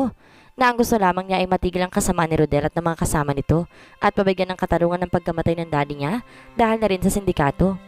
Naiintindihan ko kung magalit man sa akin ng pamilyang to, pero sana maintindihan nila ako at patawanin kung tinuring nilang malaking kasalanan ang gawa ko sa kanila. Naisip niya habang kasalo ang pamilya ni Manuel. Lahat dito kapamilya, sabi ni Kel sa kanya. Tingnan mo nga naman. Nangingiting sabi ni Daisy. We lost one member of the family, si Mama, pero dalawa kagad ng kapalit. Napasalap siya kay Manuel na nag-abalang-abala sa pagkain. Para bang lagi na lamang ito nagmamadali? Maging sa pagkain masyadong seryoso. Diyos ko, kaya ko bang sabihin sa kanila ngayon na ako si Jesus sa sabi paliwanag at hingi ng tawad? Alam mo, naglalaro ang imagination ko. Makahulugan ang iting wika ni Kiel. Sana'y mag-ina na ni Manuel si Vera at Heaven, no? Hindi ba't parang ang ganda nilang tignan? Parang isang tunay na pamilya? Oo nga, no? Pag-ahay ni Daisy sa asawa habang inaabotan ng hinog na papaya ang apat na taong anak nito. Kayong dalawa talaga? Naiiling na sabi ni Manuel habang nagpupunas ng bibig. Halatang hindi nito nagustuhan ang biro ni Kel. Nakita pa ni Jesus ang pagtiim ng mga labi nito. At anong ibig sabihin ng gesture na yun nito? Na ayaw nitong tinutukso siya rito. Isn't she too beautiful para maging yaya lang? Talong ni Daisy. Yeah, I agree. Sigon na ni Kel matapos sumubo ng bacon. Ikaw ba ang personal na pumili sa kanya, Manuel? Yeah. Why? What's the big deal about it? Fascinated ka talaga sa beautiful women, ha? Nakita niyang sinulyapan sa ni Manuel. Maikling sulyap ngunit pakahulugan. I'm not looking for a beautiful nanny. Seryosong sabi nito habang nakatuon ang mga mata sa pagkain. What I want is a hardworking nanny. Yung aalagang mabuti si Heaven. Hindi siya umiimik. In fact, what I'm really looking for is for someone slightly overweight with a plump, matronly figure. Aanin ko maganda't makinis na yaya kung irresponsable naman. Hindi niya nagustuhan ang tono nito. Pinasasalingan ba siya nito at binabalaan na kung magkakamali siya sa pag-aalaga kay Joaquin ay maaari siya nitong sipain na ng mga oras? Nagpa-add ka na ba sa mga newspapers tungkol kay Heaven para malaman mo kung may maghahabol sa kanya? Para masiguro mo na rin hindi kinidap lamang ang batang yan. Nagawa ko na ako yakyel. Maghihintay na lang ako kung may mag-claim sa kanya. Mahirap na rin kasing basta ko lang siyang kukupin, pero may mga magulang pala naghahanap sa kanya. Kapag walang naghabol sa kanya, magpe-petition ako for adoption para maging legal ang pagkukup ko sa kanya. I just hope na hindi kay pahamak ng awa mo sa bata, katulad ng minsan nangyari. Huwag mo muna masyadong ibuhos ang kalooban mo kay Heaven. Hindi ka pa nakakasigurong walang maghahabol sa kanya. Muling paalala ni Kiel. Muntik nang mahilinan si Jesusa. Malakas ang katob niyang siya ang tinutukoy ni Kiel. It won't never happen again, kuya. Sabi ni Manuel, Heaven is just a baby. He's not capable of hurting me. Wala pa rin siyang kakayang ipahamak ako, unlike Jesusa. Uminom ito ng fresh juice bago nagpatuloy. I regret making her a part of my life. Nagsisisi rin ako hinayaan kong mahulog agad ang loob ko sa kanya. Hinayaan kong masangkot ako sa problema niya, not knowing that I will lead me to a disaster. Gustong gusto ng iwanan ni Jesus ang breakfast table at talikuran ng sitwasyon. Pakiramdam kasi niya isa siyang buhay na manok na inihahagi sa apoy. Agad na tinapos si Manuel ang pag-almusal sa siya binalingan. Pagkatapos mong breakfast, bihisa mo na si Heaven. Hindi ba't sinabi ko sa'yo dadali natin siya sa doktor ngayong umaga? Lutang na lutang ang indifference ito sa kanya. Para bang layo nitong gustong ipaalala sa kanya na yaya lamang siya ni Joaquin. Na kung hindi dahil sa batay, wala siya sa mansyon na iyon. I'm sorry, Manuel. Napagkamalan ko talagang mag-ina mo ang kasama mo. Narinig ni Jesus na sabi ng kaibigang espesyalista ni Manuel na pinunta nila sa St. Luke's. Ikaw naman kasi, bakit hindi ka pa mag-settle down? Tapos na ang ilang blood test na ginawa kay Joaquin. Ikaw talaga, Rod, oh? Pakli ni Manuel habang palapit ng dalawa sa kinaroonan lang ng kanyang alak na sa mahabang visitor sofa. Ayoko pa ng sakit ng ulo. O paano? Just give me a ring. Yeah, sure. As soon as I have the result of the test. Okay, thanks. Teka, kailan mabalik mo sa Villa Cristal? Plano kong bumalik doon this weekend. Gusto mo sumabay? Next week pa siguro ako. Kamusta man ako kay Nicolo kapag nakita mo? Pinsan ni Rod si Nicolo, yung friend kong villa owner din sa isla. Sabi ni Manuel sa kanya habang palabas na sila ng clinic ni Rod. Nasa lobby na sila ng ospital na may makasalubong sila na bumati kay Manuel. Oh hi Adonis, nandito ka pala sa Manila. Ganting bati ni Manuel. Dinalaw kong girlfriend ko. Sino ron? Anong number? Birong tanong ni Manuel. Ikaw talaga? Tinapik ito ng lalaki. Nakamasid lamang sa iso sa dalawang lalaki habang karga si Joaquin. Para kasi siyang nakikita nag-uusap ang dalawang Greek god na nabuhay sa realidad. Dalawang Greek god na hindi basta malalampasan ng tingin ng mga nurses sa reception desk ng ospital. Napansin siya ni Adonis at nakita niyang mukhang nagtatanong ang mga ito nang muling sumulyap kay Manuel. You did not tell me that you got married. Who told you that I already got married? Natatawang tanong ni Manuel. This is Vera. Siya ang yaya ng batang to na bala kong i-adopt. Oh, I see. I'm sorry. Baling ni Adonis sa kanya. Akala ko Manuel nag-asawa ka na nang hindi naman nang nagsasabi sa mga kaibigan natin sa Villa Cristal. Nangako kang doon ka magpapakasal, hindi ba? Sa isa talaga ako magpapakasal, kaya lang hindi pa ako nakakakita ng bride. By the way, nagkita na ba kayo ni Nadine? Nadine. May kung anong bumundol sa dibdib ni Jesusa nang marinig ang pangalang yon. Alam niyang yon ang babaeng muntik ng pakasalan ni Manuel. Nasa na nga bang Nadine yon at bakit hindi natuloy ang kasal nito at ni Manuel? Nasa States na siya, sabi ni Manuel. Inilayo niya sa akin ang anak namin tulad ng banta niya nang umurang ako sa kasal namin. Hindi mo pa ba alam that she's back? Oh, really? Gulat na reaksyon ni Manuel. Yeah, nakita ko siya sa naiya noong isang araw at may kasamang bata. Yun siguro ang anak ninyo. Bumalik na si Nadine at dalang anak nila ni Manuel. May kabang bumundol sa dibdib ni Jesusa. Hindi maipaliwanag ang takot na nararamdaman niya ng mga sandaling iyon. Paano kung ang dahilan ng pagbabalik ni Nadine ay para bawiin si Manuel? Nagdala na ng takot sa puso ni Jesus ang balitang bumalik na si Nadine at kasama pa ang anak nito kay Manuel. Pinakiramdaman niya si Manuel ng sumunod dalawang araw, ngunit wala naman siya nakitang palatanda ang naapektuhan ito sa ibinalita ni Adonis. Bago ito umalis, kinakarga muna nito si Joaquin at palagi ito maagang umuwi para laruin ulit ang kanilang anak. Binura ni Jesus sa isip ang takot. Naroon na sila ni Joaquin sa bahay ni Manuel. Hindi pa nga lang sila kilala nito. Tuwang-tuwa ito na mag-negative ang blood test ni Joaquin. Samantalang alam niyang imposible maging positive sa sakit ng kanilang anak, We are going to Villa Cristal tomorrow. Pahayag ni Manuel matapos sila maghapunan ng gabing iyon. Villa Cristal. Napangiti si Susa. Lalo siyang nabuhay ng pag-asang muli siyang mamahalin ni Manuel. Romantiko ang isla at nararamdaman niyang marami mangyayari habang naroon sila. Kinabukasan, nagtungo na nga sila sa Villa Cristal Island. Nagbiyahe sila by water aboard Manuel's yacht, ang Manuela. Natatanaw pa lamang isnay manghang-mangha na si sa kagandahan niyon. Lalo na sa maliliit na bundok na parang chocolate hills at ang iba't ibang rock formation niyon. Ayon kay Manuel, may cave daw roon na dinarayan ng mga turista, dala mga rock formations tila images ng mga hayop at may isa na tila imahe ng Virgin Mary. Dumating sila sa isla bago mag-lunch, kung keton sila na ng alian sa floating restaurant. Ang ganda pala talaga dito. Humahangang sabi ni Jesusa habang ginagalang paningin sa paligid. Bahagyang nilipad ng malakas na hangin ang buhok niya dahil nasa tabi sila ng deck ng floating restaurant. Kung ako nga ang tatanungin, mas gusto ko dito na magstay. Sabi ni Manuel habang kumakain sila. Tahimik pero masaya at malayo sa pollution. Kaya nga nagpatayo ako dito ng villa para sa magiging pamilya ko. Magiging pamilya? Eto na nga kami, Manuel. Kami ni Joaquin ng pamilya mo. Halos mapa nga sa paghanga si Jesusa na makita niya nagaganda ang beach houses sa exclusive village ng Villa Cristal Island. May log houses, may American-inspired houses, may Italian-inspired, may Pilipinong-Pilipinong dating, nayari sa kahoy at kapis ngunit moderno ang architectural design. Ang villa ni Manuel isang two-story chalet style. Kung siya ang may ganon kagandang beach house, mag stay lamang siguro siya roon. Sa first floor maluwang ang living room. Naglalaki yan ang salaming bintana kung saan tanaw ang magandang bundok. Sa kaliwang bahagi ng living room may dining room kung saan konektado naman ang modern kitchen. Dinala sila ni Manuel sa kalawang palapag. Dalawa ang bedroom doon. Ang master's bedroom at ang kaharap na guest room. Nasa pagitan ng dalawang isang malaking space na nagsasalbing entertainment area dahil naroon ang 40 inches TV, VCD, DVD, component at isang glass rack na puno ng CD.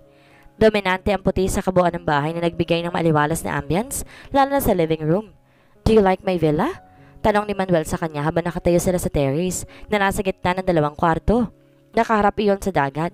Maganda, parang ang sarap-sarap panirahan dito at ayoko nang bumalik sa Maynila. Naalala niyang sinabi nito sa kanya noon na doon sa balak na rin nito ng plano siyang itakas bago ang araw ng kasal niya kay Rodel. Mabuti pa sumama na ako rito noon sa kanya. Hindi na sana kami nagkahiwala at hindi na siya nagalit pa sa akin. Okay lang bang iwan ko kay ni Heaven dito 3 days a week? Tanong nito sa kanya. Hindi ka naman malulungkot dito. Marami ng villa owners na dito nag stay sa na gawing bahay bakasyon na lamang ang kanilang mga villa. Okay lang, sir. Good. Ito-check ko naman kayo from time to time. Tsaka wala kang alalahanin sa village na ito. Bukod sa tahimik itong isla, well-guarded itong residential village. Kaya wag kang mag-alalang mapasok ito ng mga abo sa yaff. Mula sa kinatatayo nila, natanong nila ang ilang nagja-jetski. Maayos na maayos itong villa ninyo, sir. Well-maintained. Sino nag-aasikaso rito kapag wala kayo? May staff kami sa hotel na tumitingin at naglilinis dito twice a week. Kapag narito naman ako, four times a week siya naglilinis. Kung isa pala kayo sa may-ari ng hotel dito, bakit nagpatayo pa kayo ng sariling bahay dito? His lips tightened. Dito ko sana gustong itira ang babaeng pakakasalan ko. Ang kapormal na mukha nito ay napalitan ng lungkot. Tumanaw ito sa malayang bahagi ng asul na dagat. Sayang, nakita ko na sana siya noon pa. Napatitig si Jesus sa mukha nito. Siya ba ang tinutukoy nito? Nang ibaling nito ang tingin sa kanya, huli na upang bawiin niyang tingin dito. Nahuli nitong nakatitig siya rito. Hindi nila kagad nakuhang bawiin ang titig ng isa't isa. Pakiramdam niya may kung ano itong hinahanap sa kanya mga mata. Nagkakahinala ba itong pamilyar dito mga mata niya? Nang marinig nilang gumawa ng sound si Joaquin na parang nagsasalita, nabaling ang pansin nila rito. Look at heaven! Parang may isip na katawa sa akin. Nangingiting sabi ni Manuel. Sa kakinausap ang bata na parang may isip. Hindi pa yata kontento. Kinuha nito mula sa mga bisig niya si Joaquin. Hindi sinasadyang nasagi ng kami nito ang dibdib ni Jesusa. Pagkawan ay bumaba ang tingin nito sa ukap na suot niyang bulsa.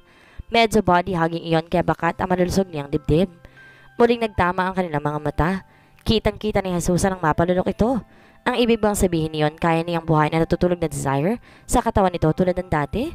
Saglit at tumigil ang paghinga niya nang unti-unting bumaba ang mukha nito sa kanya. She automatically closed her eyes and waited for his lips. Hindi naman sa nabigo. Naramdaman niyang pag-angkin nito sa kanyang mga labi. How she missed his kiss. Para siyang ibinalik ng halik na iyon sa nakaraan. Doon sa panahong pareho silang may kasal na gustong takasan at nagkasundo silang gugulin ng isang magandang mag magdamag na magkasama. Ramdam niyang gustong kumawala na mahinang ungol sa kanyang lalamunan when his kiss deepened. Tangay na tangay na siya. Kumilos siya para lalong idikit ang katawan dito, ngunit nasa pagitan nila si Joaquin. Ganoon na lamang naramdaman niyang frustration nang bigla na lamang itong itigil ang paghalik sa kanya na parang napaso.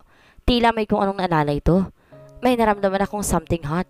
Mukhang nagpupo si Heaven. Sabi nito, para siya napahiya at naasiwa sa sitwasyon. Kinuha niya si Joaquin mula rito at hindi na nakatingin dito. Uh, papalitan ko lang siya ng diaper, sir. Paiwas na sabi ni Jesusa. Hindi na makatingin si Jesusa ng diretso kay Manuel pagkatapos ng mangyaring halik na iyon sa pagitan nila. Hindi na sila lumabas ng guest room ni Joaquin, ngunit kinatok sila ni Manuel pagkalipas ng isang oras. Ayaw mo bang mamasyal dito sa isla? Tanong nitong pumukaw sa kanya. Ang modulated tone nito ay tinuturing niyang kalamigan at kawalan ng emosyon. Para bang may makapal na pader ito nilagay sa pagitan nila? Nakikita niya ito, parang napakalapit ngunit hindi naman niya maabot. Yung paghalik nito sa kanya, hindi siya nakatitiyak kung nadala lamang ito ng pagkakasagi nito sa dibdib niya. Lalaki ito, at silang dalawa lamang nasa villa nito, bukod kay Joaquin na wala pang kamuwang mong sa mundo. Kung may naramdaman man ito ay natangay na lamang siya dahil marahil sa sitwasyon. Hindi ibig sabing damdamin na nagudyok dito para ang kinin ng mga labi niya. Sayang naman ang ganda ng isla kung magmumukmo ka lamang dito. Patuloy nito. Nakatayo ito sa bungad ng pintuan. Parang modelo nakapost para sa cover ng isang magazine. Hindi ito mukha nag-iimbita dahil formal na formal ang mukha nito. Sige sir, magbibihis lang ako. Nakaiwas ang tingin niya rito. Nag-aalala siyang baka isipin nitong isa siyang babaeng madaling darangin pagkatapos ang hindi tumanggi sa halik nito. For all she know, baka sinusubukan lamang siya nito. Akin na muna si Heaven para makapagbihis ka. Hihintayin ka na namin sa baba. Sa pagkakataong yon, maingat niyang iniabot dito si Joaquin. Umiwas siya muli, nito masagi ang dibdib niya, maging ang pagdadaitin ng kanilang mga balat. Kung gugustuhin pala niyang pukawin ng pagkalalaki nito ay napakadali niyang magagawa. Ngunit ayaw niyang gamitin ng physical attraction para muling makuha ang damdamin nito. Ang damdamin nito ang gusto niyang mapukaw. She wanted him to love her again. Hindi yung maging provider lamang ng sex dito. Kung hindi man ang Villa Cristal Golf and Country Club ang pinakamaganda at pinakamalawak na golf course na nakita ni Jesusa, may ituturing niya iyong isa sa pinakamaganda. Pero ang beach at ang puting buhangin niyon ang pinakamagandang bahagi ng isla para sa kanya. Pagkatapos silang sumakay sa motorboat, dinala sila ni Manuel sa hotel na pinakilala sa mga kasosyo nito mag-asawa, sina Thomas at Casey Alonso. Nang sumapit ang hapon, maaga sila nag-dinner. Nag-order na lamang si Manuel ng pagkain mula sa hotel at ipinadeliver sa villa nito. Maagang nakatulog si Joaquin kaya't sabay sila nagkapunan ng binata. Magkakasino ako sandali. Gusto ko makita naman ang ilang kaibigan ko rito sa isla. Wika nito matapos ang hapunan. Ikaw na munang bahala kay Heaven. Bilin pa nito sa kanya. Mag-lock ka na lang kung matutulog ka na. I have my key. Yes, sir. Tugon niyang napatitig sa mga labi nitong kanina lamang ay umangkin sa mga labi niya. Mas malalim pa sana ang halik na ibibigay nito sa kanya kung hindi lang gumawa ng eksena si Joaquin. Lihim na lamang siya natawa. Sinamantala ni Jesus na natulog si Joaquin para makapag-shower. Medyo nagtagal siya sa loob ng shower room dahil nag-enjoy siya sa soothing and relaxing effect ng maligamgam na tubig mula sa dutsa. Lumakas at lalong lumamig kasi ang simay ng hangin sa isla. Maya-maya, narinig niyang umiiyak si Joaquin. Nagmamadali siya nagbanlaw. Pagkatapos sinila niya ang kanyang cream-colored bikini at mabilis ay sinuot. Gayun din ang kanyang robe. Hindi niya yun ay buhol dahil sa pagmamadali. Nag-alala siyang mahulog sa kamang kanyang anak kapag nagpapasag ito. Ngunit paglabas ng banyo, ganoon na lamang pagkabigla niya dahil tiyempong papasok naman si Manuel sa loob ng silid. Agad itong kinarga si Joaquin ngunit sa kanya ito nakatitig. Saglit lamang siyang napamaang. On instinct, binalak niyang bumalik sa banyo. Pero nang maalala niyang may nangyari na sa kanila, katunayan nga may anak na sila. Agad ding nabura ang pag-aalangan niya rito, kahit bikini lamang ang suot niya sa ilalim ng robe.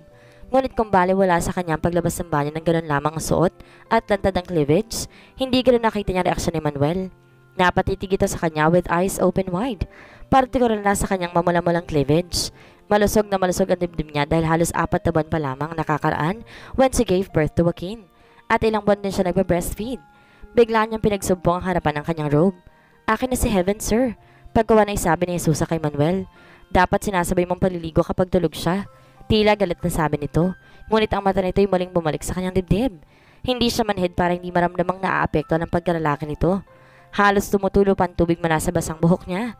Pumupuno sa kabuuan ng silid ang magkahalong amoy ng shampoo at sabong ginamit niya. Lalaki si Manuel. Bakla na lang hindi mapupukaw sa ayos niya ng mga sandaling iyon. Nang abutin niya si Joaquin wala rito, hindi sinasadyang nadaiti ang kamay niya sa braso nito. Nanayo ang mga balahibo niya, lalo na nga nang marinig niya ang rugged na paghinga nito. Nang mapatitig siya rito ay nahuli niya ang mga mata nitong walang kurap na nakatitig sa kanyang mukha. Hindi niya nagawang bawiin ng mga tingin dito. Parang magnet ang mga mata nito na kapag natapat ka ay hindi ka na makakaiwas at mahirap na makabawi. He leaned down even closer until his face was almost touching hers. Halos hindi siya makahinga. His scent assailed her. It was clean, musky, and male. She knew he was going to kiss her. Gadani na lamang ang layo ng mga labi nila sa isa't isa nang biglang umiyak si Joaquin. Natutuon pala ito ng tumutulong tubig sa buhok niya. She jerked his head away from Manuel. Next time, ayokong pababayaan mong bata ng gising habang nakababad ka sa bathroom. Biglang napalitan ng animosity ang magic smell na saglit na kiraan sa pagitan nila. Ano ang gustong palabasin ni Manuel? Nanatkusa lamang ito dahil sa ayos niya, pero hindi siya talaga nito balak halikan because he did not find her attractive? Hindi ba't kabilin-bilin ko sa iyo hanggat maaari? Kailangan nakatutok attention mo kay Heaven? Kung may gusto kong gawin, gawin mo kapag tulog siya. O kaya kapag pwede mo siyang ibilin sa akin. Agad na burang damdaming tumangay sa kanya na makita niyang kunot ang noo at paasik ang tono nito habang sinasabi iyon. Tulog siya kanina, sir. Nilaban ko pang ilang damit niya kaya ngayon lang ako nakapaligo. May paghinanakit na sagot ni Jesusa. Palalim ang tingin niya rito. Paano kung nahulog siya sa kama? Sa pagkakataong iyon, mas galit ang tono nito. Torture na nga yung pagkabitin ng halik nito sa kanya. Pagkatapos magagalit pa ito sa kanya? Masyado ng tormenting iyon. Kailan ka pa naging ganito kasungit, Manuel? O baka naman dahil sa pamilyaridad na nakikita nito sa kanya? Hindi ba tayo tanong na nito kung nagkita na ba sila noon? Kung hindi man niya ako nakilala sa bago kong itsura, malamang naalala niya sa Jesus sa Cabral dahil nakikita niya ako ngayon. Maaring hindi siya naghihinala pero dahil ako pa rin si Jesus na minahal niya, umiinit ang ulo niya kapag naalala niya ako. Hindi na lamang siya nagsalita, Kung mga katwiran pa siya, baka may masaya pa siyang pagkisiyan niya sa bandang huli. Hayaan niyo, sir. Hindi na mauulit. Sabi niya hindi na salipan man lang si Manuel upang hindi nito mahalata ang sama ng loob na lumatay sa mukha niya. Kahit sandali lang niya ito nakasama noon, naramdaman niyang hindi ito ganun karude. Nalulungkot siyang isipin galit ito sa kanya ang dahil ng pagbabago ng ugali nito. And make yourself decent next time. Galit pa rin sabi nito ng palabas na ito ng pinto. Kung lalabas ka ng bathroom na ganyan ang ayos mo, siguraduhin mong nakalak ang pinto unless you are inviting me into something. Hindi niya nagustuhan ang sinabi nito. Gusto ba nitong palabasing inaakit niya ito at hindi siya naglock ng pinto at lumabas ng banyo na ganun lamang ang suot? But let me make it clear to you na ayoko magkaroon ng emotional entanglement sa yaya ng batang aampunin ko. I want a pure employer-employee relationship. Para siyang sinaksak sa dibdib sa sinabi nito. How dare he say that? Hindi ho ako nag invite ng kahit ano, sir. Pinilit niya ang mga tuwiran ng kalmado. Tiwala naman ako lumabas ng bathroom ng ganitong ayos dahil alam kong walang ibang tao rito. Tsaka nag-aano na lang ako mahulog sa kama si Heaven. Pero paano kung may ibang taong pumasok dahil gustong tingnan ng batang umiiyak? Pakiramdam ni Jesus sa pilit lamang siya nitong hinahanapan ng mali. Dahil kaya may desire lamang itong pilit na iluwansawin? Walang salitang tumalikod na ito at lumabas ng silid. Napahagat labis siya na lumapat ang pintong kinabig nito. Ganon ba kalalim ang pot nito sa kanya bilang si Jesusa para sa tuwing maalala siya nito'y nabuburang desire nito at nagiinit ang ulo? Maya-may narinig niya ang ugong ang sasakyan nito. Umalis ulit ito kung ganon. Tingnan mo ang daddy mo, Joaquin. Hindi ako sure kung uminit ang ulo niya dahil naudot ang halik o dahil talagang masungit na siya ngayon. Sabi niya sa kanyang anak habang sinusubo nito ang feeding bottle ng timpla niyang gatas. Malalim ang gabi. Nang lumabas sa bedroom si Jesusa, hindi siya tiyak ko nakabalik na sila sa villa ni Manuel. Nailip siya ng dalawang oras dahil tinabihan niya sa kama si Joaquin. Lumapit siya sa tapat ng silid ni Manuel. Sisilipin niya kung nakabalik na ba ito. Maingat ang tinulak ang pinto ng silid nito. Walang tao. Nakaramdam siya kung nasa loob ito ng banyo, ngunit tahimik. Nasa kasino pa kaya siya? Bumaba si Jesus para tiyakin kung hindi pa nga ito nakakabalik. Wala ni kaunting kalusko sa living room, maging sa dining. Nang matiyak na wala pa si Manuel, bumalik na lamang siya sa tinuturiang silid at muling tumabi kay Joaquin. Hindi na siya ulit kinawayan ng antok. Pakiramdam niya ay mahirapan na siya makatulog. Hindi niya makalimutan ang halik ni Manuel sa kanya. Ganon din ang mga titig nito sa kanya nang lumabas siya ng banyo na hindi nakabuhol ang robe. May kung anong mainit na likidong nagpaikot-ikot sa kanyang sikmura habang nakahiga siya sa kama. Involuntarily, her hand went up to her lips and touched them, which tingled from his sweet assault. Hindi siya mapakali sa kama. Ano ba ang nangyayari sa kanya? Ramdam niya other parts of her body longed for Manuel's touch and caress. Ginising si Jesus ng huni ng mga ibon dahil nakabukas sa mga bintana sa silid nila ni Joaquin. Agad siyang lumapit doon at pinuno ng pang-umagang hangin ng kanyang baga. Ang gaan-gaan ang pakiramdam niya at home na at home na siya sa villa ni Manuel. Dahil sa ganda ng paligid nakalimutan niyang wala siya sa normal na sitwasyon. Bumaba siya at naghanap ng mayandang breakfast. Puro ng stock ang refrigerator. Organisado talaga si Manuel. Malamang na nag-utos na ito sa isang hotel staff para punin ng stock ang kitchen para sa pag stay nila sa isla. Bacon and eggs at toasted loaves ang nihanda niyang almusal. Tamang-tama, nakapaganda siya ng breakfast ay sumungo si Manuel mula sa hagdanan. Dahil pareho sila napatitig sa isa't isa, hindi nila nabati ng good morning ang isa't isa. Nahantad ang virility at perfect physique nito dahil body fit na sando lamang ang suot nito at black jogging pants. He looked so captivating kahit bagong gising na hindi nabawasan kahit isang pound ang sex appeal nito. Kinailangan niyang huminga ng malalim para disimulahin ang kung anumang nararamdaman niya para dito. What's happening to me? Kay aga-agay nagpa-fantasize ako. Hindi na iwasan ni Manuel ang lihim na mapabuntong hininga nang mapagmasdan si Vera. She was only wearing a part of white shorts and a cotton body-hugging blouse. Bakit ba hindi niya maidemand dito na palaging magsuot ng white uniform? Bukod sa napagkakamalan nitong asawa niya, lumulutang na alangan itong maging yayo lamang. Vera was very sexy. Matapos itong makita na nagdaang gabi na bagong paligo at hindi nakabuo ng bathtub ay hindi na siya mapakali. Napagkit na sa kanyang isip ang makinis at magandang katawan na nasa ilalim ng telang suot nito, as if she was not wearing anything. Kung sinunod lamang niya ang urge ng desire na naramdaman niya, malamang may nangyari na sa kanila Ngunit ayaw naman niyang samantalin ang sitwasyon. But definitely, she could drive him crazy. Napuko nito ang bawat himaymay ng kanyang pagkalalaki at iisang babae lamang nakapukaw ng ganon sa kanya, si Jesusa. Anong meron si Vera na nakita niya rin kay Jesusa at hindi niya maiwasang maalalang huli sa tuwing nakatitig siya kay Vera? Good morning, sir. Bati ni Jesusa kay Manuel upang disimulahin ang magic spell na magitan na naman sa kanila. Coffee ho? Yeah, please. Walang kang iting sabi nito. Tulog pa si Heaven eh. Sabi niya habang nagtitimpla ng kape. Yeah, nakita ko. Sumilip ako sa kwarto niyo eh. Sumilip sa kwarto nila? Lingi dito ay tumaas ang isang kilay niya. Si Joaquin ba talagang gusto nitong silipin o siya?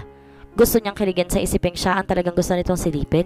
Dahil katulad niya, posibleng hindi rin to gaano nakatulog pagkatapos na makita siya nitong lumabas ng banyo na hindi nakabuhol ang bathrobe. I have to go back to Manila tomorrow. Iiwan ko muna kayo sandali ni Heaven. Iiwan ko sa iyo isang cellphone ko para kung may kailangan kayo matawagan mo ako kaagad. Tumango lamang si Jesus habang inaabot dito ang tasa ng kapeng tinimpla niya. Hindi na siya nakasagot dahil may lungkot na parang pumiga sa damdamin niya nang sabihin nitong iiwan sila nito sa isla. Sobra na yata itong nararamdaman niya. Parang ayaw na niyang mawala sa paningin si Manuel. At yung isipin pa lamang na ilang araw niya itong hindi makikita, parang gusto na niyang manlumo. Naghapong ibinuo si Manuel ang oras kay Joaquin at di napakagatlabi si Jesusa sa eksena nakikita. Hindi man lamang siya nagpakita ng interes na sabihin ni Pilar sa kanya na buntis ako. That only means sa sobrang galit niya sa akin, pati sa anak namin na wala na siya na interes. May hinanakit na lala niya habang nagtitimpla ng juice at nakatalo rito na nasa kardan at karga si Joaquin. Parang pinamukha niya sa akin na wala siyang pakialam sa akin kahit nabuntis pa ako. Dala lamang ba yun ang galit niya sa akin ng mga panahong iyon o hindi talaga niya balak tanggapin ang anak namin? Kung ay pinagtapat na kaya niya kay Manuel na anak nito sa Joaquin bago pa siya makapag-decide, dumating ang tatlong villa owners sa mga kaibigan ni Manuel, ang mag-asawang Alan at Jade at ang katabing villa ni Manuel na si Jetro. Pinakilala siya ni Manuel sa mga ito at ibinilin pa kina Alan at Jade. Mabuti naman at may tatao ng madala sa villa mo, sabi ni Jetro. At mabuti na lang at may makakalaro ng baby namin, sabi ni Jade na karga ang anak nito. Kahit paano nakalimutan ni Jesus ang lungkot ng pag-alas ni Manuel dahil friendly naman pala ang mga kapitbahay niya sa isla. You know what, Manuel? Sabi ni Jetro habang nasa garden set sila at nag snack Kung hindi mo sinabing nakuha mo lang ang batang ito, iisipin ko he's your own son. Magkamukha kayo eh. Oo nga. Segunda ni Jake. Look at the child, Alan. Hindi ba't parang nga sila mag-ama ni Manuel? Hindi na siya mapakali sa kinaupuan. Hindi niya akalaing may makakarata ng pagkakahawig ni Joaquin kay Manuel. Ang kulay ng balat ang tangos ng ilong, ang texture ng buhok. Pare, baka naman ginuguntay mo lang kami. Baka naman anak mo tong si Heaven sa isa sa mga babaeng naka-affair mo. Gusto niyang takasan ang sitwasyon. Pakiramdam niya ay nakaupo siya sa hot seat. Come on.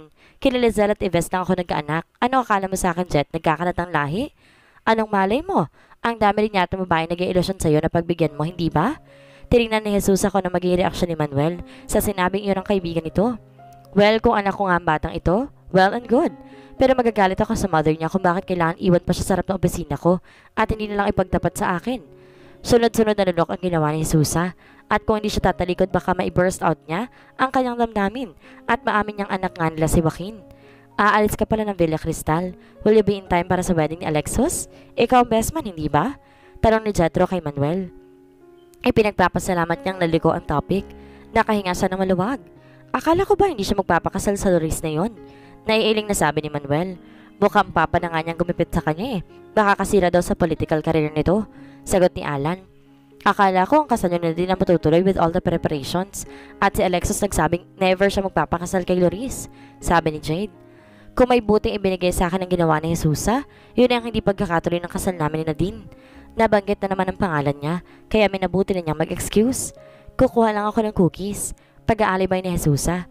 Hindi na niya gustong marinig ang pang sasabihin ni Manuel tungkol sa kanya. Bago umalis si Manzano kinabukasan, matagal nitong nilaro at kinarga si Joaquin, na para bang alam na nitong anak nito ang bata. Katakot-takot yung bilin ang iniwan nito sa kanya. Kailan ang balik niyo, sir? Kanina pa yung gustong itanong ni Jesusa. Mataman sa nitong tiningnan. Bakit may tinatanong? Um, iniwas niya ang tingin dito. Kasi, syempre, kami lang ni Heaven dito. Kung yun ang dahilan, I can assure na wala kang dapat ipag-worry. Ibinili na kita kina Jade and Alan. O mag-assign ako ng isang staff ng hotel para makasama mo rito. Ah, uh, hindi na sir. Sige ho, tumuloy na ho kayo. Sakay nito ng kotse at takma nang aalis nang muli nitong ibaba ang salaming bintana. Bumaba ang tingin nito sa suot niya. She was wearing a black miniskirt dahil doon sa komportable. Are you used to wearing miniskirts? Parang iritadong tanong nito sa kanya. Bakit sir? Hindi naman masagwa, hindi ba? Nakakailang. Hindi ba dapat nang ibagay mong ayos mo sa trabaho mo? Lihim siyang napaismid. Anong problema ng lalaking ito at pati ang pananamit ko'y sinisita? Maraming lalaki dito sa Villarreal at kayo lang ni Heaven ang maiiwan dito. Hindi ba mas-safe kung hindi provocative ang mga isusuot mo? Nagtataka man tumango na lamang sa Jesusa. Sige sir, iiwasan ko na po magsuot ng ganito. Pilit na sagot niya. Hindi ko kasi alam na barkada ka pala ni Jose Rizal at tayo makikita ng babaeng naka skirt. Nang pasiba rin ito ang sasakyan, inihatid niya nito ng tingin hanggang sa makalabas ito ng gate ng exclusive village. God, mamimiss kita. Ilang araw din kitang hindi makikita. Ngunit ang pananamlay ni Jesus ay napalitan ng kilig. Nang sumagi sa isip niya posibleng kaya ayaw nito na skirt siya, ay dahil napansin din ito madalas na mga sulyap ni Jetro sa kanya na nagdaang araw. Naging possessive ba si Manzano sa kanya after that kiss? Pagkatapos na makita siya nitong halos subad nung isang gabi, unti-unti na ba itong naa-attract sa kanya? Nilibang ni Jesus ang sarili habang wala si Manzano sa Villarreal. Gustong gusto niya magpadala ng text messages dito dahil miss to death na niya ito. Ngunit inawat niya rin ang sarili. Nang unang pagkakataon tumawag ito, pakiramdam niya ay saglit tumigil ang pagtibok ng puso niya nang marinig ang buong-buong tinig ito. Gusto niyang pagtawanan ng kanyang sarili dahil para siyang teenager na kinikilig marinig lamang ang boses ito. Samantalang may waki na sila. Siguro dahil napakilig naging affair nila. The conversation over the phone was very businesslike. Panay lamang pangumusta nito kay Joaquin. Samantalang siya hindi nito kinumusta. Tinapos nito ang pag-uusap nila ng formal na formal. Parang nakalimutan na niya ang paghalik niya sa akin. Parang walang magic spell na madalas na mamagitan sa amin. Ibig bang sabihin walang anuman dito ang paghalik nito sa kanya? At ang mga titig nito? Pinamumukha niya sa akin ang halaga na existence ko rito ay para lamang kay Joaquin. Nagtatampong na sa loob ni Jesusa matapos sila pag ang cellphone sa side table. Twice a day tumatawag si Manzano sa kanya para i-check sila ni Joaquin. At kung dito'y walang dating ang mga pag-uusap nila, siya hindi makatulog sa gabi. Parang lagi niyang naririnig ang tinig nito. How could the sound of his voice distract her every minute of the day? Siya lamang yatang nalulubog sa damdamin niya kay Manzano. Dalawang araw lang ang nilagi ni Manzano sa Maynila, ngunit pakiramdam niya daig pa ang tatlong taong hindi sila nagkita. Namiss kayo ni Heaven, sir eh. Sa lubong na Jesus rito nito, sa Villarreal. Agad nitong kinarga si Joaquin. Para namang may isip ang batang sinilubong ang ngiti ang ama. Namiss ako ni Heaven? Maang nalipat ang tingin ni Manzano sa kanya. How did you know? Sinabi niya ba sa'yo? Kaya pala namang salita ng isang 3-month-old baby na mula sa Jesusa. Hindi niya malaman ang sasabihin. Ang gusto lang naman talaga niyang sabihin na miss niya ito. Um, ang ibig ko pong sabihin, nakatitig ito sa kanya na para naghihintay ng paliwanag niya. May mga gabi kasing balisa siya. Kahit nabusog, bigla na lamang siyang iyak at nahihirapan akong patahanin. Sa nalalaman ko sa child psychology, yun ang mga palatandaan na ang isang baby may hinahanap na tao. Say, his mother or father na matagal niyang hindi nakikita. Pagkasabi niyan, umiwas na siya. Kinuha niya si Joaquin mula sa pagkakakarga rito. Ngunit hindi nito agad na inabot sa kanya ang bata. Nag-angat siya ng tingin. Nakita niya makahulog ang din nito, half amused, half smiling. Si Heaven nga kayang nakamiss sa akin? It was almost a whisper. Ah, uh, akin na si Heaven, sir. Vitamins time na niya. She was just hoping na sana hindi nito nahalata ang panginig ng boses niya. Nang iabot ito sa kanya si Joaquin, agad siyang tumalikod. Ngunit namang daman niya nakasunod ang tingin ito sa kanya. Malamig ang gabi sa Villa Cristal dahil papalibutan niya ng dagat, ngunit hindi may paliwanag ni Jesus kung bakit siya naaalinsangan ng gabing iyon. Ipinasya niyang magbabad sa shower. Total tulog na si Joaquin. Wala si Manzano sa bahay. May mga deep ferrets na bisita ang hotel at isa ito sa punong obalas sa pag-asikaso sa mga yon. Nagbili nitong baka umagahin na ng uwi. Lumabas siya ng bathroom na nakatapis lamang tuwalyang hubad na katawan. Ubos ang lotion at kailangan pa niyang kumuha sa closet. Habang nakaupo siya sa gilid ng kamay, nag-apply siya ng lotion sa buong katawan. Nakadama siya ng ginaw dahil sa lamig ng hangin pumapasok sa bintana. Idagdag pang Oktubre na. Malamig na ang simoy ng hangin dahil winter na sa ibang bahagi ng mundo. Naisip niyang magtimpla muna ng kape bago magbihis. Lumapit siya sa coffee maker na naroon sa silid. Dala ang tasa ng kape papunta sa couch na magulat siya sa biglaang pagbukas ng pinto. Nakatalikod kasi siya sa gawin ng pinto kung kahit hindi niya namalayan na pumihit ang doorknob. Muntik na siyang mapatili sa takot sa pag-aakalang may estranghero na kapasok. Pero hindi estrangherong sumungaw kung hindi si Manzano dahil sa pagkabiglay muntik nang dumulas mula sa kamay niya ang hawak na tasa ng kape. At dahil sa maagap na pagsasalba sa tasa, ay ang tuwalyang nakatapis sa kanyang katawan ang lumuwag sa pagkakabalot sa katawan niya. Bakit ka nakapasok dito? Nakalimutan na niyang idugtong ang sir at paggalang dahil sa kakatwang sitwasyon. Inilak ko naman yan ah. Pakiramdam ni Jesus ay bibigay mga tuhod niya. Anong salbi ng susi? He answered with a naughty smile habang pinapakita sa kanya ang duplicate key. Anong kailangan mo? Sa halip sagutin siya ay humagod ang tingin nito sa kabuuan niya.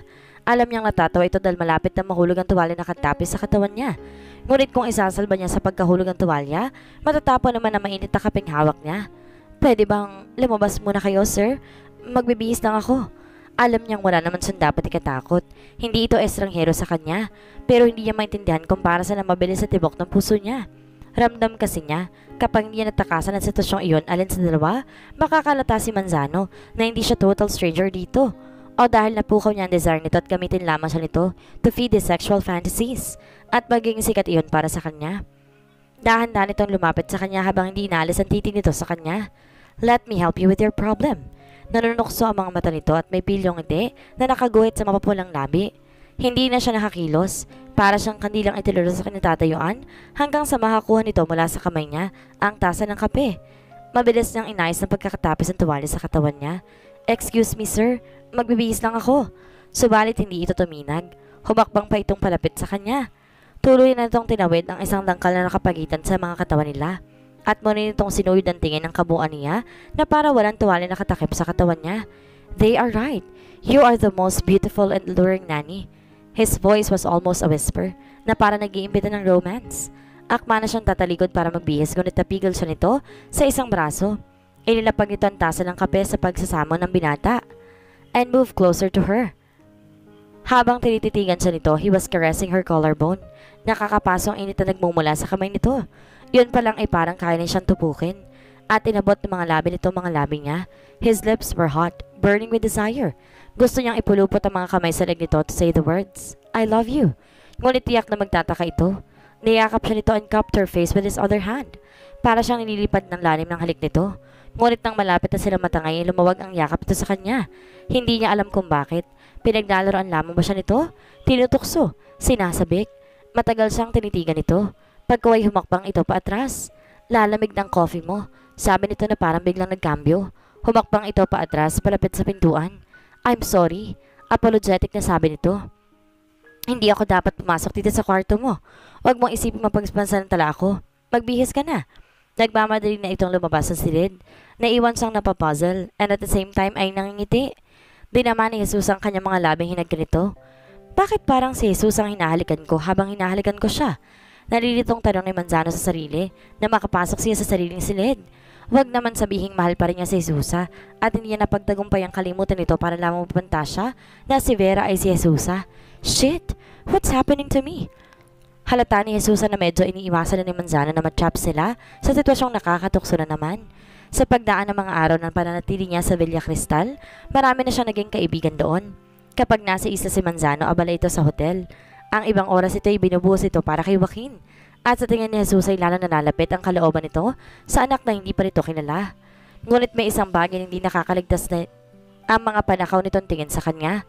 Kung noong una ay siya lamang ang malimit na sulyapan o titigan nito ng panakaw, nitong nakaraang mga araw hindi minsan nagtagpo ang mga panakaw nilang tingin. Lihim siyang kinilig at nakakasilip ng pag-asa. Maaaring unti-unti nitong nakakalimutan kung ano man ang pinsalang hindi niya sinasadyang nagawa sa pamilya nito at muling mabubuhay ang pagmamahal nito sa kanya. Nararamdaman ni Jesusa, kaunti na lamang at mamahalin na siyang muli ni Manzano. Hindi na lamang pag-aalaga kay Joaquin ang inaasikaso niya. Kapag naglalaro sa krib ang kanilang anak o kaya natutulog, pinagsisilbihan niya si Manzano. Pinagluluto niya ito at sinisinop ang bahay nito. Habang hinihintay niya muli siyang mahalin nito, kontento na siyang kasama ito na malapit siya rito. Ngunit sinurpresa siya ng isang bisitang bigla na lamang sumulpot sa Villa Cristal. Hi! Kulot noong sinino ni Jesus ang bisitang pinagbuksan niya ng pinto. Doon lamang niya nakita ang babae, pero sigurado siyang kilala ito ni Manzano. Maganda, sopestikada, slim and sexy, at hindi ito nag-iisa. May kasama itong babaeng nakaputing uniforme, naratang katunong at may kargang batang lalaki na kung hindi siya nagkakamali isang taon ng edad. Wala ka bang balak na papasukin ako? Para ko na rin bahay ang villa na to. I used to stay here. For your information, I am Manzano's former fiancé. Nagtuloy-tuloy ang magandang babae sa loob na para bang pag-aari nitong bahay. Para siyang ipinako sa kinatatayuan niya nang marinig ang sinabi ng babae. Hindi kaya ito si Nadine? Ikaw siguro nga ng bata na pulit ni Manzano sa kung saan. Nabanggit na sa akin ni Manzano tungkol sa alaga niya. Isang simpleng tango lamang sinagot ni Jesus rito habang muling isinasar ang pinto. I'm Nadine. Pakilala nito na buong komportable na upo sa may sofa, saka nag-cross legs. Tama ang kutob niya. Ito si Nadine. Classy ang beauty nito. Parang younger version ni Diana Bonnevie. Para magpa-fashion show ito kumanamit. Bigla yata siya na insecure na sinadin ito. At bigla rin siyang kinabahan. Bumalik na nga ito. Pero bakit? Bakit kaya nito nabawiin si Manzano? Ewan ko kung nabanggit ako sa ni Manzano. Patuloy nito. And this is Patrick, Manzano's son. Itinuro nito ang batang karga ng yaya. Parang biglang nagsikip ang dibdib ni Susa na makumpirma ang kutob niyang ito ang anak ni Manzano kay Nadine. Nalipat ang pansin niya sa bata. Mas kamukha ito ni Nadine. Mukhang aborido ang bata. Umuungot. Ano ang pake ni Nadine sa pagsulpot nito sa Villa Cristal? Kasama pa ang anak nito at ni Manzano? Yaya, patahanin mo nga yan. Baka nagugutom. Halatang inis na utos na din sa yaya ng anak nito. Mabuti pa iakit pa siya sa bedroom sa itaas. Doon mapatulugin. Sinundan ni Jesus ang tingin ng bata na patuloy sa pag-ingit at nagpapapasag sa yaya nito. Ma'am, sang kwarto po? Talong ng yaya kay Nadine. Yung pinto sa left. Pagbibigay instruction ito. Napakalutoo si Jesusa. Kabisadong kabisado ni Jesus ang pasikot-sikot ng bahay. Hindi niya alam kung bakit ganun ang nararamdaman niya. Para siyang biglang natakot. Para siyang nalignatin. Anong kinatatakot niya? Narito ng isa pang anak ni Manzano at mukhang may misyon sila din sa pagbabalik nito sa Pilipinas. Ang igiit na pakasalan ito ni Manzano alang-alang sa anak ng mga ito. Bigla si natakot na mawalan ng lugar sa buhay ni Manzano. Pakiramdam niya isa siyang squatter na binigyan na ng notice ng demolition. Paano kung gamitin na din ang bata para pakasalan na siya ng tuloy ni Manzano? Wala rito si Man... si Sir eh. Sabi niya kay Nadine. I know. Wala siya sa villa pero narito siya sa isla. Taas ang mga kilid sabi nito. May kinuha ito mula sa purse ito. Cigarette case at lighter na mukhang lipstick. Kumuha ito ng isang stick at sinindihan. Nakausap ko na siya sa cellphone niya kanina and I told him na pupunta na kami dito. Kaya pala alam niya na darat ng tao rito. Ano pa kaya na pag-usapan ni Manzano? In case you don't know, ikakasal na sana kami ni Manzano noon eh. Nagkasunod-sunod ang problema sa family nila. Kwento nito kahit hindi niya tinatanong. Naiintindihan ko naman ang sitwasyon nila, so pinagbigyan ko siya. Ngayon na mukhang okay na sila, I think wala nang reason para hindi matuloy ang kasal. Lumalaki na ang anak namin. Wala nang reason para hindi matuloy ang kasal. Daig pa ni Jesus ang ilang ulit na sinaksak sa narinig. May dahilan palang takot niya dahil tamang kutob niya na kaya bumalik si Lidin ay para igit kay Manzano ang kasal na hindi natuloy noon. Maya-maya ay muling bumaba ang yaya. Ma'am, may bata na tutulog sa kwartong sinabi niyo eh. Ang baby ko yon. Agad na sabi ni Susa. Baby mo? Maang na ulitin na din. I mean ang alaga ko. Well, kung naroon pa pala, sa guest room ang anak-anak ni Manzano. Eh, sa master's bedroom mo na lang dalhin yan si Patrick. Total bedroom naman yun ng daddy niya. Hindi yan nagugustuhan na nangyayari. Pakiramdam ni Jesus sa may dumating na kung sino man at parang pag-aari nito ang Manzano. Kung umasta. Hindi ko maintindihan niyang si Manzano. May anak naman siya pero nag-adapt pa. Patuloy niya din. Maya-maya pumarada ng sasakyan ni Manzano sa tapat ng villa. Hindi na alam ni Jesus kung anong gagawin, kung saan siya lulugar. Tumayo sila din mula sa kinaupuan. Hi, Manuel. Yakap at halikan sa lulubong nito kay Manzano. Daig pa niya ang panabong na manok na tumaas ang palong dahil sa nakitang eksena. Pero sa harip magalit si Manzano sa ginawa ni Nadine, ginantihan pa nito ang magaang yakap ng babae. Sayang, nag-aalboroto si Patrick kaya pinatulog ko na muna. Sabi ni Nadine, But if you want to see him, naroon siya sa bedroom mo. Mabuti naman naisip mo pa ipakita at pakilala sa akin ng anak ko. Sabi ni Manzano na tinalikuran si Nadine at taupo sa may sofa. Tumabi ang babae. I've realized na may karapatan ka sa bata. He is your son and he is a Manzano. Ayoko na lumaki siya na walang father image. Siyempre magtatanong siya kung nasa ng daddy niya. Napalingon si Manzano sa kinatatuyo ni Vera. Nag-excuse si dalawa dahil medyo napahiya at nakaramdam siya ng kalabisan na roon. Titingnan ko lang si Heaven, baka magising. Pagkasabi niyon, tuloy-tuloy na siyang umakyat sa itaas. Hindi siya tuminag sa kanitatayuan niya kanina dahil gusto niyang bantayan ng dalawa. Gusto niyang malaman kung ano maging reaksyon ni Manzano sa pagdating ni Nadine. Parang hindi niya kaya magkasarilinan ng mga ito. Hindi niya alam kung bakit malaki ang takot niya na maunahan si Nadine sa puso ni Manzano. Gising na si Joaquin na madatna ni Jesusa. Kinuha niya ito mula sa crib at kinarga. Saka siya muling bumaba. Gusto niyang marinig ang pinag-uusapan ng mga dalawa. Huminto siya sa punong hagdan. Mula doon, dinig na niya ang conversation ng dalawa. Bumalik ako para sabihin sa'yo kailangan natin magpakasal, Manzano. Magpakasal? Parang gustong bumigay ng mga tuhod ni Jesusa mula sa kinatatayuan. Sabi na nga ba't tamang kutob niya? Bumalik si Nadine para kunin ang karapatan nito kay Manzano. Paano na sila ni Joaquin? Ano kaya kung sabihin ko na sa kanya na ako si Jesus at anak namin si Joaquin? Lihim na nagit-git ang kalooban ni Jesus ngunit wala siyang magawa. Kahit mamatay-matay na siya sa selos kay Nadine, nagkasya na lamang siya mag-obserba at makiramdam. Ano ang sinabi ni Jaworski sa pagbabantay niya na muling maagaw ni Nadine ang kalooban ni Manzano dahil mukhang wala itong balak umalis sa Villa Cristal. Hindi niya narinig kung anong sasagot ni Manzano nang sabihin ni Nadine na gusto nitong matuloy ng kasal ng mga ito. Pero natatakot siya makumbinsin nito si Manzano. Naaasiwa siya sa pagsasama-sama nila sa isang villa. Sabay-sabay silang kumakain at gumagalaw sa isang bahay. Anong balak mo sa batang yan, Manzano? Narinig niyang tanong ni Nadine kinabukasan ng umaga habang nagbe-breakfast sa mga ito. I've told you, I want to adopt him legally. What for? Nilapit ko na sa'yo ang anak natin. Magkakaroon ka na ng pamilya. To tell you frankly, naasiwa ako sa presence ng yaya niya. She is too beautiful for a nanny. Tsaka napapansin kong panay ang tingin na sa'yo. Nadine, pwede ba? Walang ginagawa sa'yo si Vera. Kailangan ng ngayon ni Heaven at kahit inilapit mo na sa akin si Patrick, I still want to keep him. Nagkakagaan ng loob ko ang bata. Baka naman anak mong batang yan sa ibang babae. Nasilip ni Jesus ang umalis mula sa harap ng breakfast table si Manzano sa may labas ng bahay. Obvious na nainis ito kay Nadine. Ngunit lalong lumalim ang takot niya sa mga sinabi ni Nadine kay Manzano. Parang gusto nitong dispatchay na sila ni Joaquin. Ayaw mo bang sumama sa wedding ni Alexis Vera? Tanong ni Manzano sa kanya habang pumasok ito sa silid nila ni Joaquin. Nilalaro niya ang kanilang anak sa kama. Pumasok ito sa loob ng silid. Nakagayak na ito para sa kasal ng kaibigan nito. Ito ang best man. Kulang na lamang ang barong Tagalog ni susuot nito. Simpatikong simpatiko ito sa ayos ito. Napapansin ko nagkukulong na lang kayo rito ng alaga mo ah. May problema ka ba kay Nadine? Medyo hindi lang ako komportable sir. Pakiramdam ko hindi niyo gusto ang presence namin ni Heaven. Huwag mo siyang pansinin. Ganun lang talagang magsalita yon. Paano kung magpakasal na kayo, sir? Sa nalulugar si Heaven sa buhay ninyo? Isang buntong hininga hinugot ito. Come on, gumayak na kayo ni Heaven. Invited din kayo ni Alexos. Akma na siyang aahon mula sa kama nang sumungo si Nadine mula sa pintuan. I'm ready, Manuel. Nakagayak na ito at fully makeup na rin. Biglang umurong ang interes niyang sumama pa kay Manzano. Dito na lang kami ni Heaven, sir.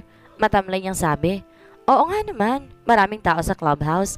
Baka marita lang yung alaga mo. Sabad ni Nadine. Are you sure na ayaw mong sumama?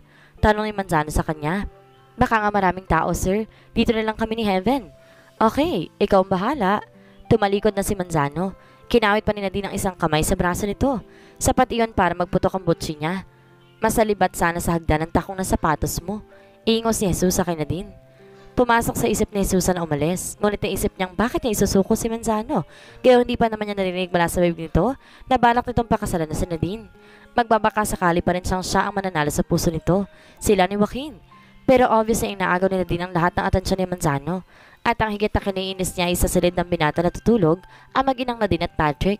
Nagkukot-kot ang kalooban ni Jesus sa matinding selos, lalo na makita niya sa ikilawang gabi ni Nadine sa villa ay nakita niyang may dalitong bote ng alak nang pumasa sa rin ni Manzano.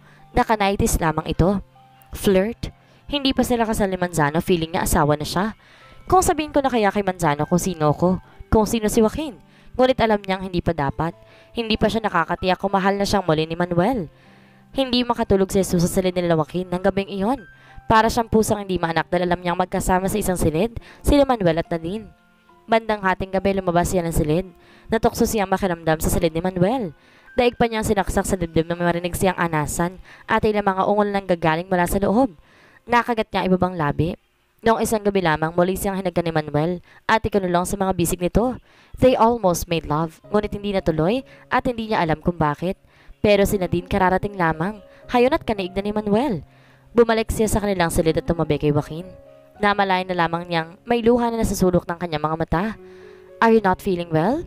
May malasakit sa tono ni Manuel nang puntahan siya sa silid nila ni Joaquin. Kinabukasan na umaga. Sir, paiwas niyang tanong. Binibihisan niya ang kanyang anak na bagong paligo. Bakit 9 o'clock na hindi pa kayo lumalabas ng kwarto? Nailang lang ako sa bisita niyo, sir. Huwag kang mailang sa kanya. Mabait naman si Nadine. In fact, she's friendly. Pinagtatanggol pa niyang Nadine na yun. Magtatagal ba sila rito, sir? I don't know pero mukhang ganun na nga. Magtatagal sila pagkatapos hindi na pala aalis. Kasunod na yan, magpapakasal na sila. Mawawalan na kami ng lugar sa bahay na ito at sa buhay ni Manuel. Pagtalikod ni Manuel at paglapat ng pinto, niyakap niya si Joaquin na tinagkan sa noo. Kasabay niya ng pag-agos sa mga luha niya. Limang araw na sila magkakasama sa iisang bubong. Asiwang-asiwa na si Susa sa sitwasyon. Hindi na kaya ng kalooban niya nakikita ang hayagang panunuyo ni Ives kay Manuel. Ipinagluluto nito si Manuel, pinaghahanda ng bihisan, at obvious na nilalapit si Patrick sa kama. Kapag karga ni Manuel si Joaquin, pilit ibinibigyan niya din dito si Patrick. Idagdag pa yung pag-share ng dalawa sa isang silid na para mag-asawa na sa loob ng limang gabi. Tanga na lang si Susa kung di niya alam ang nangyayari sa loob ng silid na iyon. Kung sa bagay, lalaki si Manuel. May pangailangan itong willing na willing na ibigay niya din. Isang malaking kagagahan kung patuloy niyang hahayang masaktan ang sarili at magbukasin ang kawawa ni Joaquin. Kailangan mag-decide na siya. Nataranta si Manuel nang hindi na magistan sina Vera at Heaven kinabukasan. Ayon sa mga taga-daungan, madaling araw pa lang umalis sa si Vera kasamang bata. Kinidnap ni Vera si Heaven. Kailangan ma-report ko ito agad sa authorities. Word na sabi niya kay Nadine pabalik niya sa villa. Ang dali mo kasing magtiwala, Manuel. Sinabi ko na sa iyo, maraming oportunista ngayon. Paninisi pa nito sa kanya. Hahanapin ko siya kahit saan siya magpunta. Galit niyang banda habang nagbibihis. May pagmamadali sa mga kilos niya. What for? Narito naman kami ni Patrick. Si Patrick anak mo. Eh yung batang yun, hindi mo kaano-ano. Makikihati pa siya sa pagmamahal mo dapat ay para lamang kay Patrick. Isang matali-matingin ang binigay niya rito. Pwede ba, Nadine? Pabayaan mo ako sa gagawin ko. Galit niyang singhal dito at nagmamadali na siyang umalis. Hahanapin niya si Vera para bawiin si Heaven. Ngunit si Heaven nga lamang ba ang gusto niyang mabawi? Habang nagmamaneho, hindi mapalagay si Manuel. Hindi niya maintindihan sarili kung bakit, ngunit hindi siya nag-aalala ng kinidap ni Vera si Joaquin. Mas nag-aalala siya sa pag-alis ni Vera. Bakit kaya siya umalis? Hindi kaya nagselo siya kay Nadine? I can feel may nararamdaman siya para sa akin. Pero bakit apektado ako sa pag-alis niya? Does this mean na hindi ko na mamalayan na in love na rin ako sa kanya? Habang nagda-drive kung ang gulong gumugulo sa isip ko. Why does she look familiar?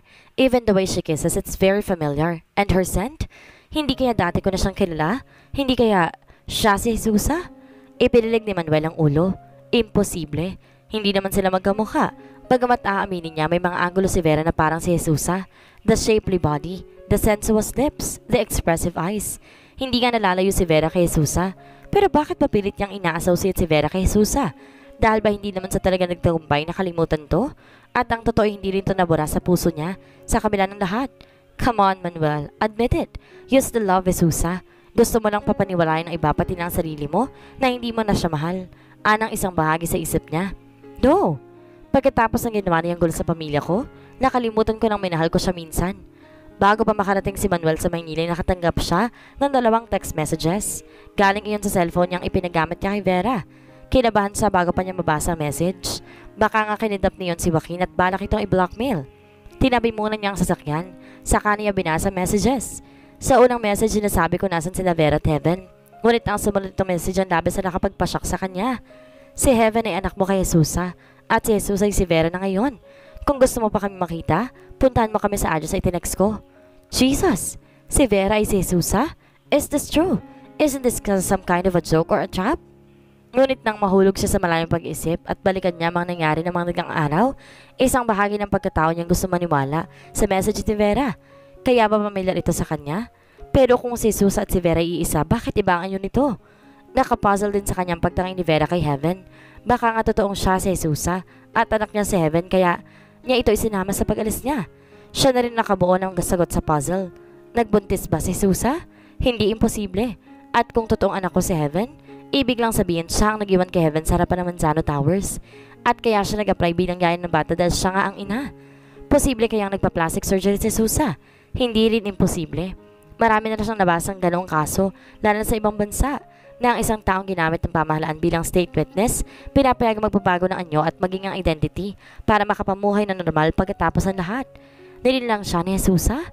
Muli siyang pinasiba ng sasakyan. Papunta siya sa resort na sinabi ni Vera sa text message. Doon niya malilinawan ang lahat. Pero kung si Vera nga ay si Jesusa, bakit wala siya makapanggalit sa kanyang dibdib? Sa halip ay excitement na naramdaman niya. May hindi may paliwanag na pananabik sa kanyang puso na makita itong muli at si Heaven. God, kaya pala magaan ang loob ko kay Heaven. He is my own flesh and blood. Pero bakit kailangan pang gawin yun ni Jesusa? Bakit hindi lamang niya pinakilala sa akin ang anak namin? Bakit hindi niya sinabi sa akin na nagkaanak kami? Pagdating na pagdating ni Manuel sa resort na sinabi ni Vera, agad niya ito natanaw sa balkonahe ng isang cottage. Pagbaba niya ng sasakyan, nakatingin na ito sa kanya. Hindi siya agad kumilos mula sa pagkakatayo sa tabi ng kanyang sasakyan. Mula sa kinatatayuan, tinignan niya si Vera. Jesusa, bakit ganun ang nararamdaman niya? Sa rip na galit ang bumangon sa dibdib niya, awa ang gusto niyang maramdaman para dito. She had suffered a lot too. Bakit di ko naisip na honest mistake ang nagawa niya noon? Na posibleng hindi rin niya alam na ginagamit lang ni Ponzo de Vasco ang para ni Kel. Base sa pagkakakilala niya kay Jesusa, alam niyang wala sa karakter nito na gumawa ng gulo sa buhay ng kahit na sino. Ngunit sayang, huli na nang ma-realize niya iyon. Nasumbatan na niya ito, nasaktan na niya ang feelings nito. Habang humakbang siya palapit sa cottage sa kinaroroonan nito, ay nakatanaw ito sa kanya. Na makalapit siya dito ay matagal na nag-usap ang mga mata nila. Ilang saglit na walang anumang salitang namagitan sa kanila. Salamat at tumating ka, Manuel. Sa baho na tinig na ko ang sabihin ni Susa. Bakit di mo sinabi sa akin nung nabuntis ka? Talong ni Manuel sa kanya. Nalamlam ang mga mata nito. Nakatayo silang magkaharap. Halos dalawang dangkal lamang ang espasyo sa pagitan nila. I tried to tell you. Pinuntahan ka ni Pilar para sabihin sa yung kalagayan ko. Pero ang sabi mo wala ka ng pakialam sa akin. Pilar? Saglit itong tila ng isip. Your best friend. Tanong nito ng tila maalala mga pangyayaring yon. God, hindi ko siya pinakinggan. She was trying to tell me that something. Pero magulong isip ko noon. Kamamatay lang ni mama. Nakaalay ako kay papa. Na hindi matanggap ang nangyari. Plus the fact na ako rin nag-aasikas sa paghanap ng katibayang hindi totoo ang mga accusations kay Kuya Kel. Kaya hindi ko siguro na pick up ang sinabi niya ni Pilar. Hindi ko alam na yun ang sinasabi niya sa akin. You mean, kung nalaman mong buntis ako? Kung nalaman kong buntis ka, hindi mo na sana kailangan pang gawin ang lahat na ito para lang malapit sa akin si Heaven. Si Joaquin Manzano. Pagtatama niya, Joaquin Manzano. Ang pangalang ibinigay ko sa kanya. Natampal ito ang sariling noo. Pero nang matapos ang iskandalo, nang marinig sa pangalan ni Kuya Kel, bakit di mo sinubukan lumapit sa akin? At sabihin nagkaanak tayo. You despised me. I thought two minute ang sabihin mo wala ka ng pakialam sa akin. Pakiramdam ko dahil sa galit mo sa akin hindi mo matatanggap pati si Joaquin. Baka tanggihan mo lang siya. Okay, I admit nagalit ako sa noon, even my family. Dahil inisip ko naging selfish ka. Sa kagustuhan mo makatakas kay Rodel, naging careless ka sa paglalabas ng mga ebidensya na nagpahama kay Kuya Kel. Nagdamdam ako sa'yo dahil akala ko hindi mo na inisip na masasaktan ako. Ang pakiramdam ko tuloy, ginamit mo lang ako para makatakas kay Rodel. At naisip ko, you did not really love me. God knows how much I loved you, Manuel. At hindi ko alam na kapatid mo si Congressman Ezekiel Manzano. Yes, Desperate na ako na makatakas kay Rodel. Siya ang sinisisi ko sa pagkamatay ni Daddy.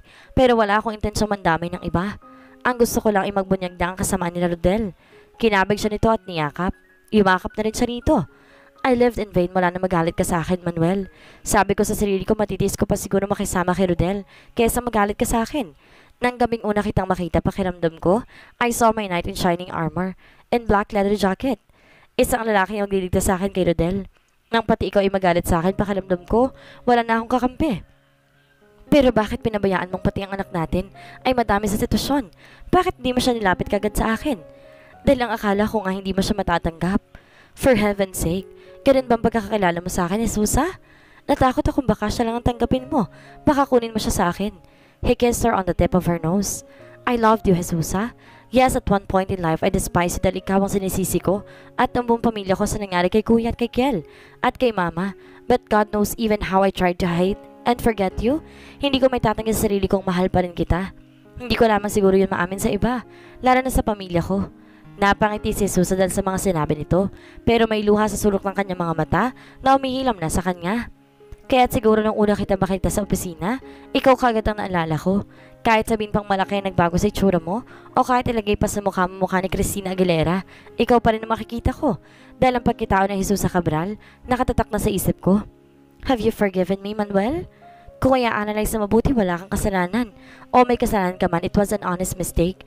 I know you love me pagkatapos na nangyari sa atin. Naramdaman ko yon. Lalo pa nang harangin kita sa restroom ng hotel na pinagdausan ng reception ng kasalan niyo ni Rodel.